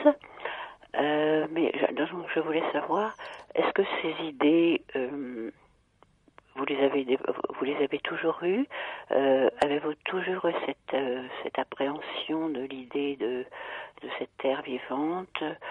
Euh, Ou bien est-ce que est-ce qu'il s'agit d'une réflexion personnelle? Ou bien est-ce que vous vous sentez investi de une mission, peut-être de la part d'identité, d'entité supérieure? je ne sais pas. Écoutez, je, je, crois que tout être, euh, tout être a, a, un rôle à, à, jouer, bon, a une mission à remplir. Alors, est-ce qu'il est investi d'entités supérieures ou inférieures euh, C'est un autre sujet.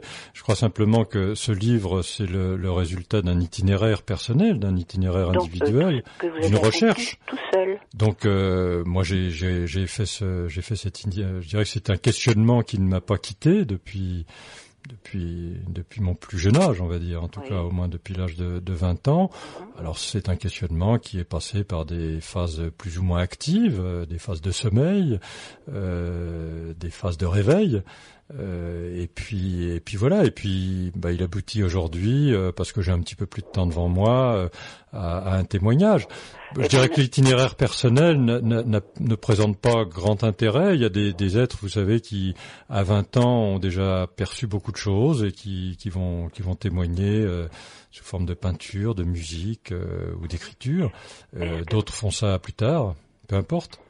Vous avez puisé aussi peut-être des idées dans la lecture d'ouvrages euh, ou philosophiques ou euh, je ne sais pas. Euh. Bien sûr, oui, j'ai, si vous voulez. Le... j'ai du mal à vous entendre, donc je, je, vais raccrocher et vous écouter à la radio. Oui, bien sûr. Merci, bonne soirée. Bonne soirée et merci d'avoir appelé. Au revoir Anne.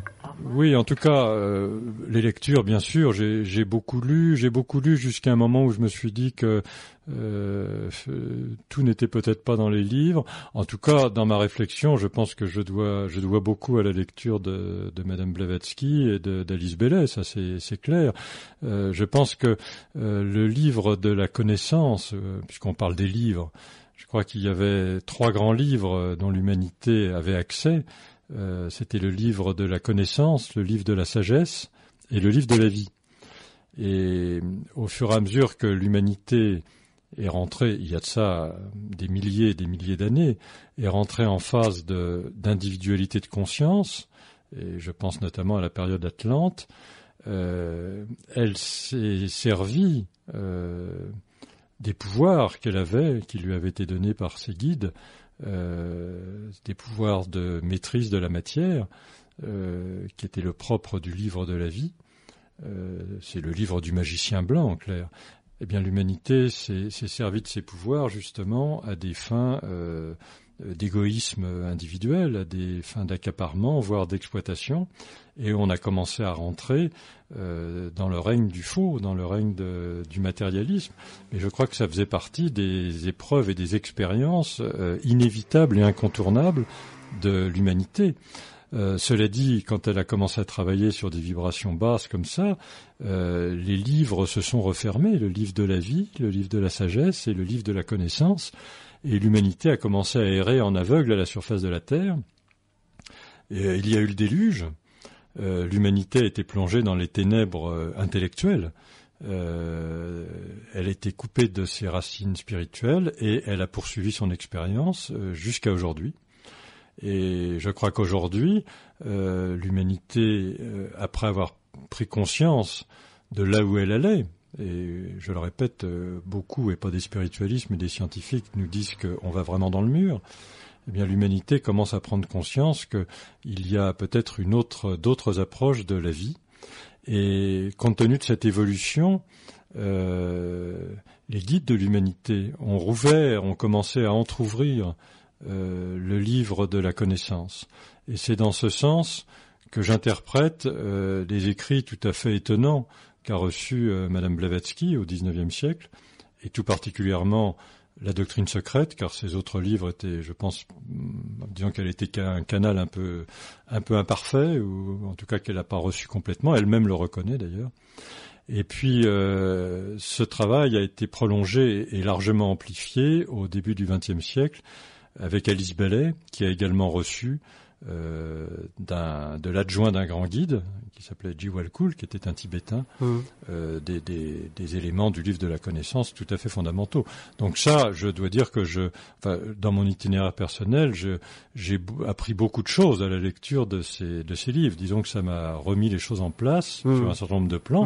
Hum. Mais euh, je dirais qu'il y a aussi euh, des réflexions personnelles. Chacun a sa propre guidance. Alice Anne Bellet, 1880-1949. Réputation euh, sulfureuse, voire satanique, qui traîne euh, au basque de cette femme. Oh, satanique, vous savez, elle a tellement écrit sur l'amour que je vois pas bien ce qu'il y a de satanique. Hum, hum. Simplement, Non, nous vivons dans le Je règne. dis ça tout simplement Non, euh, mais, parce que je je, sais que certains pensent que. Non, non, mais je vais vous expliquer. Il y a une raison à ça. Euh, c'est parce que le, le nom occulte euh, du, du, du Seigneur du monde est en relation avec euh, avec Satan. Et simplement, euh, c'est un terme hindou qui s'appelle Sanat Kumara. Et l'anagramme de Sanat, c'est Satan. Et du nom du Père du monde, on en a fait le nom d'un démon. Et c'est pour dire à quel point euh, l'humanité est rentrée dans le règne du faux. Alors, entendons-nous bien, je ne suis pas en train de, de, de prôner euh, euh, une quelconque adoration à, à ce que recouvre aujourd'hui le terme de satanique, qui est tout à fait exécrable, mais je dis simplement qu'il est peut- il sera peut-être temps un jour de rectifier les dénominations. En tout cas, en ce qui concerne Alice Bellet, je crois que son œuvre et, et la, la lecture de son œuvre est la preuve évidente qu'il n'a rien de noir et de maléfique dans ce qu'elle a pu écrire, car elle, elle a vraiment écrit, euh, notamment sur le sur le plan de l'amour, des, choses absolument extraordinaires, et, son travail est tout à fait lumineux.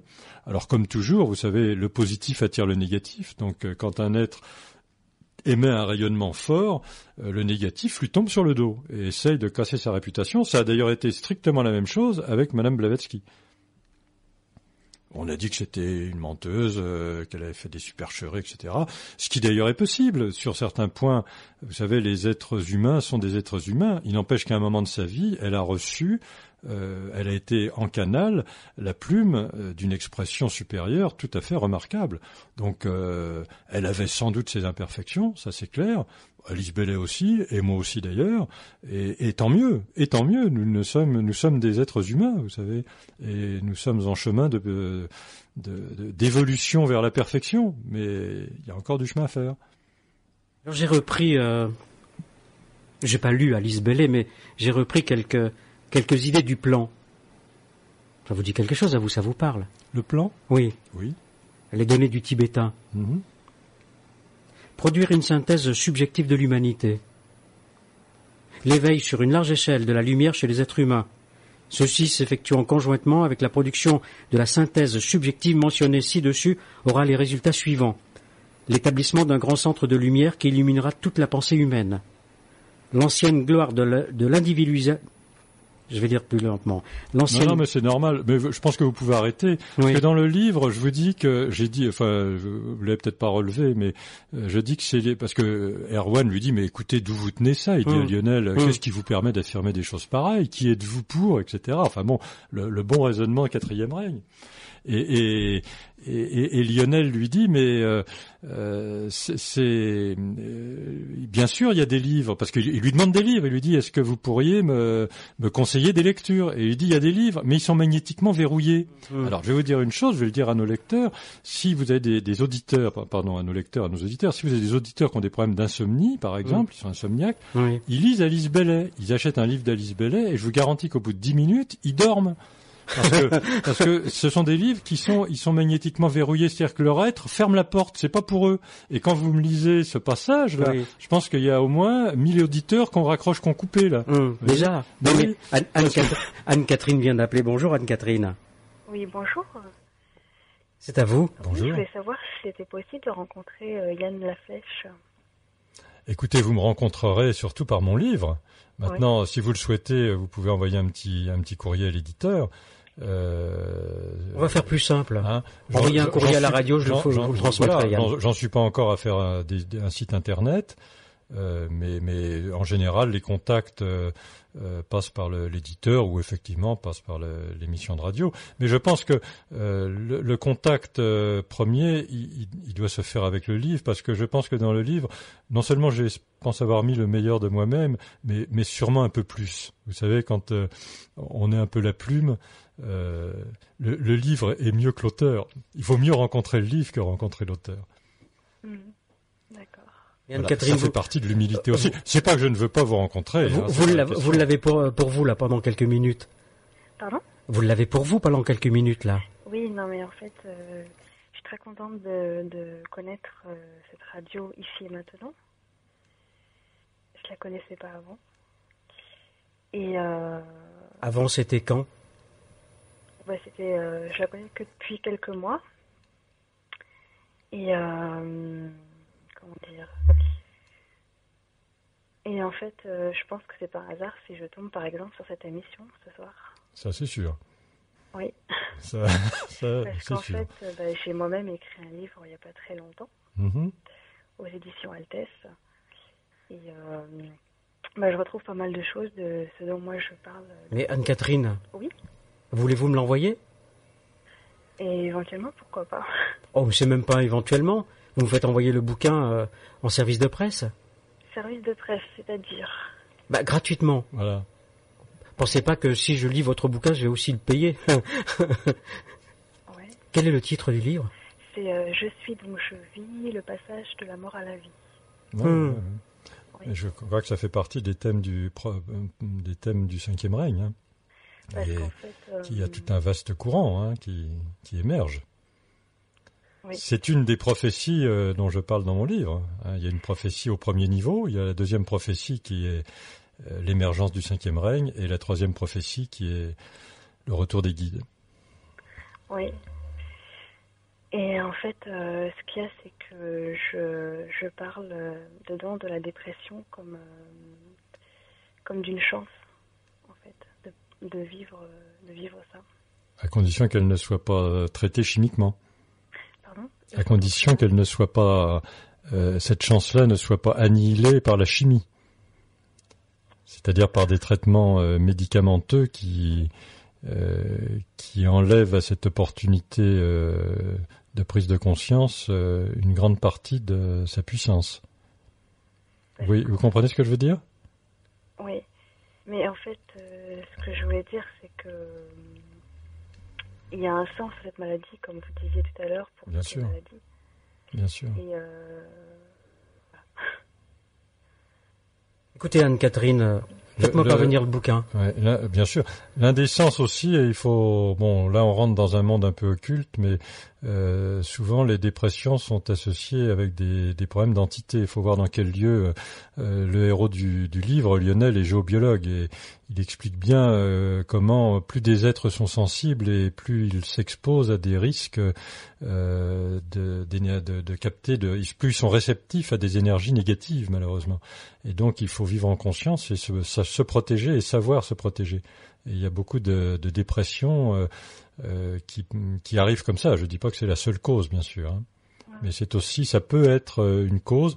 Il faut s'interroger sur le lieu dans lequel on vit, sur les êtres avec lesquels on vit, euh, euh, les rencontres que l'on peut faire, les objets qu'on récupère. Enfin bon, il y a euh, ça, c'est un aspect. De toute manière, tout ça est karmique. Hein, ça arrive pas par hasard. Mais enfin, ça peut être, euh, ça peut être une des, une des pistes de recherche. Mais la dépression, oui, c'est un grand sujet. Hein.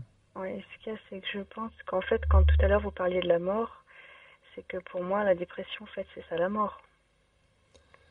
Euh, vous savez, je vous disais surtout que la mort, euh, la, mort, c'était en fait quand euh, chaque fois que la matière domine l'esprit, on considère qu'on se coupe de nos racines, qui elles sont en sont plongées dans l'immortalité. donc la dépression, c'est quand on se croit qu'on est tout seul. Oui, tout à fait. Hein mm. Alors on peut être tout seul physiquement, mais on n'est jamais tout seul. Euh, on est son être est toujours très près de soi. C'est ce que je disais. Des gens comme euh, Nelson Mandela ou autres qui ont passé des années et des années en prison, euh, ils n'ont pu tenir que parce qu'ils étaient en contact avec leur être. et il y a un moment, pour des raisons X ou Y, on se coupe de ce contact avec son être. Et à ce moment-là, je pense qu'on s'expose effectivement assez vite à des risques de maladie et euh, prioritairement de dépression. Mm. Hein, et, tout le travail consiste à retrouver le contact avec son être, à retrouver cet alignement. Hein, et à ce moment-là, on s'aperçoit que non seulement on n'est pas tout seul, mais qu'en plus on est un être extraordinaire parce qu'entre euh, l'incarnation qu'on est sur Terre et celui qui est un petit peu plus haut, qui est l'âme, euh, on forme une totalité et on n'a plus besoin de personne. et donc ça supprime tout, toute velléité dépressive. Mais ça, c'est tout un chemin. Mais en tout cas, euh, je, je, je, je lirai votre livre avec, euh, avec intérêt. Bah, écoutez, je vous remercie. Vous l'envoyez Anne-Catherine, hein? Pardon? Vous l'envoyez le livre? Oui, vous pourriez me donner vite fait votre adresse parce que- Mais vous l'envoyez à l'adresse postale de la radio, 8 rue Violet, dans le 15e arrondissement. 8 rue Violet? Ou alors appelez-moi à partir de lundi, euh, Oui, 15h, euh, 15h30 lundi. Hein, vous dites que vous êtes Anne-Catherine d'accord. Et votre euh, toujours même numéro alors Oui, à ce même numéro. Très bien. Bah, Merci. Et bonne soirée. À vous aussi, au revoir. Tenez, vous parlez de Nelson Mandela. Regardez ce que je vous ai mis là devant sur l'écran. Vous y voyez? Faut que je refasse faire mes lunettes, euh, Non, Jean-Claude, mais- je suis désolé. Ah, euh, Mais je- attendez, je vais Et- quand même focaliser. Extrait du discours. C'est notre propre lumière et non pas notre obscurité qui nous effraie le plus. Ouais, on peut dire ça aussi. Ah oui. La suite. Nous, nous nous posons la question qui suis-je, moi, pour être brillant, radieux, talentueux et merveilleux? En fait, qui êtes-vous pour ne pas l'être? Vous êtes un enfant de Dieu. Alors ça, je, je, je, je souscris à 110% et à 150%. Je dirais que non seulement on est un enfant de Dieu, mais on est un Dieu en potentialité. Et euh, là, je, je, je vais me faire beaucoup de, sûrement beaucoup d'ennemis, je vais provoquer Non. beaucoup de réactions. Mais Oui. franchement, très honnêtement, je crois que tout cet itinéraire, euh, un jour, nous donnerons naissance à une planète. Si nous choisissons ce sentier d'évolution-là, euh, tout être, euh, s'il suit son, la voie de son être, qui est aussi la voie de son maître, il, il deviendra un dieu. Ça, c'est sûr. Euh, Vous lirez la fin un peu plus, un peu plus tard. Euh, Bonjour Pascal. Bonjour euh, Jean-Claude, bonjour Monsieur Yann Laflèche. Bonjour. Je vous remercie beaucoup pour votre émission de ce soir, ça me, ça me parle beaucoup. Euh, je me permets de vous appeler pour vous demander, c'est une question qui me trotte par la tête, c'est est-ce qu'on peut changer le futur d'après les connaissances que vous avez? Parce Euh, qu'il y a un livre qui s'appelle euh, La Bible, le, le Code secret, je sais pas si vous connaissez, de Michel Drosselin. Il est, il est, il est cité dans le livre euh, et en petite note de bas de page, oui, absolument. Ah d'accord. il fait partie il est dans le chapitre avec le mystère des crânes de cristal. Ah d'accord. Parce qu'il parlait dedans à partir de 2006 et 2012. Alors si vous l'avez lu, vous savez, si vous en avez parlé, vous avez certainement lu les passages à ce sujet-là. Tout à fait. Et est-ce que vous pensez que vous c'est modifiable? Écoutez, euh, d'abord, je, je fais toute réserve sur les dates. Euh, Mhm. Je ne voudrais pas me lancer dans, dans des dates. Euh, je pense que l'homme écrit son propre futur, donc Oui. en ce sens, euh, il a la liberté de, il a la liberté de, de, de choisir le, le futur qu'il aura à vivre et les comptes qu'il aura à solder. En revanche, en ce qui concerne, euh, on va dire, euh, cette opération euh, de notre mère la Terre qui va se secouer un petit peu, je pense que celle-là, elle est, elle est incontournable. Elle est, elle est pas, elle est pas réversible. Oui, mais lui disait et pourquoi elle n'est pas réversible? Parce que euh, c'est une opération positive, c'est-à-dire que ce que je vous disais, l'humanité, euh, une, une partie significative de l'humanité euh, a envie de changer et a pris conscience qu'on ne pouvait pas continuer à vivre sur ces bases-là, mais tous nous sommes totalement dépendants, nous sommes trop dépendants au négatif. Et donc euh, l'aide ne pourra venir que de l'extérieur, et en l'occurrence elle viendra de notre mère la Terre. Et en ce sens, euh, euh, ça ne pourra pas être changé. En tout cas, euh, c'est l'information que je fais passer. D'accord. Mais lui disait que ça Je la pose sur la table. Hein. Oui, il disait que ça viendrait de l'extérieur, mais éventuellement, bon, il y a, Lui, il parle d'une comète. Oui, hein. oui, oui, oui, je sais. Et je- je- il y avait euh, comment euh, comment euh, qui parle aussi d'une météorite quoi. Alors, Donc, en euh, fait, euh, dans le livre, dans la, c'est vraiment de l'extérieur. Quoi. dans la prophétie du cinquième règne, euh, c'est pas une météorite, mais c'est une pluie de météorites qui sera associée à d'autres événements, et c'est la simultanéité de, de, de de- d'événements qui en eux-mêmes euh, ont un côté naturel, euh, qui amènera les hommes à s'interroger. Bon. Euh, D'autre part, ce que je dis dans le livre, c'est que euh, ils n'ont ils n'ont pas tout appréhendé. Enfin, je veux dire, euh, le, ce- je- ce- sans, vouloir critiquer en aucune manière, euh, disons que ce qu'il dit sur 2006 et 2012 euh, est un peu. euh, enfin, il faut aller vraiment le chercher dans les recoins du livre. hein. Ouais, mais enfin c'est marqué en langage codé, mais c'est clair quoi. C'est clair. C'est clair. Et quand on lit la Bible, mais là, il n'y a pas besoin de regarder le langage codé. Quand on regarde, on le lit comme ça, on voit dans la Bible qu'on est à la fin des temps, en fait.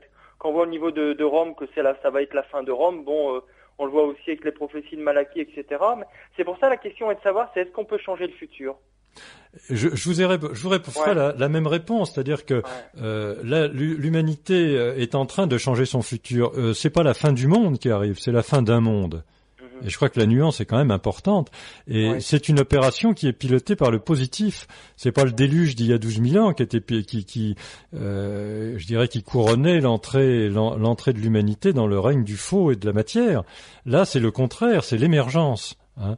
Donc, euh, euh, le, le- ce qui est programmé, c'est- inscrit déjà, tout est en place dans les mondes subtils.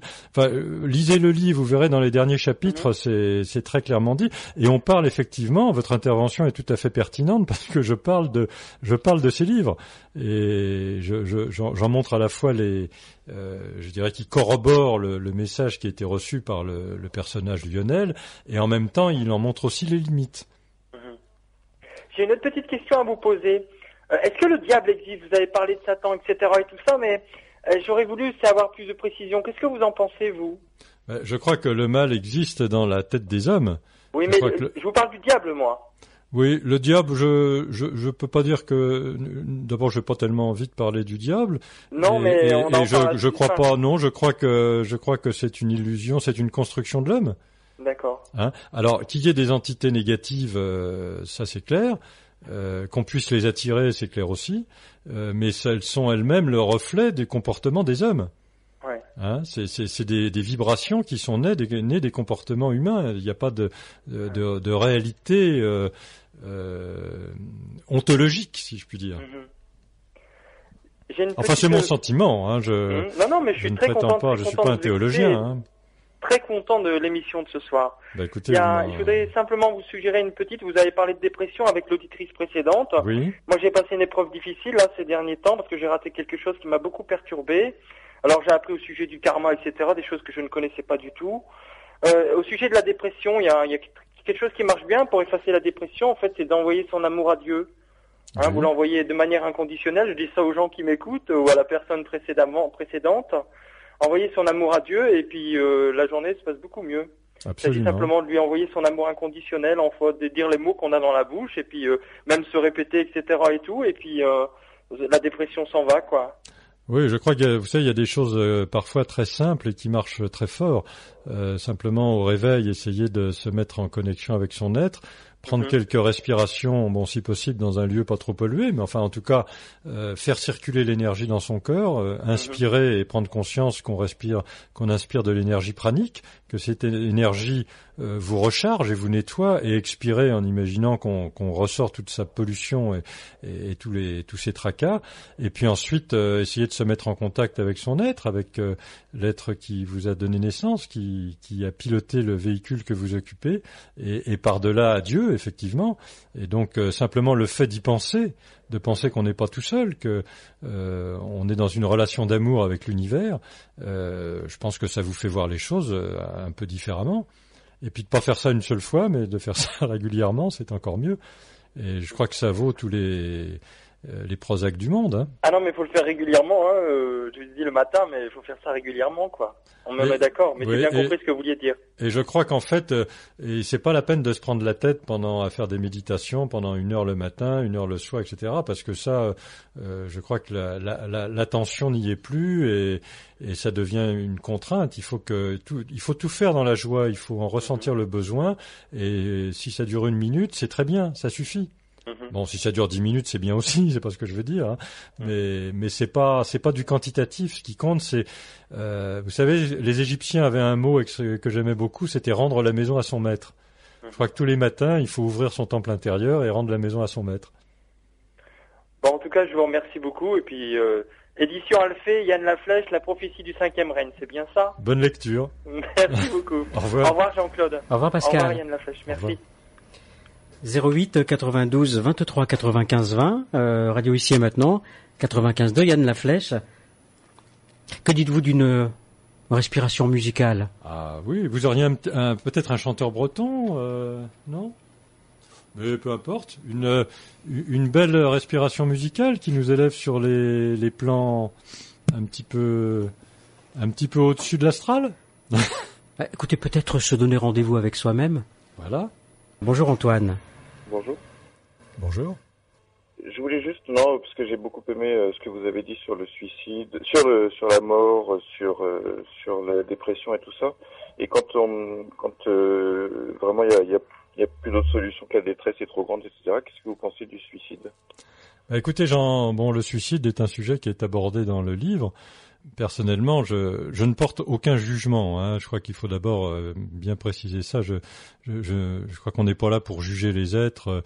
Euh, quelquefois, la, somme de souffrance euh, est telle, le paquet qu'on a sur le dos est tellement lourd que on est tenté de baisser les bras et de, et de tirer la sonnette. Bon. Le problème, c'est que c'est inutile. Euh, ça sert à rien. C'est-à-dire que, enfin moi, dans la conception que j'ai de la vie, vous supprimez le véhicule, euh, mais, mais le, le parcours de, de, vie qui est à faire, il faudra le, il faudra le faire après. Alors qu'est-ce qui va se passer si vous vous suicidez? Euh, Déjà, euh, vous allez, vous n'aurez pas accès. Vous savez, quand vous mourrez, vous, vous avez accès quand même au, à des plans supérieurs où vous allez, vous allez travailler. Euh, les êtres qui se suicident, non, enfin, j'ai écrit plusieurs pages hein, dans, le livre sur le sujet, mais en résumé, euh, il aurait refusé l'accès au plan supérieur. Alors ils errent dans l'astral pendant tout le temps où aurait duré, dû durer leur vie s'ils ne s'étaient pas suicidés, et puis ensuite ils se réincarnent et ils reviennent, euh, ils renaissent. Et là, qu'est-ce qui se passe en général? Alors, je le pose sur la table encore. Hein, vous allez là, vous pouvez penser que j'affirme des choses un peu dogmatiquement, mais je, je, je les propose et euh, on les prend ou on les prend pas, c'est pas grave.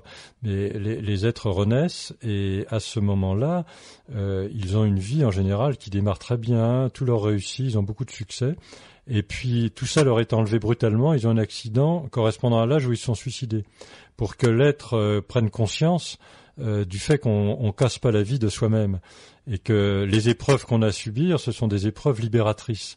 Alors ça, c'est parfois difficile à comprendre, mais je crois déjà quand on a le réflexe de se dire ce qui m'arrive a un sens, même si je le comprends pas, donc, il faut que je cherche, il faut que je trouve, et ça ne sert à rien de fuir, parce que je vais retrouver ça en général avec une couche de plus. On va m'en coller une couche, mon être va m'en coller une couche de plus jusqu'à ce que je comprenne et jusqu'à ce que j'assume. Le problème, tu vois, du suicide, c'est que on, c'est tellement lourd, on a l'impression qu'on est seul, on, s'est coupé de sa, racine de vie, de son âme, et, et à ce moment-là, on, fuit, on veut, on, veut arrêter la souffrance. Euh, c'est là où est l'illusion parce qu'on l'arrête euh, temporairement, mais alors évidemment si vous pensez qu'après il y a que le néant, bah, vous retournez au néant. Bon, vaut mieux retourner un peu plus tard qu'un peu plus tôt, mais c'est vrai qu'on peut abréger ses souffrances. Mais si vous pensez que la vie c'est pas seulement de la matière, c'est aussi de l'esprit, euh, donc une conscience, et eh ben cette conscience elle vous laissera pas tranquille tant que vous n'aurez pas réglé le problème. Donc euh, il, faut, le problème c'est d'arriver à assumer. Et je crois que pour un être humain, assumer, ce qui aide à assumer, c'est de comprendre. Alors il faut chercher. Il faut essayer de se mettre en liaison avec son être, de, de, de demander de l'aide et demander de l'aide à soi-même. Hein. C'est pas demander bon demander de l'aide aux autres bien sûr, mais il y a certaines épreuves, je crois qu'on peut les régler tout seul, et c'est ça qui fait peur, c'est ça qui est difficile. Et il faut demander de l'aide à soi-même. Il faut se mettre en, en alignement, euh, essayer de faire taire euh, pendant quelque temps le corps physique, le, corps émotionnel et les idées qui nous tournent dans la tête, et, humblement demander un coup de main. Et en général, je, peux vous dire que ça marche. En général, on, enfin, on a l'impression qu'on sort de tout, euh, toujours, tout le temps. Euh, mais les, puis, mais les, bols de merde sont de plus en plus grands, les, épreuves sont de plus en plus lourdes, et puis à un moment, on a l'impression qu'on a la tête sous l'eau tellement, tellement qu'on étouffe et qu'on n'a plus d'air, qu'on peut, monter à la surface et que oui, je comprends, je, comprends bien ça, mais je crois que euh, toutes les épreuves qu'on reçoit sont des épreuves qui sont à notre mesure. Euh, il ne nous est pas d'envoyer envoyer des preuves qu'on ne peut pas supporter. Donc euh, il y a une sortie, ça c'est clair. Alors la sortie, elle peut être de différentes natures. soit vous avez, vous savez, les épreuves que vous subissez, votre être a pu choisir délibérément de vous les envoyer. Alors vous, vous avez l'impression que trop c'est trop, mais il faut voir ça, essayer de voir ça d'un point de vue supérieur, essayer de voir ça du point de vue de votre âme et non pas du point de vue de votre personnalité. Euh, peut-être, je dis peut-être, et là encore je ne suis pas dans le jugement, mais peut-être que vous soldez des comptes. Et bon, bah, solder des comptes, euh, c'est pas agréable, faut payer. Bon, euh, c'est la loi d'équilibre, mais c'est une loi d'amour. C'est une loi d'amour parce que c'est comme ça qu'on prend conscience et qu'à un moment, euh, on devient un être de lumière et d'amour. Hein mais euh, je sais ce que c'est qu'une dépression, je sais ce que c'est de euh, d'avoir ce trou, ce vide. Euh, c'est une c'est une épreuve de vie, c'est une vraie épreuve de vie. il faut assumer. Je n'ai pas je n'ai pas d'autre je n'ai pas d'autre message à vous donner que le fait qu'il y a une sortie, que ces épreuves-là ne sont pas au hasard et que ça ne sert à rien de leur tourner le dos. Donc euh, il faut assumer, il faut tenir. Euh, moi j'ai fait pas mal de bateaux, je peux vous dire j'ai assumé quelques tempêtes, euh, au sens propre comme au sens figuré, mais une tempête en bateau, il y a des moments où on, a l'impression qu'on est un jouet entre les mains des éléments. Eh bien ce qui fait tenir, c'est que on, se, on sait qu'obligatoirement la tempête va s'arrêter. Et ça, c'est une loi de la vie. Émissions comme celle-ci, euh, ou celle du mardi soir aussi, qui sont extraordinaires. Et puis la Bretagne aussi, qui est quand même un endroit magique. Et... Je ne vous fais pas dire, je suis même heureux que vous le disiez. J'ai hâte de lire votre livre. Moi, je suis plus loin de... J'aime encore plus loin dans le Finistère, mais j'adore la Bretagne. Écoutez, j'espère surtout que ce livre vous donnera des clés de compréhension sur vous-même, sur ce que vous vivez. Je crois que c'est le but. Et puis vous préparera euh, à ce que nous allons avoir à, à, affronter dans l'avenir, parce que là, nos, nos vous savez, les choses vont se clarifier dans l'avenir, et nos problèmes individuels, nos problèmes personnels euh, vont devenir, euh, je pense, assez relatifs. C'est vrai. Hein vrai que et quelque part, ça sera, deviendra plus facile, plus simple. Je vous remercie beaucoup, monsieur. Bonne lecture. Merci beaucoup. Merci Antoine d'être intervenu. Hein. Je vous en prie, merci. 08 92 23 95 20. Oui, c'est j'ai ce livre là, Éloge de la mort. Ça fait trois ans que je les garde dans ma bibliothèque. Je ne pensais pas avoir euh, les trois auteurs ce soir, mais vous écrivez les êtres qui qui ont approché la mort de près en sont toujours sortis bouleversés au sens propre d'une boule qui verse. Ces êtres sont passés du demi-cercle inférieur, directement de leur vivant, au demi-cercle supérieur. Ils sont redescendus. Certains ont même éveillé de nouvelles perceptions vers l'invisible, des capacités d'intuition, voire des pouvoirs ignorés jusque-là. La vie pour ceux qui ont tangenté la mort a commencé alors à revertir pour eux une autre saveur, un autre parfum, un autre relief et d'autres couleurs. Si vous saviez comme vous êtes dans le vrai. Oui, mais ça, mais je le sais. non, mais là je n'invente rien. Hein. Vous savez, euh, Elisabeth Kubler-Ross, qui est une grande, une grande bonne femme, qui malheureusement, enfin, qui, nous a quittés. Oui, elle est toujours. Hein. Elle est toujours, elle est toujours. Bon, et puis je crois qu'il faut pas être triste pour elle parce qu'elle a tellement fait d'accompagnement mourant, elle savait très bien que ce que ce qu'était la mort. Mais Elisabeth Kubler-Ross en a parlé dans des termes tout aussi lumineux et, et Morer, dont on parlait tout à mm. l'heure, euh, également a relaté des témoignages de ce type. C'est-à-dire que, euh, vous savez, à un moment où vous êtes confronté euh, effectivement au, au, bout du chemin, même si c'est un bout provisoire, euh, ça vous remet les pendules à l'heure, hein, pour faire simple. Il y aurait besoin que les pendules soient à l'heure de temps à autre. Ben, c'est ce qui va se passer pour la Terre. Mm.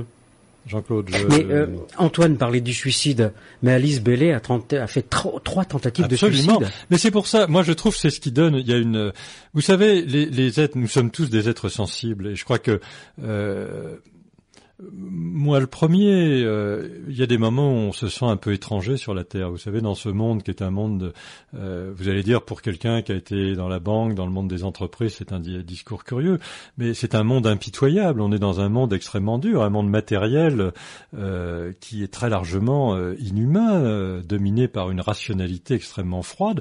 Et il y a des moments où vous vous sentez un peu étranger à tout ça. Et je peux comprendre qu'il y ait des êtres qui, à un moment, baissent les bras et disent c'est un insupportable.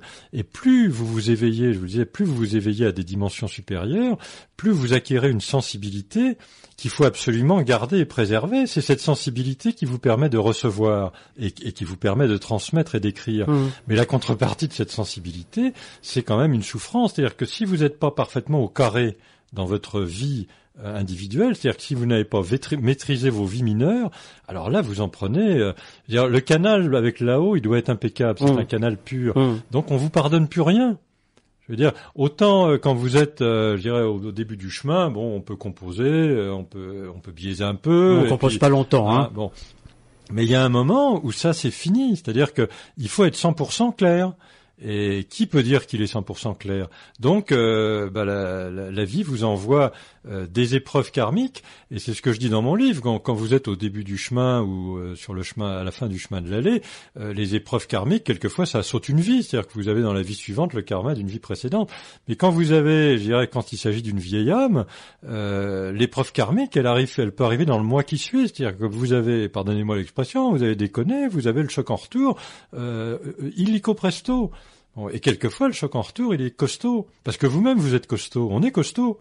Hein. Mais on a aussi une grande sensibilité et, et, on peut se faire déstabiliser euh, d'une manière forte. Et puis je crois qu'il faut se protéger. Hein. Ça c'est, euh, je veux dire, toute lumière attire les ténèbres. Euh, donc euh, il y a tout un tas. Bon, c'est quoi le négatif? C'est des vies mineures qui demandent à être rédemptées, hein, entre guillemets. Hein. Je parle pas de la rédemption au sens mmh, moral, mais mmh. elles, elles demandent à être, à changer de polarité. Elle se dit, ah tiens, formidable, hein, voilà, voilà une, une opportunité.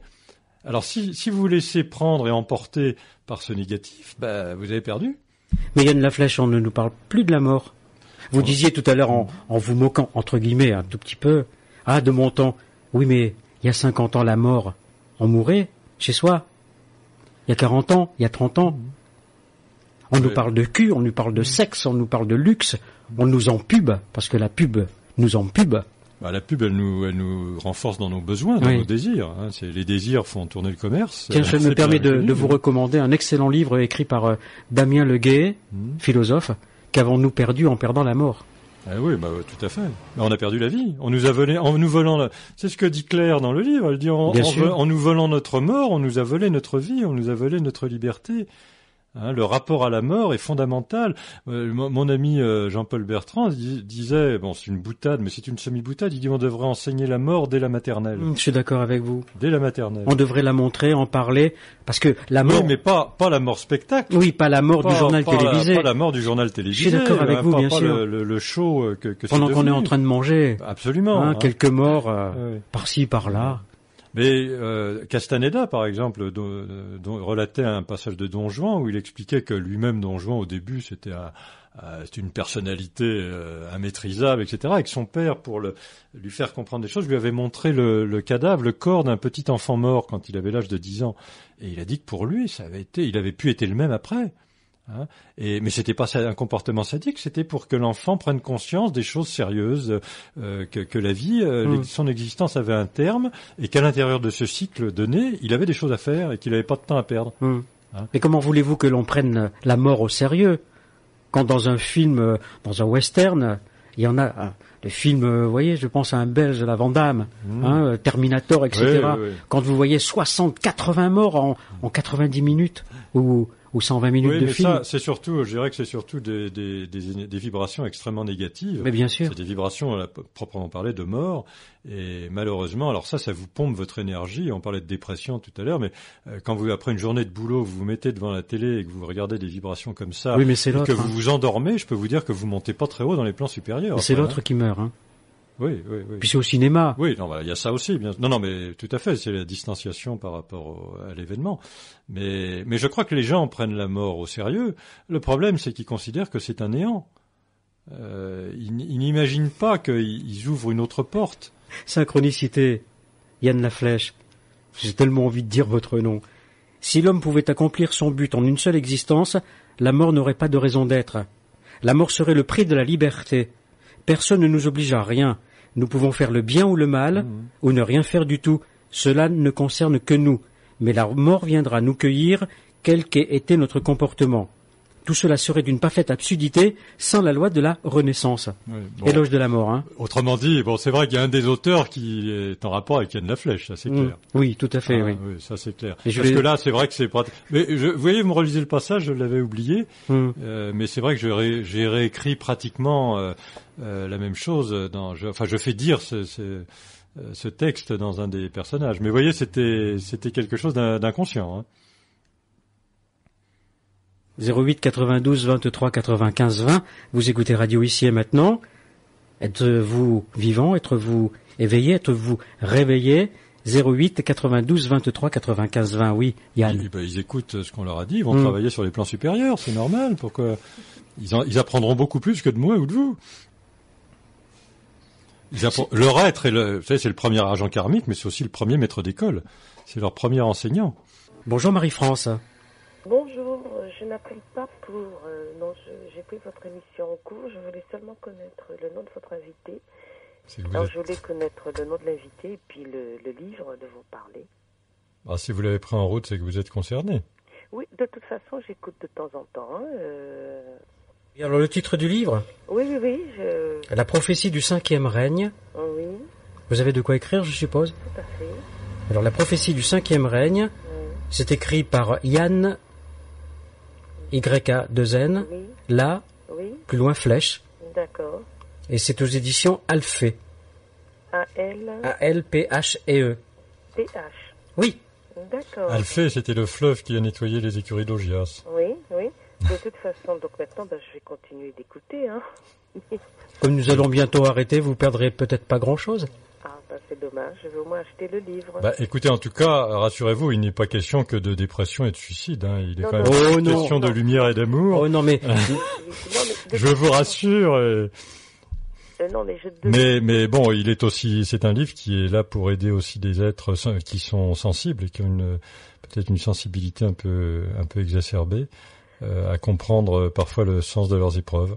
Non, mais c'est pas parce que vous avez parlé de, de suicide que j'ai appelé. Non, mais je Mais non, plaisantais. mais c'est parce qu'à travers les Mais, chère Marie-France, c'est un auditeur qui a parlé du suicide. Absolument. Nous n'avons jamais Non, mais- parlé, nous. Absolument, tout Non, à mais fait. Ce que je voulais dire, c'est qu'à travers les commentaires euh, de l'auteur, j'ai bien compris qu'il y avait bien d'autres choses dans le livre. Et Oui, c'est pour cette raison j'ai appelé pour, euh, pour en avoir le titre. voilà. Bah, écoutez, Voilà. euh, alors je vous souhaite une bonne lecture. Voilà, je vous remercie. Et une bonne nuit. Merci, au revoir. Au revoir, Marie-France.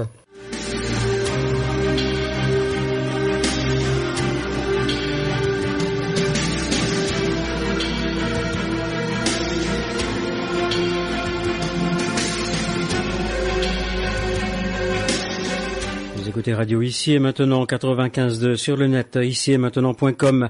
Yann Laflèche, euh, la prophétie du cinquième règne aux éditions Alphée A-L-P-H-E-E. Comment reconnaître qu'un être est entré dans le cinquième règne? demanda Rose. Bizarre le prénom de Rose là, ça. Ça Oh, avoir quelque chose? un hasard. Non. non, non. Bon, si vous posez la question, c'est que vous connaissez la réponse. Oui, ça me fait penser à une à une chanson euh, écrite par Pierre Delanoë, chantée par euh, Gilbert Bécaud. Ouais. Je me souviens plus. Et Rose. euh, La rose, Ah oui. C'est la rose. L'important, c'est c'est la Non, rose. mais bon, la rose, il y a tout, enfin, il y a tout un contenu symbolique autour de ce prénom. Puis c'est un, un joli prénom. Puis j'adore cette fleur en plus. La rose, le lys, la tulipe. Hum. Ben, on retrouve. J'en reviens à mon livre de chevet, Yann Laflèche, que vous ne connaissez pas, vous, puisque vous n'écoutiez pas Radio ici et maintenant jusqu'à aujourd'hui, euh, enfin jusqu'à hier, vendredi. c'est l'exil breton euh, qui fait que. Ici et maintenant.com à partir de C'est maintenant. vrai, j'ai bien noté. J'avais téléchargé mon petit logiciel. Comment reconnaître euh, qu'un être est entré dans le cinquième règne demanda Rose. C'est un être qui recherche des nourritures spirituelles. Il ne se contente pas de nourrir les trois corps de sa personnalité, et je dirais même qu'il va les nourrir de moins en moins. Ce que tu nourris te nourrit. Plus tu montes dans des plans de conscience supérieurs et moins la matière dense est importante. Mais il y a surtout un critère fondamental qui te permet de savoir si tu es entré dans le cinquième règne. Vous pouvez continuer? Non pas la lecture, mais j'aurais dû demander à l'auteur d'écrire. Non, non pas d'écrire, de lire. Bon, les, les, les, les, auteurs sont pas forcément de bons lecteurs, vous savez. Hein, c'est, mais euh, bon, si vous, vous, savez les critères, les critères du cinquième règne, ils sont, ils sont nombreux. Mais je pense que le plus important pour moi, c'est la dimension de l'amour. Mais il y en a d'autres. Euh, on vous appelle? Non, mais ça va venir là. Ah bon, bon je, je sens, je sens. Ouais. Le, le, véhicule. Euh, c'est Lionel qui reconnaît à un moment, mais c'est vrai, reconnu-t-il, que le véhicule physique est le même et qu'il ne reflète pas la qualité de l'être intérieur. C'est pas le même, c'est pas le même qui pilote. C'est pas tout à fait pareil, oui. Ouais, ouais, mais le véhicule, c'est vrai, est, est, assez semblable.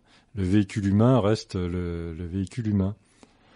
Euh, J'ajouterais que dans l'entrée dans le cinquième règne, il y a une activation de, euh, de circuits énergétiques, euh, de centres énergétiques euh, qui correspondent à l'éveil des chakras supérieurs.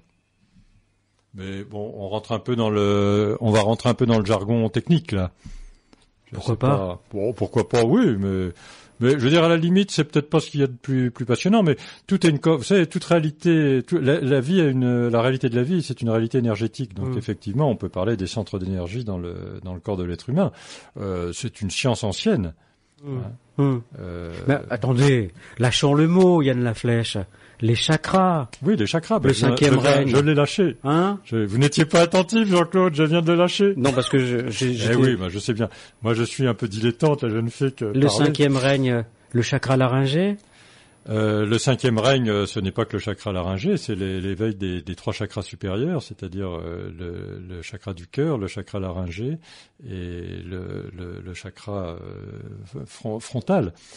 Euh, donc euh, euh, le quatrième règne, lui, euh, euh, a un éveil des, des, du chakra basal, sacré, et du plexus solaire.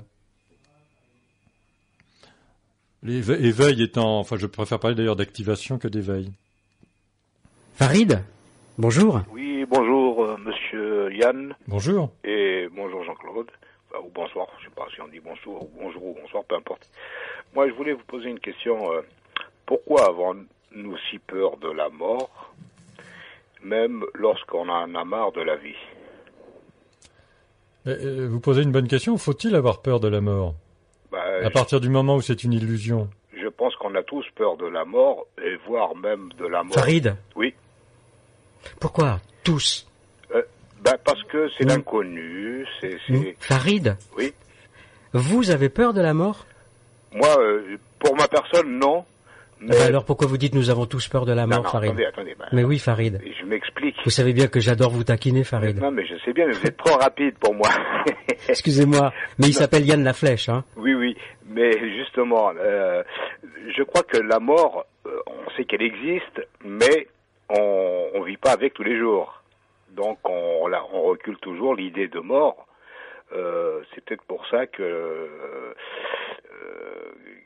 qu'on arrive à, à être un peu fou, quoi, euh, un peu insouciant, parce que si on devait penser à la mort tous les jours, Oui, ben oui, mais c'est c'est plus pourtant, raisonnable. c'est pourtant, c'est pourtant ce que, ce que, ce que devrait. Vous savez, on parle de, dans l'islam, on parle de la petite guerre sainte et de la grande guerre sainte. Et la grande guerre sainte, euh, c'est la guerre contre soi-même, c'est la guerre contre l'ennemi intérieur. Euh, Le djihad. Et je pense, oui, absolument. Oui. Et Oui, oui. je pense que le, le guerrier, le chevalier spirituel, le, le guerrier de lumière, euh, il doit vivre en permanence avec l'idée de la mort. Castaneda disait, il faut vivre avec en permanence euh, euh, l'idée de la mort qui plane derrière son épaule gauche. Il avait quasiment une conscience physique de ça. Euh, au Moyen Âge, chez certains mystiques, on disait que euh, il fallait vivre comme si on allait mourir dans la seconde qui suivait.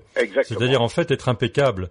Oui. Euh, parce que c'est vrai que quand vous savez que vous allez mourir, vous mettez vos affaires en ordre. euh, bon, vous, vous voyez plus les choses tout à fait de la même manière. Moi, je connais beaucoup de gens, bah, des personnes âgées, en l'occurrence, que j'ai toujours été surpris, qui, qui appréhendaient la mort euh, d'une manière assez résolue, en préparant justement, en rangeant leurs affaires, en préparant leur linceul. Et ça m'a toujours un peu perturbé.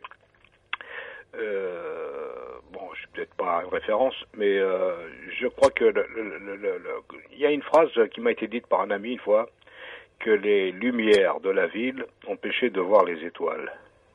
Euh, c'est ce qu'on disait au début de l'émission, oui. Oui. Dans ce que disait Yann, enfin le Erwan, enfin Lionel plutôt, il disait dans la ville, euh, on regarde pas les étoiles, peut-être parce qu'il y a un halo de lumière euh, artificiel qui empêche de voir la vraie lumière. Oui, il y a tous les Euh, artifices de la vie, les contingences, c'est-à-dire le fait de courir après sa, sa survie dans euh, le sens matériel, c'est-à-dire euh, manger, se Oui, nourrir. enfin, après ce qu'on croit être euh, indispensable à notre survie. euh. Donc on oublie la mort, et pourtant on sait qu'elle existe, elle est cachée quelque part, mais on n'ose pas la, la regarder en face, et peut-être est-ce un bien, je ne sais pas. Mais moi, ce qui m'inquiète le plus dans la mort, c'est surtout de laisser les gens que j'aime, ou de voir partir ceux que j'aime. Oui, mais c'est une C'est pas ça- tellement c'est- ma mort personnelle, une en fait. souffrance, je comprends, c'est une souffrance affective, mais je crois que quand un être euh, s'en va, il faut considérer que pour lui, euh, il a fini son parcours, euh, il, il va en préparer un autre, donc euh, il reprend contact, il rejoint son être, et pour lui, c'est une libération. Euh, je crois que ce dont on peut avoir peur, c'est de souffrir, c'est de la souffrance. Il y a des morts qui s'accompagnent de souffrance. Oui, oui, et oui, ça, je crois qu'on peut légitimement avoir peur de la souffrance. c'est normal. Maintenant, euh, quelquefois, la souffrance, elle est là aussi pour euh, vous permettre de prendre conscience. Je dis pas que, attends, me faites pas dire ce que je ne dis pas. Je suis pas un, un sadomasochiste. Je crois pas aux vertus euh, de la souffrance. Je dis simplement que quelquefois, malheureusement, il faut souffrir pour prendre conscience. C'est tout. Bon, c'est pas, c'est pas toujours le cas, mais c'est parfois le cas. Et en tout cas, euh, personne n'a- n'aime souffrir, et moi le premier, je- j'ai euh, j'ai peur de la souffrance, je n'aime pas souffrir. Euh, mais, quelquefois, votre être vous envoie des épreuves euh, qui sont s'accompagnent de souffrance. Vous savez, la souffrance, c'est quoi? C'est la résistance de vos vies mineures. Je crois qu'au niveau de l'âme, il n'y a jamais de souffrance. Mais c'est au niveau des, de, de la forme, au niveau des corps inférieurs, euh, là, il y a une résistance qui entraîne la souffrance. Non, mais je parle de la, la, la, sou- la souffrance physique. euh, Bon, bah, tout le monde. Oui, oui, oui, mais On parle de la même chose, euh, la souffrance physique ou la souffrance morale. D'ailleurs, vous savez, euh, il y a des souffrances morales qui sont qui sont extrêmement pénibles à supporter aussi. Mais hein. je vais, je vais, je vais, je vais en finir avec une dernière question. Euh, je crois que moi, ce qui m'inquiète le plus, c'est de ne pas retrouver. parce que j'ai- une fois, mais chancelante. Hein. Des fois, j'y crois, des fois, j'y crois pas. Est-ce qu'il y a vraiment une vie après la mort? C'est la grande question. Et des fois, je me dis, bah, si on pouvait se retrouver, bah, la, mort serait beaucoup plus facile à accepter, quoi. Les gens qui ont vécu des expériences euh, de mort imminente, hein, les fameuses NDE, euh, disent que après le- avoir reçu le tunnel de lumière, euh, euh, ils voient des, des proches qui viennent les chercher. Bon. Euh, J'y crois plus ou moins. hein. Euh, moi aussi, enfin, je dirais, je, je n'ai pas fait, je n'ai pas fait l'expérience. Euh, pour moi, ce sont des visions du, du plan astral, ça. C'est-à-dire que je pense qu'il y a des coques qui traînent, euh, des coques, c'est-à-dire des enveloppes Mhm. euh, qui traînent sur des plans euh, qui sont plus des plans matériels, mais qui sont pas des plans euh, spirituels très élevés. C'est ce qu'on appelle le, plan astral. Bon, mais derrière, euh, euh, ils peuvent vous emmener euh, ailleurs. Moi, ce que je crois simplement, c'est que le, si vous voulez croire, ne pas croire, ce que vous pouvez observer, c'est que la mort n'a jamais arrêté la vie. Alors, ce sont les véhicules, les unités de vie qui, individuellement, qui disparaissent. Hein, et effectivement, une vie, en ce sens, on peut dire qu'une vie est unique. On n'en a pas d'autre. Hein, la, vie individuelle, votre incarnation actuelle, elle est unique il n'y en aura pas d'autre. Et les, gens que vous connaissez sous leur forme actuelle, vous ne les reverrez pas sous cette forme-là. Maintenant, vous les retrouverez peut-être euh, sous d'autres formes. Euh, ce qui est certain, je vous le disais, c'est que la, mort n'a pas arrêté la vie. Donc, il y a bien quelque chose qui ne meurt pas. Donc, euh, un être humain, un être vivant, il est habité par un corps physique. Enfin, disons qu'il est composé de choses qui vont disparaître. Hein, euh, qui vont retourner à la poussière, euh, mais il y a une partie qui va qui va pas mourir. Euh, C'est quoi? C'est son esprit, c'est son âme. Vous y croyez fortement? Ben, bien sûr, je pense que euh, sinon nous sommes composés de matière, donc euh, nous sommes dans un univers de matière et ça sert à rien de faire une émission euh, sur le sujet d'aujourd'hui. Ça sert à rien de faire de la philosophie, ni d'avoir des religions, ni quoi que ce soit. Mais, Si on est un monde de matière, on est régi par le hasard et la nécessité, donc rien n'a de sens. mais est-ce que vous avez déjà vu quelqu'un mourir et d'une manière très sereine, en, en partant avec la joie? Non, j'ai pas vu euh, personnellement, j'ai pas vu beaucoup d'êtres mourir. Il se trouve que c'est c'est comme ça. Je n'ai pas de, Non, mais j'ai pas dire, une grande expérience de, la mort de, de personnes, mais euh, j'ai vu des descriptions de, de morts. Et on m'a raconté des morts euh, sereines, même dans dans mes- mon environnement proche. Mais je n'y ai pas assisté personnellement. Mais enfin, on, on me l'a dit. Maintenant. Euh, vous savez, je pense que euh, la souffrance qui accompagne la mort, elle, est le résultat de. c'est- Vous savez, on écrit son futur, donc euh, euh, de la même manière qu'on vit, on meurt. Et euh, bon, bah, il y a des vies qui sont un peu crispées et des Mhm. morts qui sont un peu crispées. Farid, Oui. Je comprends bien, pardonnez-moi Yann, je comprends bien la question Farid. Oui. Effectivement, quand les gens, comme, comme vous dites, sont seuls, quand ils meurent seuls, c'est pas le pied, hein. Ah non, ça c'est. c'est- Mais quand, quand ils ont quelqu'un à côté d'eux, je voudrais pas parler de moi, j'ai accompagné beaucoup de personnes en fin de vie. Et la plus grande récompense, c'est de voir partir, je dis bien partir, j'ai pas dit mourir, Hmm. partir quelqu'un avec le sourire. Moi, j'ai jamais vu. Eh Mais... bien oui, mais Farid, Oui, oui. faut sortir de chez vous de temps en temps. Ouais. Si je peux me permettre Non, gentiment. Je comprends. Je, je comprends. Bah écoutez, bon bah c'est, ça me rassure un petit peu parce que moi j'ai toujours perçu la mort euh, comme une tristesse et comme euh, presque un échec en fait. Et pourtant je sais que c'est, normal. Quel Ouais. est- quel Écoutez, échec. lisez, lisez le chapitre euh, sur la mort dans le, la prophétie du cinquième règne et je pense que ça vous apportera beaucoup de lumière de compréhension. Enfin, je, je- j'en suis sincèrement persuadé. Bien, je vais essayer de le lire. Voilà. Et, et je vous remercie beaucoup. Mais je vous en Et puis prie. bonne soirée. Bonne Salut nuit. Farid. Au revoir. Au revoir Farid. Au revoir. 08 92 23 95 20 Alain, bonsoir. Bonsoir. Merci d'avoir patienté. Bonsoir. Voilà, j'ai écouté votre émission depuis le début. Euh, bonsoir déjà, je crois que c'est Jean-Claude. Et puis euh, Et Yann. Yann Laflèche. Euh, voilà, euh, je voulais dire, j'ai été confronté moi assez jeune euh, à la mort. Et puis euh, bon, j'en ai pris conscience que quand quand la mort euh, est, venue une deuxième fois euh, par euh, ma belle-mère qui est décédée alors que j'avais que 12 ans. Euh, la première fois, c'était ma mère, j'avais deux ans. Euh, ce que je voulais dire, bon, bah, on, finit par en prendre conscience. Je ne sais pas quel a été le cheminement de Monsieur Yann Laflèche. J'ai regardé par rapport euh, aux, lectures que, que j'avais eues à l'époque, euh, quand je pouvais lire, bien entendu, que, euh, par exemple, bon, euh, vous aviez des, ce que l'on appelle des apocryphes, qui eux euh, disaient exactement le, le- le cheminement qu'il fallait prendre. Mais vous mélangez tout, Alain. Bon, moi je trouve pas. Hein. Ah bah oui, mais moi je me permets de vous le dire. Vous mélangez tout. Qu'est-ce que vient faire euh, Thomas? Qu'est-ce que viennent faire les évangiles pas Saint Thomas d'Aquin, je disais Saint Mais oui, mais je sais, mais que, vi- écrit que viennent faire les évangiles apocryphes? Qu'est-ce que ça vient faire dans notre, dans Non, notre ça veut soirée? que lui, un, euh, le Christ était un guide, il en a parlé au départ. Oui, mais nous avons parlé du Christ, effectivement. Bon, que le Christ était un guide et que le, le- le seul qui ait écrit justement euh, ce qu'a enseigné le Christ, c'était saint Thomas. Il n'y a pas que dire. lui. Voilà ce que je voulais dire. Mais c'est restrictif ce que vous dites. Bon, bah, qu'est-ce que vous voulez euh, C'était tout. Voilà. Bon, bah, C'est dommage que vous soyez à côté. à côté. Ah, à côté de la plaque, vous voulez dire Non, à côté de la mort, c'est un sujet intéressant à parler. Oui, bien sûr que c'est un sujet intéressant. Moi, j'y étais confronté, je vous le dis, euh, assez tôt. Et puis, bon, bah, après, il y y, a un cheminement qui se fait. Et puis, euh, ce que vous voulez que je vous dise, euh, chacun euh, vit ses expériences différemment. Et, et puis, euh, voilà, quoi. Moi, j'estime que ce que fait monsieur Yann Laflèche est, est très, très bien. Si, si d'autres gens pouvaient euh, l'écouter et puis euh, acheter son livre pour en apprendre un petit peu plus, ce serait bien pour euh, déjà pour l'avenir de la planète.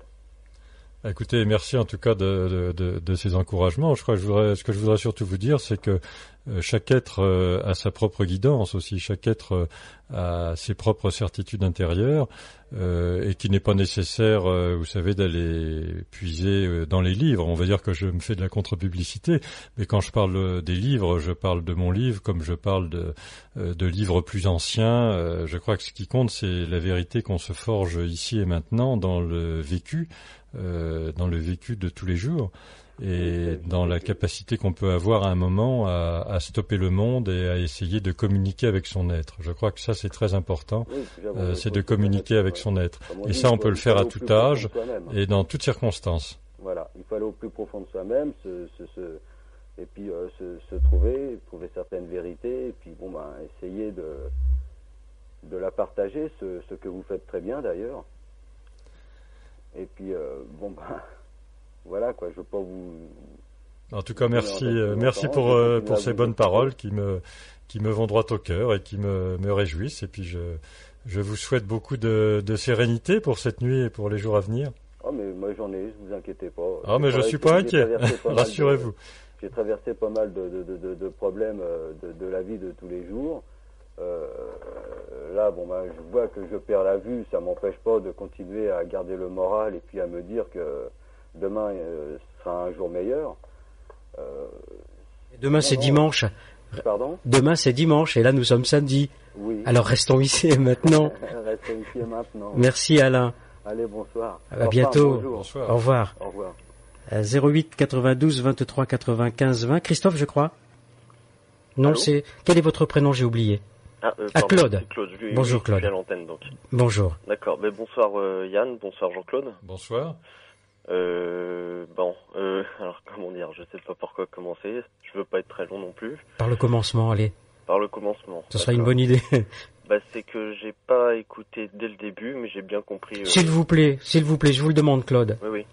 Et s'il y a de nouveaux appels, même que vous n'ayez pas écouté depuis le début, ne le dites pas. Vous savez, ça fait mal au cœur. Non, non, c'était pour vous dire aussi que j'avais très bien compris euh, de quoi on parle. Oui, merci. Voilà, c'était quand même pour vous dire ça et que je suis passé par euh, par pas mal d'étapes dont on a parlé, dont vous avez parlé récemment là, de de recherche intérieure, de, de solitude pour moi, de, de, dépression, et qui a donc précédé euh, un stade d'éveil, et que je suis euh, ben, en fait depuis euh, depuis mois en fait à peu près en, quête continue. Et qu'il s'est passé beaucoup de choses et que je me suis découvert euh, pas mal de potentiel. Une fois que, enfin ça c'est pour moi comme beaucoup de personnes qui comprendront qu'une fois qu'on efface euh, toutes ces peurs, ben on a un très fort potentiel.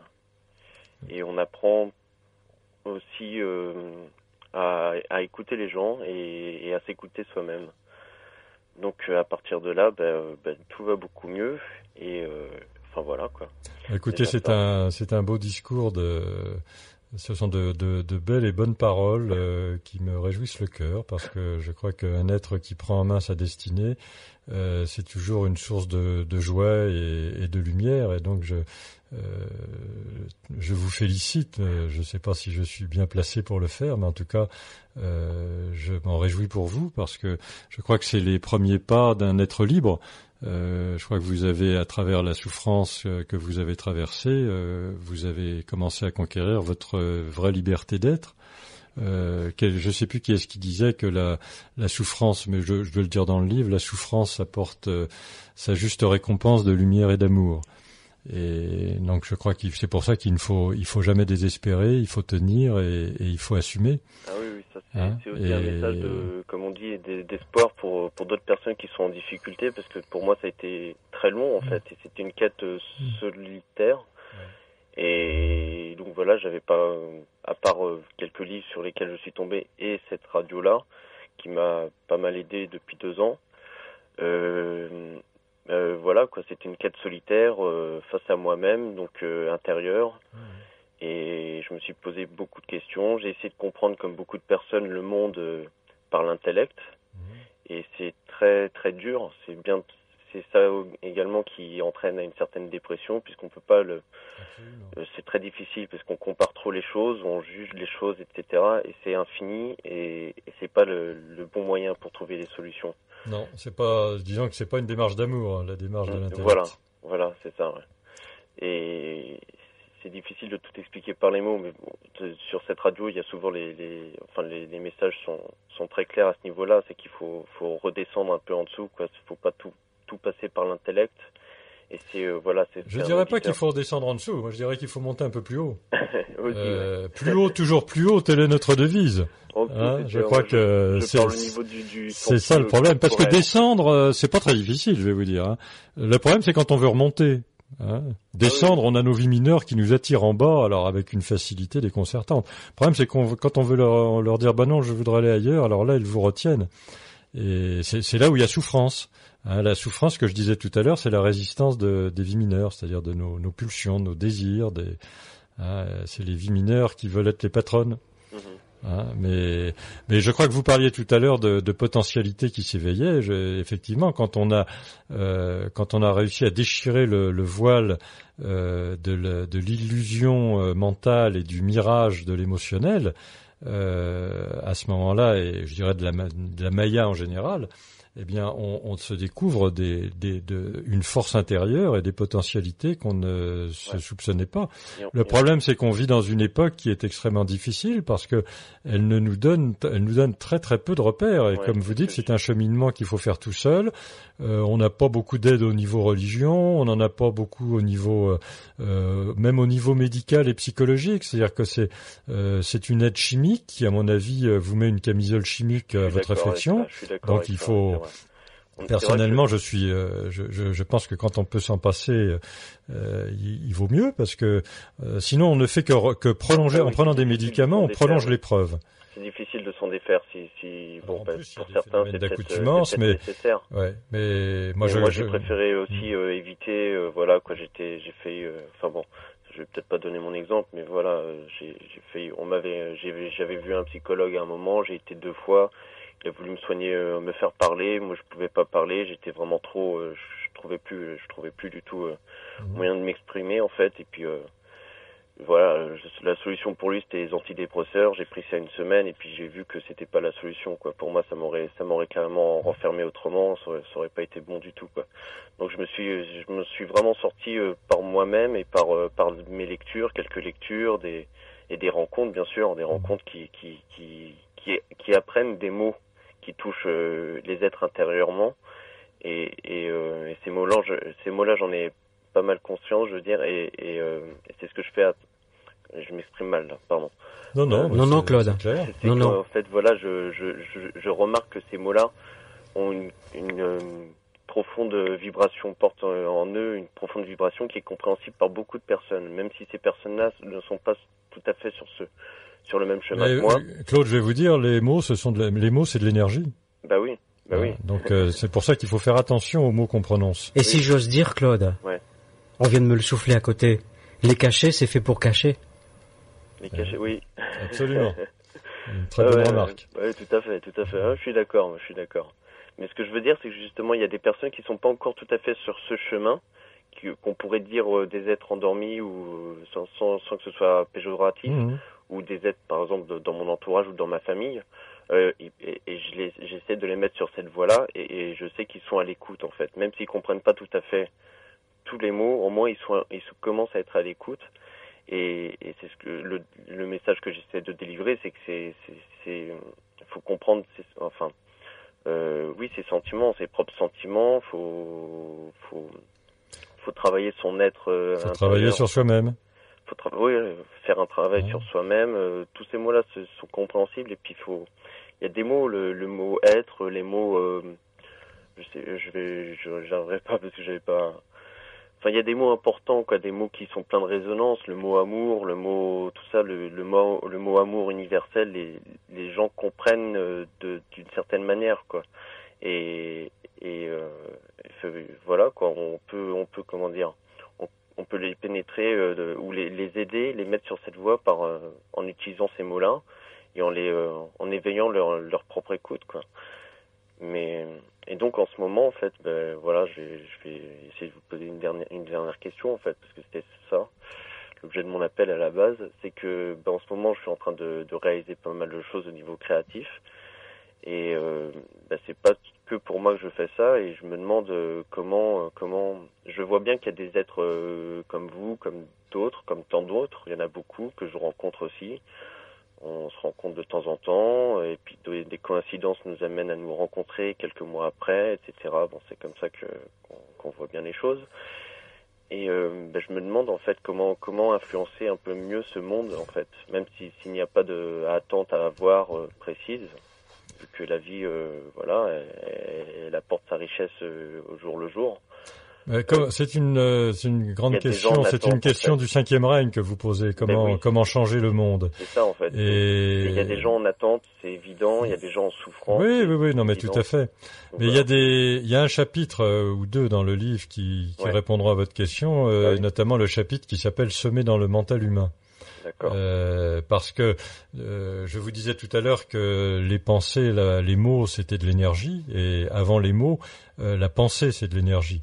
On dit que le monde est une pensée de Dieu, une pensée du Créateur, et je crois que toutes les pensées que nous émettons quand nous sommes alignés, ce sont des pensées qui partent, qui sont semées dans les éthers et qui sont cueillies par des êtres qui sont des récepteurs. Et à partir du moment quand vous dites euh, changer le monde, bon, euh, il y a des aides qui sont dans l'action, qui sont faits pour euh, prendre l'action à bras le corps, qui sont engagés dans le dans le monde de l'entreprise, de la politique, des associations, etc. Et c'est très bien comme ça. Et puis il y a d'autres êtres qui sont sur un autre plan et qui sont à un plan, je dirais pas supérieur, mais un plan antérieur hein, antérieure à la matière. Bah, moi, j'hésite un petit peu entre les deux, je pense. Hein. Hein, et je crois que ce qui importe, c'est d'être vrai et, et d'être euh, soi-même. À partir du moment où, euh, par exemple, vous voyez des, des, choses qui vous paraissent anormales, non conformes à des lois de justice ou d'amour, qui vous, des choses qui vous choquent, que vous les voyez à la télévision, que vous les lisiez dans le journal, mm. euh, la réaction que vous pouvez avoir, si vous êtes euh, aligné, si vous êtes dans le vrai, elle commence déjà à influencer sur cette situation-là et... La pensée, euh, je sais plus quel est le terme pour définir ça, mais j'ai conscience de tout ça aussi. C'est ah, alors, il y a des gens qui se rassemblent, qui, euh, qui se. Oui, alors bon, il y a des groupes de prière, des choses comme ça. Bon, ça c'est vrai. mais euh, vous savez, on, on disait souvent dans le temps euh, sur les religions, on disait quand le disciple est prêt, le maître apparaît. Euh, je dirais que dans le cinquième règne, on dit, on pourrait dire quand quand quand l'être du cinquième règne est prêt, le groupe apparaît.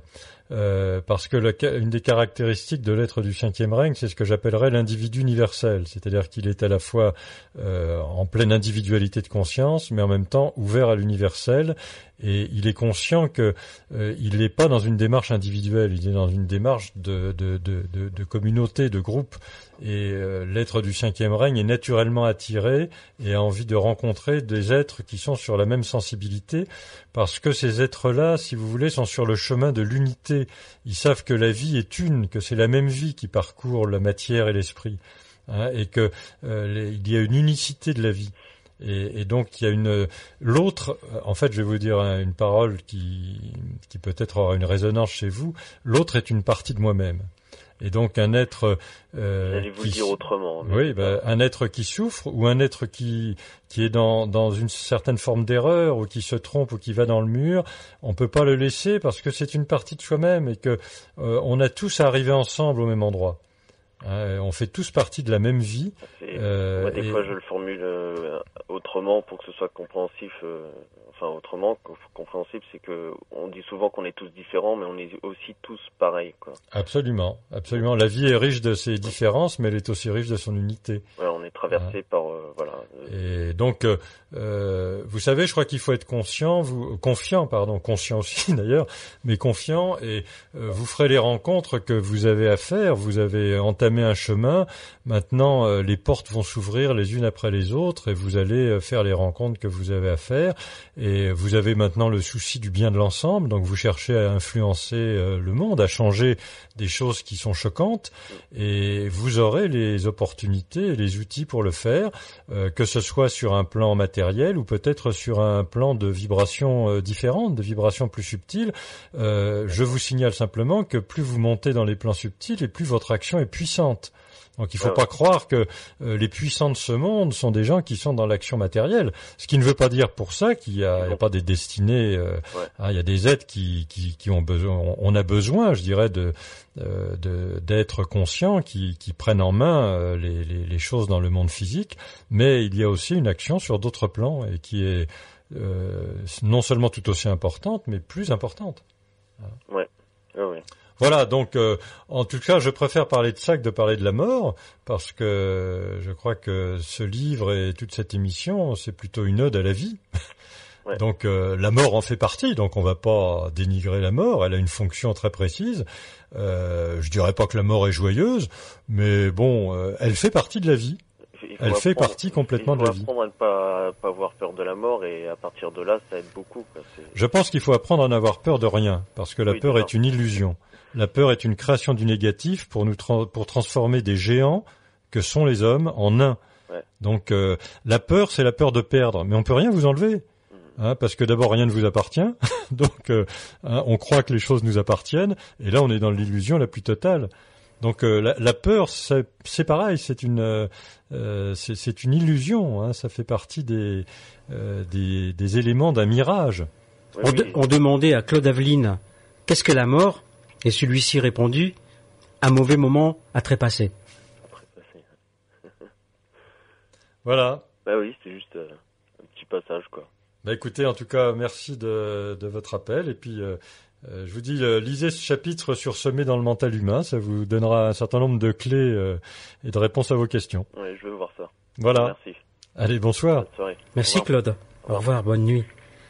08 92 23 95 20. J'ai sous les yeux, euh, je ne sais pas si vous aviez connaissance de ce bouquin. Non, c'est vrai que... Le dictionnaire de la mort des grands hommes. Intéressant, il a une dizaine d'années, euh, Isabelle Bricard. La mort de Balzac, vous connaissez? Huit jours de fièvre, le temps d'écrire un roman? Hum. Mais, attendez, euh, je décroche le téléphone. Euh, François Copé, vous savez, hum. un, poète français, les derniers mots de François Copé. Il n'y a que trois choses dans la vie. L'amitié, l'amour et il mourut.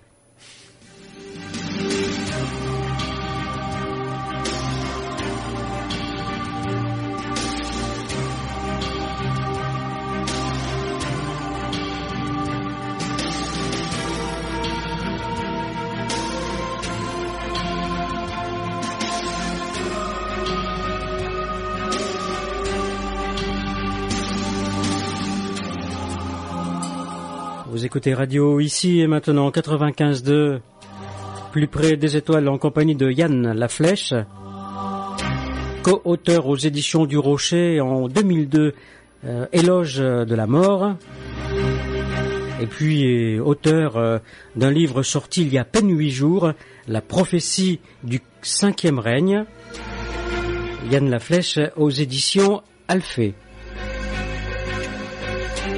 Et nous accueillons Thierry. Thierry. bonjour Thierry. Oui, l'éloge à la mort euh, pour une ode à la vie, je dirais. Absolument. Et euh, c'est, vrai que c'est dommage qu'il faille, euh, pour goûter à cette vie qui est pleine, intense, de mon réel en tout cas, il faille passer par la mort, quoi. Une mort à soi, une mort de soi. Et c'est difficile d'être témoin de, de, certains aveuglements, mais c'est le lot commun, je pense, de ceux qui ont les yeux ouverts. Et euh, ils doivent grandir avec cette, euh, ce dont ils sont témoins pour euh, parvenir à éveiller les autres, à les éclairer et pour les éveiller. Animateur, posez votre question, monsieur. Comment? Je serais tenté de dire, comme certains animateurs, posez votre question. Mais est-ce que vous êtes d'accord avec moi avec ce que je vous dis? Bah, écoutez, moi je pense que, vous savez, le, euh, la, mort, la souffrance, euh, les, les, difficultés, euh, ce sont des choses qui sont que nous que nous générons nous-mêmes. Hein, nous traçons notre propre futur et euh, si nous sommes dans ce cycle de naissance et de mort et que nous sommes obligés de passer par la mort, bah, c'est parce qu'on n'est pas encore suffisamment détaché, on n'est pas encore prêt pour assumer, euh, je dirais, la vie sur des plans plus subtils. Donc, euh, bah, on continue à, à, trimer, à mouliner sur ce plan matériel parce qu'on a encore des choses à y apprendre. Et je crois que c'est une, tout ça, c'est une grande école, une école de conscience, une école d'amour. c'est l'école de la vie. Alors effectivement, euh, au début, ça passe par la mort. Et plutôt que de s'effrayer de la mort, on pourrait, on pourrait essayer d'apprendre d'elle. Bah, moi, je, ce, ce, que j'apprends, euh, plus j'apprends sur elle, et plus je, je, suis appelé à mourir encore davantage à moi-même, parce que c'est, c'est pas, c'est pas, comment dire, c'est, ça, ça, oui, ça rend malheureux complètement, quoi. Ça fait très mal. Qu'est-ce qui vous rend malheureux, Thierry? Qu'est-ce qui me rend malheureux? Oh, Il y a beaucoup de choses. Bah, il, y a, il y a le, le, manque de vérité, de, de, le manque de vérité vis-à-vis de soi de, de, la part de gens qui seraient censés, euh, euh, comment dire, le, en témoigner. Et bon. Ben oui, c'est la première leçon, c'est que si on veut pas mourir, il faut être vrai. Ça ne suffit pas, mais c'est une condition nécessaire. Vous savez, le, euh, il y a des, il y a des, pour être immortel entre guillemets, c'est-à-dire pour sortir du cycle des incarnations, euh, il faut, il faut pratiquer, je dirais, d'instinct les énergies du vrai, du beau et du bien. Et à ce moment-là, on, par synthèse de la synthèse de ces trois énergies, c'est le pur, c'est la pureté. Mmh. Et la pureté et la perfection donnent la puissance, la puissance de création. Et à ce moment-là, euh, l'être sort du règne humain, il n'a plus besoin de s'incarner dans la matière, et il devient créateur de monde. Mmh. Bon, c'est un petit raccourci euh, hâtif, on va dire. Je, hein. sais ce que vous voulez dire, mais euh, je, je, je, me sais être, bon, qu'importe, mais je, je me sais être à, un certain stade, mais je me sens pas créateur de quelque monde que ce soit. Bah, euh, si, à tous à notre niveau, on crée des mondes. Quand vous pensez, pardon, quand vous vous pensez, vous créez un monde. Quand vous quand vous émettez des, quand vous agissez, quand vous émettez des paroles, euh, si par exemple vous réagissez un peu violemment parce que quelqu'un vous a fait une crasse ou quoi ou qu'est-ce, vous créez un micro-monde.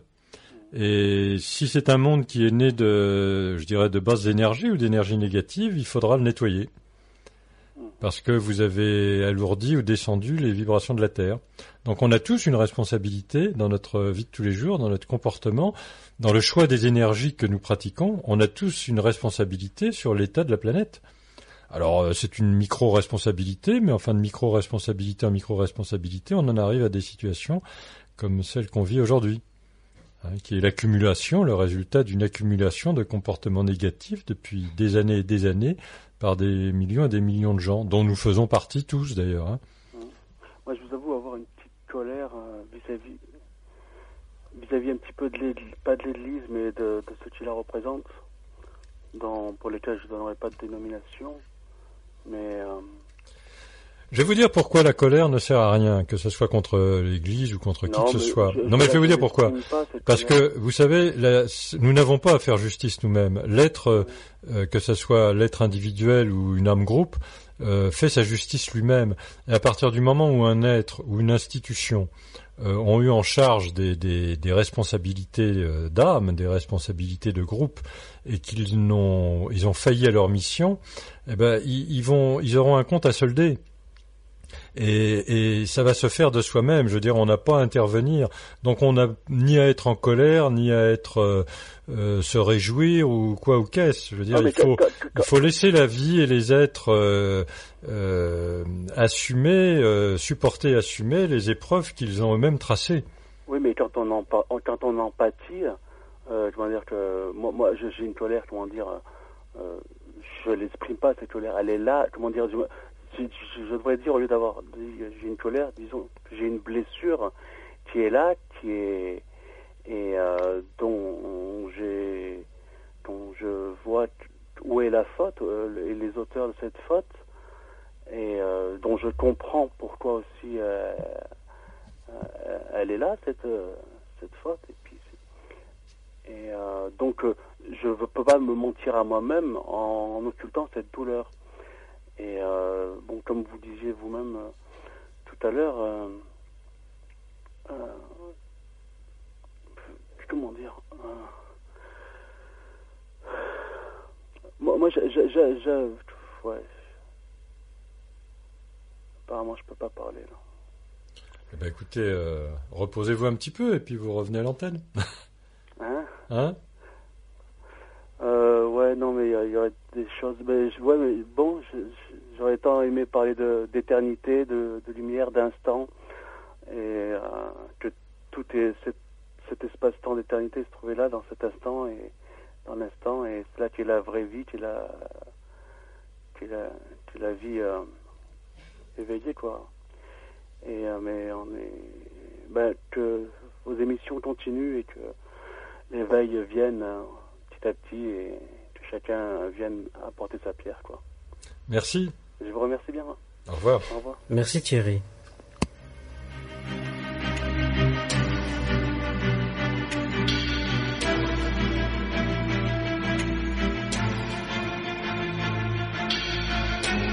Vous écoutez Radio ici et maintenant. Ici et maintenant. Ici et maintenant. 95.2. J'ai trouvé Yann Laflèche et je vous l'offre pour vous remercier de ce livre que vous avez écrit. J'ai trouvé un poème de Robert Desnos qui s'appelle Le rond et l'étoile. Je sais pas si vous connaissez. Ben oui. Mais c'est bien. Pour faire une étoile à cinq branches, ou même à six, ou même davantage, il faut d'abord faire un rond. Pour faire une étoile à, à cinq branches, un rond. On n'a pas pris tant de précautions pour faire un arbre à beaucoup de branches. Arbre qui cachait les étoiles. Arbre, vous êtes plein de nids et d'oiseaux chanteurs, couverts de branches et de feuilles, et vous montez jusqu'aux étoiles.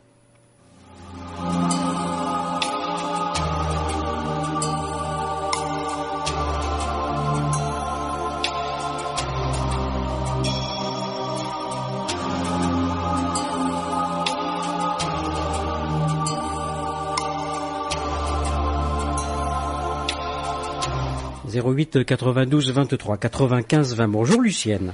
Bonsoir Jean-Claude. Merci pour cette merveilleuse émission et merci à monsieur La Flèche. Merci. Je suis aux anges ce soir. C'est le cas de le dire. Et dans les étoiles. Une réflexion m'est venue depuis longtemps, à force de méditer et de réfléchir, et puis ce, j'ai entendu votre émission ce soir, ne serions-nous pas, tant que nous ne sommes pas accomplis sur Terre, et dans d'autres sphères après, ne serions-nous pas les morts? Les morts. Puisque oui, je nous, comprends. nous revenons à chaque fois tant qu'on n'est pas accompli. Ben, on est, disons qu'on est mort à la dimension du non manifesté. Bien oui. sûr. Euh, on, le, le, ce qu'on appelle la naissance, c'est une forme de mort.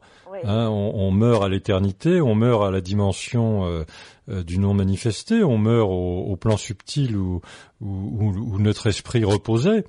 Euh, Et, et, quand on quand on meurt, on renaît euh, à cette dimension-là. Oui, mais à partir du moment où on renaît, on, on est des morts en sursis. Bah, C'est-à-dire à partir du moment où on renaît, ça veut dire qu'on on a besoin de parcourir ce cycle euh, de la matière, c'est-à-dire qu'on est dans une une conscience qui n'a pas dépassé le stade de la matière. Ouais. Donc euh, il faut qu'on revienne euh, et qu'on expérimente et qu'on arrive à maîtriser les vibrations, Ouais. enfin disons à maîtriser, oui, d'abord à ne pas dépendre et ensuite à maîtriser ce que j'appelle les vies mineures. En tout cas, c'est les, ces vibrations un peu lourdes du plan physique, du plan astral et du plan mental. Euh, pour ensuite poursuivre cette évolution sur des plans vibratoires beaucoup plus subtils. Euh, et à chaque fois qu'on s'élève euh, de plan, Oui. euh, on élève euh, et on élargit surtout notre champ de conscience. Donc, euh, ce parce que ce phénomène de, de mort est, est typiquement lié à la matière, c'est-à-dire au monde de la forme. Hein, la Euh, au matière étant inclus dans les trois premiers plans. Au monde des vivants. Oui, alors les, les vrais vivants, ce sont les vivants en esprit. Je suis, Voilà, d'ac- je suis alors, d'accord avec euh, vous. D'accord. Hein, les, vrais moi, vivants, J'ai pour habitude de dire, et encore aujourd'hui, euh, j'ai dit, euh, j'ai dit, mais si ça, il est fort possible que nous soyons les morts et eux les vivants. absolument. Bon, Bien bah sûr. alors je suis contente. Bien sûr, non, non, mais euh, je, je crois que moi j'aime beaucoup ces, ces changements de point de vue parce que c'est toujours un peu interpellant et Ah oui, euh, oui, parce que quand je dis ça, on me regarde des yeux ronds, euh, on me dit, euh, elle est tarée, la pauvre bonne Mhm. femme. Hein. ouais. non, mais ça c'est des réactions quatrième règne, ça. Ouais. Il faut, il faut pas, ça, il faut pas si, il faut pas s'en formaliser. Oui, mais... Il faut avoir un peu d'indulgence et puis, Oui, puis, bien sûr, certes, certes. voilà, et Oui, puis essayer de faire sûr. passer un message que. hein. Mais je ne peux pas faire autrement que... Ce qu'on peut dire quand même, c'est que euh, bien sûr, euh, les vrais vivants, ce sont ceux qui vivent en esprit, donc dans le monde sans forme.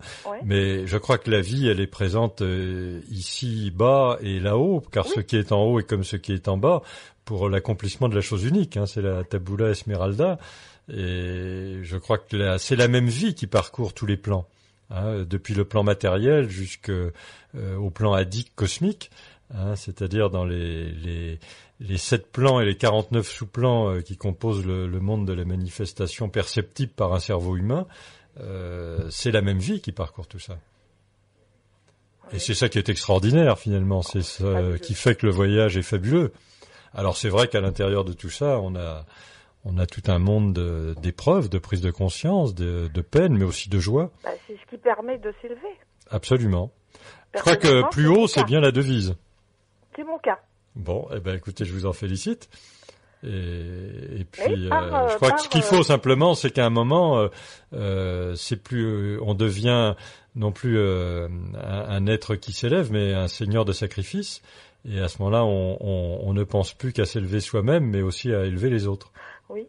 Disons à aider les, plus humblement, à aider les autres à se sortir de, de la pesanteur. Oui. Et justement, je pensais il y a très longtemps que je pense à la conscience universelle, à savoir euh, si, si on était plusieurs à pouvoir aider les autres.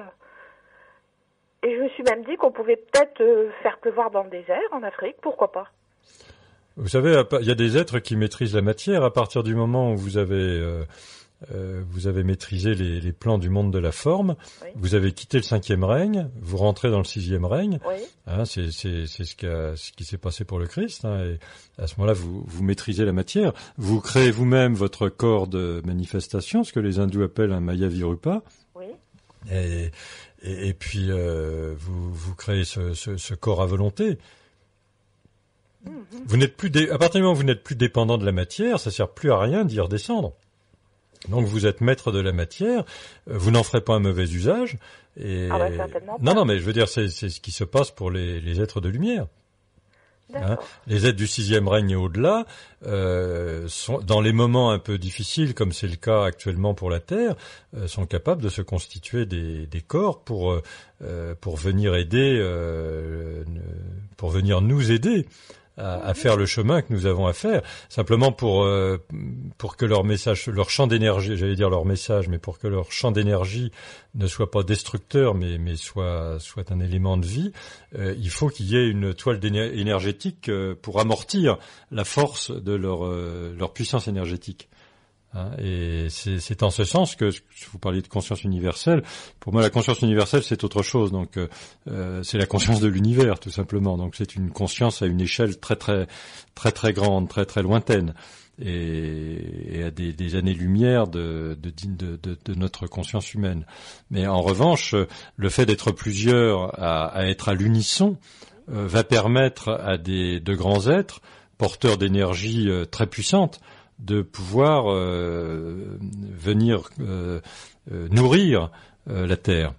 Hein. Mm-hmm. Donc c'est un peu le rôle du cinquième règne, c'est de constituer cette toile de lumière qui va permettre à des êtres de haute vibration de venir s'incarner et d'accélérer le processus.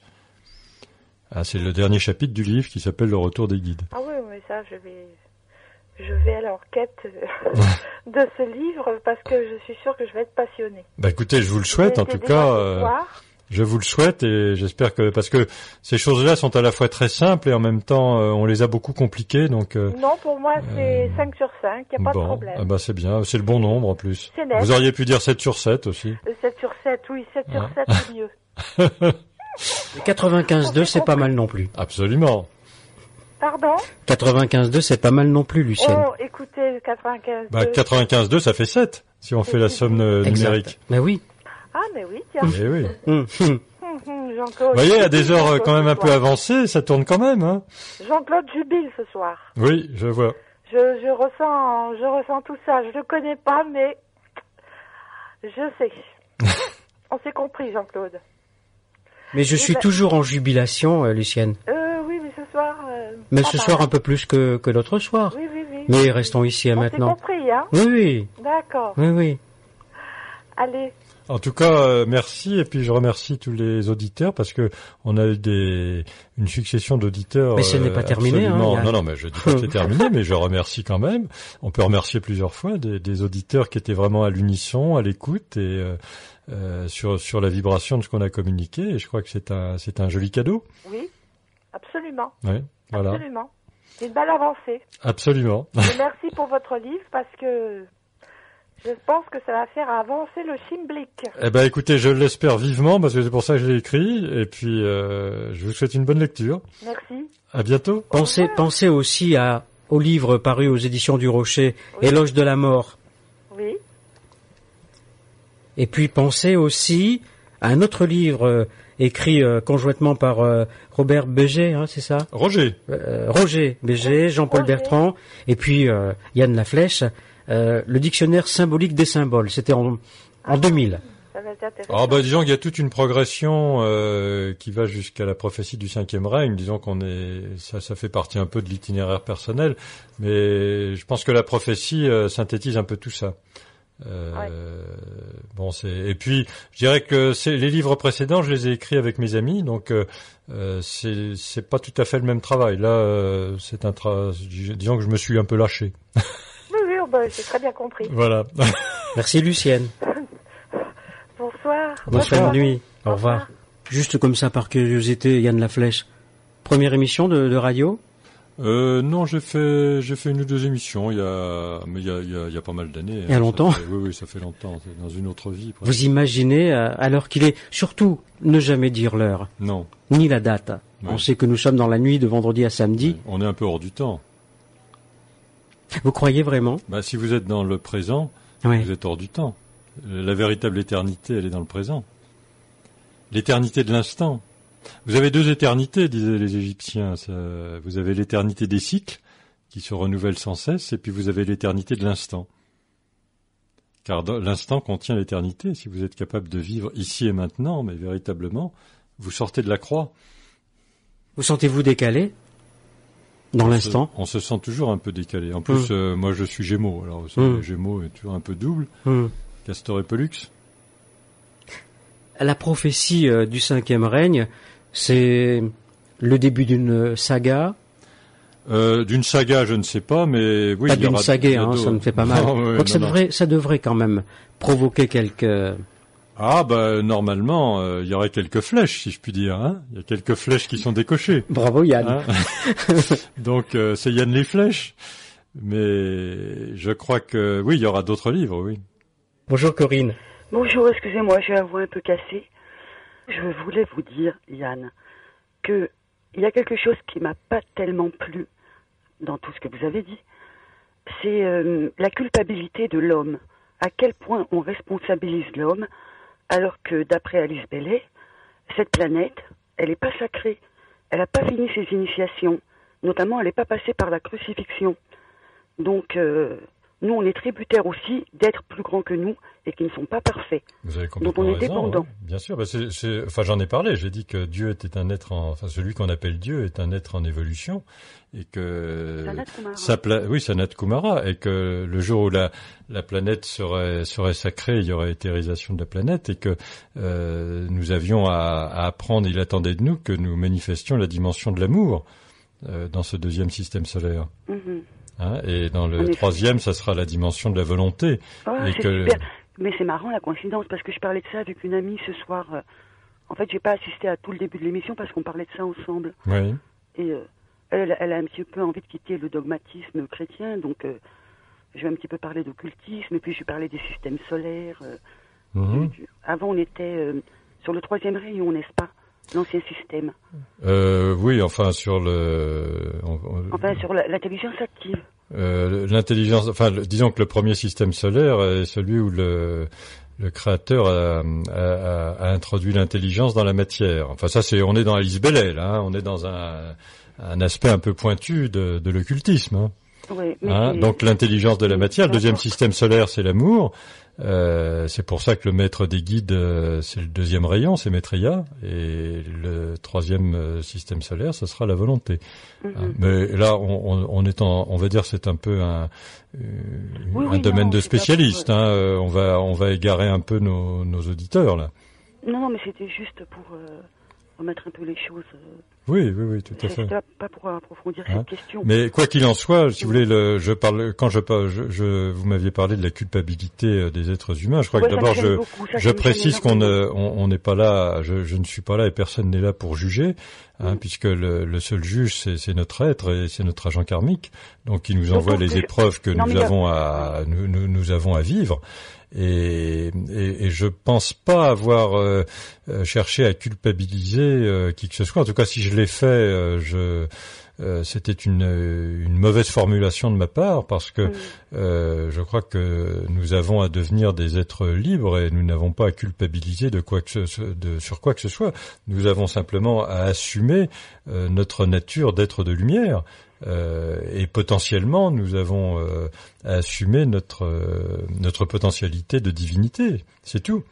Donc ensuite, les problèmes qui se passent, les épreuves qui sont subies, le fait que nous vivons dans l'univers du, dans le monde du faux, ben, nous l'avons créé nous-mêmes. Enfin, je dirais que l'humanité a, a, a, créé les épreuves qu'elle traverse actuellement. Elle les a générées, elle seule des comptes. Je ne sais pas. Je ne sais bah, pas si elle a tout généré. Euh, il y, a, aussi quand même des êtres particuliers qui sont en ligne de compte. Oui, mais moi je pense que nous sommes, euh, vous savez, nous, nous sommes quand même fondamentalement libres et euh, Sanat Kumara a, a, créé cette planète qui est une planète de souffrance pour une raison assez précise que j'ai probablement pas à dire à l'antenne. Euh, mais ah, vous le savez? Euh, oh, Je n'ai rien inventé, vous savez. Ah, vous avez de la chance alors Non, c'est pas de la chance. Mm. J'ai appris quelque chose d'intéressant. Je crois pas. Je crois que tout être à un moment reçoit cette information, vous savez. J'ai appris que donc les livres d'Alice Bellet sont magnétisés. Je savais pas ça. Magnétisés, non. Enfin, euh, j'ai dit, qu'ils étaient magnétiquement verrouillés, c'est-à-dire que les êtres qui ne sont pas sur la bonne vibration, euh, ils s'endorment. Voilà, donc il y a, des, des, des votre être, si ça vous concerne pas, votre être ferme la porte. D'accord. Il, s'est cadenassé. Donc euh, euh, voilà. Et en plus, euh, c'est un, c'est une révélation qui est codée, c'est-à-dire que vous avez un bout du film mettant dans le traité sur le feu cosmique, et puis la suite dans les rayons et les initiations, et tout ça, ça forme un doux mélange, et c'est un, un, travail assez considérable mm. de remettre en ordre tous les éléments. Euh, qui sont donnés. Enfin, dans la, par exemple, sur le thème de l'astrologie de l'âme, qui est l'astrologie du cinquième règne, bon, il y a un certain nombre d'éléments, bien sûr, dans l'astrologie ésotérique, mais il y en a d'autres dans quatre ou cinq autres livres, et dans des pages auxquelles on s'attend pas du tout. Donc ça aussi, c'est un verrouillage. Hein, c'est un cadenassage euh, symbolique, si vous voulez. Hum. Ce que vous appelez le cinquième règne, c'est le règne de l'âme? C'est le règne des âmes, oui. Et le quatrième, c'est eh ben, C'est le règne de la personnalité. Hum. C'est le règne du non-soi. C'est le... Oui, j'ai compris. Et là, vous pensez qu'on rentre dans le cinquième règne Il y a une émergence du cinquième règne, oui, absolument, qui prépare le retour des guides dont parlait Alice Bellet. Déjà. Hein, avec la, la, venue de l'avatar de synthèse, enfin bon, c'est des, c'est des choses que vous connaissez bien. Ouais, ouais, oui, bien que je, je ne pense pas que forcément que Maitreya soit, soit déjà là. Ou... Ah, j'ai pas dit qu'il était là. Voilà, d'accord. Je n'ai pas dit qu'il était là, mais je, j'ai dit que le, le cinquième règne était là pour tisser la toile de lumière qui prépare sa venue. Il n'est pas certain non plus que le Christ viendra en chair et en os. Euh, peut-être qu'il se fera un Mayavirupa. Ça, ça peut être un éveil de conscience de l'humanité. Euh, ça peut être ça aussi. Euh, oui, mais je ne pense, je pense qu'il sera là. Euh, je dirais peut-être pas en chair et en os, mais en tout cas, il va créer quelque chose en chair et en os. Alors, pardon pour euh, celles et ceux qui écoutent, Corinne, mais c'est une vraie discussion de spécialistes. Ah oui, complètement. Je, ah vous, je vous, rejoins bien. Si, il a complètement raison. Non, non, mais Corinne, Corinne, non, non, sérieusement. Il y en a un paquet qui doivent être largués là. Hein. Absolument. oui, mais personnellement, c'est pas moi qui réponds aussi amplement, c'est Yann. Hum, hum. Moi, je pose des questions brèves et je voudrais, aller ailleurs. En fait. les questions, elles sont pointues, Corinne excusez-moi. Ouais, bof, parce que je voulais savoir ce qu'il appelait le cinquième règne. Mais oui, mais c'était ça. Et j'en ai pas touché un mot. Pendant trois, quatre heures et demie, j'en ai pas touché un mot. Oui, mais lui, il a, dit souvent cinquième règne. Hum. Bah, c'est même le titre du livre. Hein. C'est le titre du livre, la prophétie du cinquième règne. Hein. Ben voilà, donc euh, c'est pas de ma faute si c'est son titre. Corinne. On vous culpabilise mais pas. par hein. contre, alors voilà, j'ai juste une question à poser. J'espère que certaines de nos questions, on répondra à certaines de nos questions avant qu'il arrive les grandes catastrophes. Bah, je sais pas, ça dépend quelle question. Peu importe, de toute manière, c'est programmé. Hein. non, Là, je vais pas vous poser à vous les questions. Moi, je me pose énormément de questions. Bah, vous n'êtes pas la seule, hein. Tout le monde s'en pose. Ben, non, mais si je la pose, vous allez vouloir y répondre et après, Jean-Claude va encore dire que c'est trop pointu. Bah, écoutez, je vous promets que j'y répondrai pas. Euh, voilà, voilà, je les pose, mais c'est pas pour que vous y répondiez. Bon, eh ben, j'ai bien noté. Bah, écoutez, je vais aller me coucher, alors. Non, c'est pour. J'ai besoin que vous écoutiez Bonne nuit, mes Corinne. questions, même si vous y répondez pas. mais c'est important, j'ai besoin de communiquer. Mais oui, Corinne, allez, allez-y, allez-y. On a tous besoin de Vous êtes bien la Corinne que je connais Mais je suppose qu'il y a plein de gens qui se posent des questions. Oui, c'est ça. D'accord. Il y a plein de gens qui se posent des questions dans leur fort intérieur. Bon, par exemple, je me demande pourquoi euh, les femmes ont autant été euh, dévalorisées dans le dans, dans le monde euh, depuis depuis toujours, enfin ou presque. C'est des questions que je me pose. Voilà, j'attends pas une réponse. hein. Ah bon, parce qu'il y avait des sociétés matriarcales, vous savez. J'espère que qu'on aura des réponses à ce type de questions et non pas qu'on nous frappera sur les doigts parce qu'on a, on a malmené la, la nature ou des trucs comme ça. Je veux dire qu'il y a quand même autre chose dans l'homme. Il y a une vraie curiosité, une vraie interrogation. Moi, il me semble qu'on a quand même drôlement évolué. Euh, c'est pas vrai qu'on est à ce point-là si barbare de nos jours. Ah bon Euh, on, Oh on a non, Corinne. des progrès considérables. Corinne. Attendez, il nous dit qu'il y a, il y a un truc qui va nous tomber des- sur la tête. Des, des, des, des progrès. Oui, des progrès énormes. Mais je trouve qu'on est encore dans la barbarie. Oui, surtout dans l'extermination, on a fait beaucoup de progrès. Plus, plus, plus, plus que ça. Extermination. Corinne. Euh, sans parler du règne humain, mais le, le comportement Mais- vis-à-vis du règne animal, par exemple, est quand même assez. euh, Corinne, combi- assez combien, combien, Je n'adhère pas à cette pensée. Corinne, mais que vous adhériez ou pas, on est là pour discuter, d'accord? Mm. Chacun a sa vérité. Combien d'espèces animales meurent, disparaissent de la surface de la planète par 24 heures Écoutez. Combien Euh, Combien d'enfants meurent Combien d'êtres humains meurent chaque jour, chaque 24 heures Oui, mais parallèlement à cela, il y a quand même eu une évolution. Laquelle. Laquelle Laquelle Laquelle Euh, Est-ce que je peux vous le dire en deux mots? Oui, bien sûr. Quoi que je ne sais pas si c'est le meilleur exemple, mais ça m'a marqué. Il y a quelque temps, j'écoutais une nouvelle de d'Anatole France, et ça s'appelait Le Lys Rouge. Et on y parlait d'un homme qui était tellement possessif dans son amour pour une femme que, que finalement, on voit qu'elle va, qu'elle va mourir de désespoir. Or, une telle nouvelle n'aurait pas pu être écrite aujourd'hui. Parce qu'on est beaucoup trop lucide pour ne pas voir que cet homme, il est névrosé. Je veux dire que ce romantisme ne passerait plus. J'aimerais tellement vous attirer vers ça, vous dire à quel point on est, on est devenu plus, Mais comment dirais-je, plus lucide quant à la nature humaine. Mais bien sûr, on mais- non, n'idéalise mais- plus l'être humain à ce point-là. Il y a une évolution de conscience, Ah, oui, je merci. pense qu'il y a. Mais, mais ça, on en a parlé euh, dans Oui, l'émission. mais on en a parlé. Les êtres, l'émergence du cinquième règne, c'est bien l'évolution d'une conscience de l'humanité. C'est la conscience de l'humanité qui évolue. On est bien d'accord là-dessus. Le problème, c'est qu'il y a des verrous, il y a des blocages, et que euh, on a une dépendance au négatif dont on n'arrive pas à se sortir. Et c'est là où il y aura une intervention extérieure. Et c'est là où le grand être qui nous abrite euh, va se secouer. Maintenant, c'est- je ne cherche pas à vous convaincre. Je, je peux, je Mais non, comprends non, mais- parfaitement ce que votre Mais Yann, ressenti. supposons Moi, je vous que dis, vous je pose ça sur la table, le c'est tout. C'est une information. euh, on la prend ou on la prend Mais pas, mais ça. je ne cherche pas à avoir raison. Moi, hein. je prends ce que vous dites. Je, je suis comme ça. Supposons que tout ce que vous dites est vrai. Supposons-le. Je pourrais même me révolter contre Dieu, personnellement. Je pourrais même lui demander, mais pourquoi tu fais ça? Qu'est-ce que tu as besoin de nous envoyer Que, des fait- bombes? que fait-il? Envoie-nous des bons leaders. Corinne, Corinne, Euh, On a les leaders qui sont qu'on mérite. pourquoi Qui sont Dieu? Mais Pourquoi de- encore mettre Dieu en cause? Mais non, mais c'est une façon de parler. Mais non, ce c'est pas une façon de parler. Mais Non, parce que non, non, mais. Corinne, vous êtes, pardonnez-moi, c'est pas méchant, mais vous êtes dans cette pensée unique qu'on veut nous imposer. C'est Dieu qui est responsable. Non, non, c'est pas ce que je suis en train de dire. Dites-moi. Je suis en train de dire que je veux bien prendre ce qu'il dit comme vrai. Mais alors, mais on a le droit d'être révolté contre un état de fait. Non, je je je crois pas. Je crois que euh, ce qui nous arrive, c'est les euh, résultats. De, on a écrit notre futur. On a écrit, enfin disons qu'on a écrit notre présent et on peut, on va écrire notre futur. Et euh, des- l'une des fonctions de ce livre, c'est justement de faire en sorte que euh, les êtres, les gens écrivent un futur un peu différent après. Je veux pas monopoliser l'antenne. Je sais qu'il y a peut-être des gens qui veulent intervenir. Je veux juste savoir qu'est-ce qu'on peut faire. Écoutez, pour l'instant, il n'y a pas grand-chose à faire car euh, c'est inscrit, les événements sont inscrits en filigrane dans le, je dirais, dans les enveloppes subtiles de la de la planète. Donc, euh, euh, ce qu'il faut, c'est quand ça sera évité de recommencer sur le règne du faux. Hein, recommencer sur des bases différentes. C'est-à-dire qu'actuellement, on a pris conscience de ce qui n'allait pas. Comme vous le dites, je crois que le, une grande part, une, une, partie significative de l'humanité a, a, a, changé son, son, regard sur les choses, a évolué. Ça, vous avez complètement raison.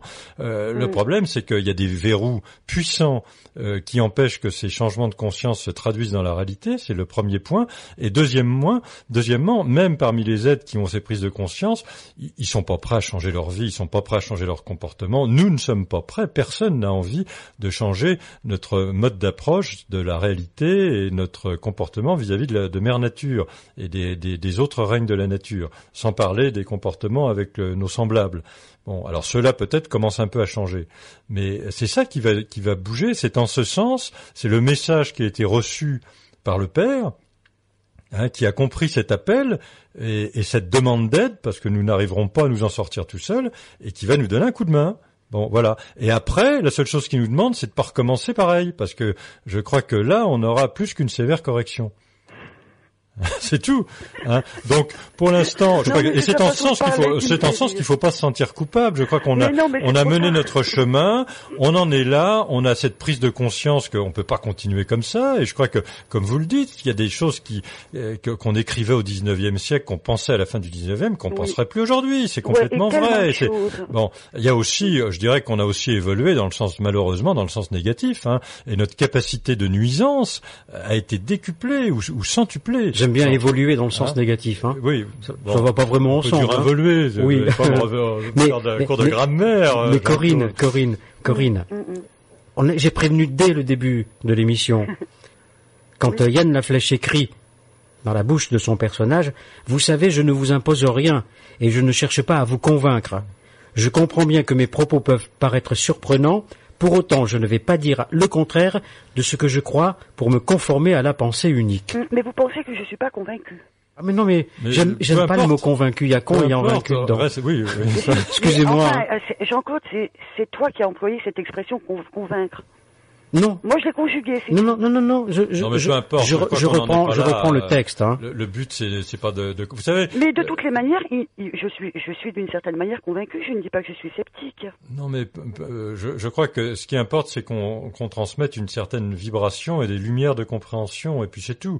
Mm. Ensuite, le reste, chacun l'interprète à sa manière. Voilà, il prend ça. ce qu'il juge être vrai, et le reste, il le laisse sur la table. Et puis, puis Mm. c'est très bien comme mais ça. je, crois. mais Ça, ça, il-. Mais vous croyez que je ne crois pas ce que vous dites Je ne crois rien. Je ne crois rien, chère madame. Je vous assure, je ne crois, C'est je ne crois rien. Je, je suis très Il est en train ouvert. de me parler comme si je croyais pas ce qu'il disait. Non, non, mais euh, vous ne m'entendez pas. Je vous C'est pas, dis, je c'est pas ne, le je ne. problème, Yann. Hmm Vous écrivez euh, ce, que, euh, ce que vous pensez être vrai, ou, ou être juste, ou tout ce que vous voulez. Bon, moi, je peux dire que la manière dont c'est présenté et dit ne me convient pas tout à fait, parce qu'on a l'impression que ça ne laisse pas de porte de sortie à l'être humain. Mhm. Que chaque être humain n'a- pas la possibilité alors de faire une prise de conscience, une autocritique, Ah bon etc. Euh, je me suis de mal méditer, exprimé. de, de comprendre au moins ce qui arrive. Mhm. Mais je me suis mal exprimé. va nous tomber sur la tête et, et on le mérite en quelque sorte. Et vous avez suivi l'émission depuis le début? Non. Bon, euh, ça va, Jean-Claude. Bah, euh, non mais c'est la vérité, Corinne. J'ai raté une demi-heure. Ah oui, mais c'était la demi-heure qu'il ne fallait pas rater, Corinne. Non, en tout cas, si c'est ce que vous Oui, avez compris, je me suis mal exprimé parce que c'était pas, je crois que c'était pas le, le sens de mes propos. Mais bon, Mm, mm. euh, voilà, je crois que sur le fond, on est, on doit être quand même relativement euh, à l'unisson, si je puis dire. En tout cas, il y a- euh, énormément d'êtres en ce moment qui croient en la spiritualité beaucoup plus qu'avant. Ça, on peut pas le nier. C'est vrai. Il y a Euh, 30 ans, je, on pouvait pas dire comme ça, tout venant, euh, je crois en Dieu. Vous avez On raison. Non, mais bon, Dieu et la spiritualité, c'est parfois deux choses On différentes. pouvait pas parler de la réincarnation, Hein, on pouvait parler de rien. bien- oh, la réincarnation, ça date pas d'hier quand même. Hein. On, on Oh en non, parlait, Alice Bellet en parlait. euh, euh, on en parle quand même depuis pas mal d'années. Mais vous avez raison. Moi, je, je, je parle dans ce livre de l'émergence du cinquième règne. Donc l'émergence, ça dit bien ce que ça veut dire. Ça veut Moi, dire qu'il y a l'émergence d'une prise de euh, conscience. Euh, quand on est intelligent, on croit pas en Dieu. Voilà ce qu'on me disait. Mmh. Ah non, il y a une évolution énorme. Enfin bon. Il y a eu une évolution. Je suis d'accord avec vous. Le problème, c'est qu'aujourd'hui, cette évolution est bloquée. D'accord. Voilà, c'est tout. D'accord. C'est tout. Bon, Elle ben, est bloquée par euh, à la fois euh, par, euh, je dirais, par le négatif qui a mis des verrous euh, qui sont bien solidement installés, et puis par le fait que nous avons quand même, malgré ces prises de conscience, une forte dépendance. euh, à des vibrations pas très élevées. Est-ce qu'il est honnête de dire, Corinne, et ce sera la dernière question parce que Anne est en attente depuis un petit moment, Oui, bien sûr. de dire que tout va bien Non, bien sûr que non. Eh bien alors? Mais on peut pas non plus dire que tout va mal. Voilà. Bon ben je vous embrasse. Qu'est-ce qu'est-ce qui va bien, Corinne? Eh bien je suis à l'aise là, je suis super bien dans mon lit. Vous, vous avez raison. On peut pas dire, on peut jamais dire que tout va mal. Et d'ailleurs, rien ne va jamais mal. Et le jour où le ciel nous tombera sur la tête, ça sera peut-être une excellente chose. Donc tout va bien. D'accord. Allez, bon, bonne nuit. Anne Oui, Bonjour. oui, bonjour. Je voulais dire euh, que là, c'est, j'ai trouvé ça passionnant, très apaisant. Euh, entre parenthèses, je regrette un peu la dernière intervention euh, qui avait un ton beaucoup plus c'est bien, c'est raison, c'est pas raison. Hmm. Et euh, ce que je... Il ne faut rien regretter. Hein. Corinne a, a aussi sa façon de, de penser qui est respectable. Et en plus, je peux vous dire qu'elle était vraiment en plein dans l'émission. Et dans la thématique. Voilà. Complètement. Mais ce qui m'avait justement euh, très intéressé, c'est qu'il n'y ait pas eu, euh, euh, qu'il y ait eu en même temps la notion, la notion d'urgence, euh, de de prendre conscience, d'être vigilant, euh, d'avoir les yeux ouverts et la sensibilité ouverte aussi, et, et surtout de pas ce truc euh, euh, j'ai raison, j'ai pas raison de se laisser un peu mener, un peu conduire, tout en sachant où on va. Alors, ce que je voulais aussi dire, c'est que donc ça reprend des tas de choses que je sens intuitivement. Je suis pas du tout formée dans ce, ce genre de, euh, de données et que ça m'a fait énormément penser euh, à un bouquin de Denis Marquet qui Colère. s'appelle Colère Hmm, oui, oui, bien sûr. et, et qui m'a beaucoup aidé, beaucoup. euh, Est-ce qu'il y a lieu de, de faire un peu la comparaison Oui, oui, Voilà on peut, question. on peut faire la comparaison. euh, euh, bon, il y a des, bien sûr des différences, c'est-à-dire que le, la, la prophétie du cinquième règne est, est beaucoup plus axée sur la recherche de causes euh, dans des plans vibratoires supérieurs. Hein. Oui. Euh, donc euh, voilà, on essaie d'aller un peu plus loin, c'est-à-dire que euh, Denis Marquet, c'est l'illustration magistrale de la thèse de Lovelock, la Terre est un être vivant. Euh, Bah, la oui, prophétie du cinquième règne, c'est la Terre. Non seulement la Terre est un être vivant, mais c'est un être spirituel. Vous voyez ce que je veux dire hein. Hein, C'est-à-dire que euh, nous, nous faisons partie, euh, l'hu- l'humanité euh, fait partie et est un centre énergétique, et, et- pardon, est un centre énergétique actif de de l'être qui donne, qui nous donne la vie, le mouvement et l'être. Oui, ben c'est ce que j'avais cru y comprendre quand même. Mais effectivement, pas avec cette acuité. Hein, donc, euh, euh, colère, ce sont les, les colères de la. C'est très c'est un livre qui est centré sur les, les colères de la terre. hein. Et- Mais en tant qu'être aussi euh, Oui, oui, oui, tout à fait. intelligent, euh, Absolument, oui, oui. autonome. Mais on est dans un, si vous voulez, euh, enfin bon, je, je, votre comparaison est tout à fait pertinente. Euh, c'est- effectivement, euh, mais c'est un livre qui est un peu, enfin je dis pas ça parce que je suis mal placé, vous savez, on est mal placé pour parler de ses, son propre livre, mais il est un peu, un peu incomparable quand même. Euh, C'est-à-dire effectivement, on peut le comparer à, à Colère. euh, euh, on peut, je, je, sais, pas bien. euh, Il y, a, y a, Colère est peut-être plus un roman, euh, et Complètement. plus, plus Je- romanesque. honnêtement, je connais pas du tout le vôtre. Et je vous Euh. dis, je je connaissais pas du tout. hein. Bah c'est normal, il est sorti la semaine dernière. Donc, euh, euh, je dire, une- Yann Laflèche n'est pas encore connu au point qu'on s'arrache ses livres dans la première semaine de parution. Non, mais c'est pour ça que c'est une problématique qui, Bah qui oui. m'intéresse. Et dans la mesure où elle n'est pas passionnelle, mais euh, vigilante et je dirais même viscérale, Hmm. m'intéresse énormément. Mais ça, on est, c'est exactement ça, oui. On est, on est dans ce, ce registre-là. Oui, Voilà. Oui, oui. Mais c'est, ça m'a redonné énormément d'espoir euh, parce que ça recoupe tout ce que je crois profondément. hein. Et je crois que le livre est un formidable message d'espoir. Hein. Je, enfin, je l'ai, je l'ai conçu comme tel. Hein, Tout donc, en montrant qu'on a atteint un point de... Absolument, absolument, Euh, mais que c'est ce que je dis à propos du karma, c'est-à-dire qu'en fait euh, le, le karma est une loi d'amour. Hein. Euh, c'est Oui. une loi d'équilibre. C'est la nat- le karma, c'est la nature du père. Si vous vous écartez de la nature du père, vous êtes libre, mais bon, euh, il faudra en assumer les conséquences. Euh, et donc c'est Oui. quelque chose qui empêche des déséquilibres d'aller trop loin. Donc ça vous ramène dans l'axe. Alors que moi, j'étais restée sur la planète Terre. Oui. À ce niveau. Oui, Voilà. oui, oui, oui, oui. La... D'ailleurs, tiens, je profite de l'occasion pour montrer ma science. Lovelock, qui a travaillé pour la NASA en 1970, il était consultant. On lui demandait si euh, il y avait une vie sur la planète Mars. Il a répondu non, c'est impossible. Il pourrait réviser peut-être euh, ses positions. Oui et non, parce que Mars euh, n'est pas une planète sacrée, euh, selon notre chère Alice. Ah oui, d'accord. Mais enfin, je crois qu'Alice Bellet n'est pas une référence de la NASA. Hein. Ouais. Euh, bon, ben, c'est bien. Ben. Euh, Jean-Claude, Oui, je euh, voulais te remercier d'avoir quand même parlé de... euh, quand il s'agissait de, de parler de nos progrès, de la régression euh, forcenée sur le règne animal et sur le règne végétal et, et sur l'humain. Mais ça, Oui. ça, le- c'est quand même pas... mais bien sûr, euh, dire Voilà. que nous avons évolué. Oui, oui, sûrement que, sûrement qu'il y a une prise de conscience euh, qui se fait. Petitement, euh, si, si, si. Soyons positifs. Il y a une prise de conscience, mais Pas qui change ses habitudes, qui change concrètement qui ses habitudes change alimentaires? Exactement. C'est ça le problème, c'est que effectivement, et c'est là où on fait du mal, parce que quand on n'a pas conscience, on fait pas le mal. Euh, les gens qui n'avaient pas conscience, qui trouvaient que c'était normal, mais là on commence à prendre conscience et on change pas. Donc là on commence à se fabriquer du karma, du karma de groupe, et ça c'est pas bon. Enfin, on en parle abondamment dans le livre. J'en parle abondamment, hein, justement euh, du sort qui est réservé au monde végétal, au monde animal et même au monde minéral. Euh, parce que le cinquième règne a pour euh, but principal d'établir de justes relations, des relations d'amour avec tous les règnes, pas seulement avec entre les hommes, avec le quatrième règne, mais aussi avec tous les règnes de la nature. Absolument. Parce qu'on a euh, besoin, on a tous besoin les uns des autres. Voilà. hein. on est tous solidaires sur cette planète. ce niveau. Eh oui. Quand, euh, ben voilà, c'est très bien, ben je vais l'acheter. Eh ben, écoutez, je vous souhaite une bonne lecture. Et merci pour. Euh, Ben, merci de nous avoir suivis jusqu'à une heure. euh, et, et qui paraît tellement, tellement. Et évidemment, c'est comme, un- Lumineux. comme une vraie histoire d'amour, un peu cette forme. lumi- on va dire lumineux, allez.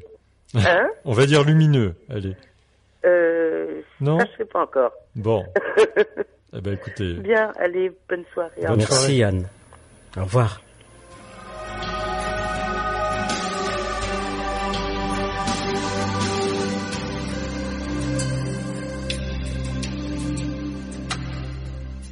Nous arrivons à la fin.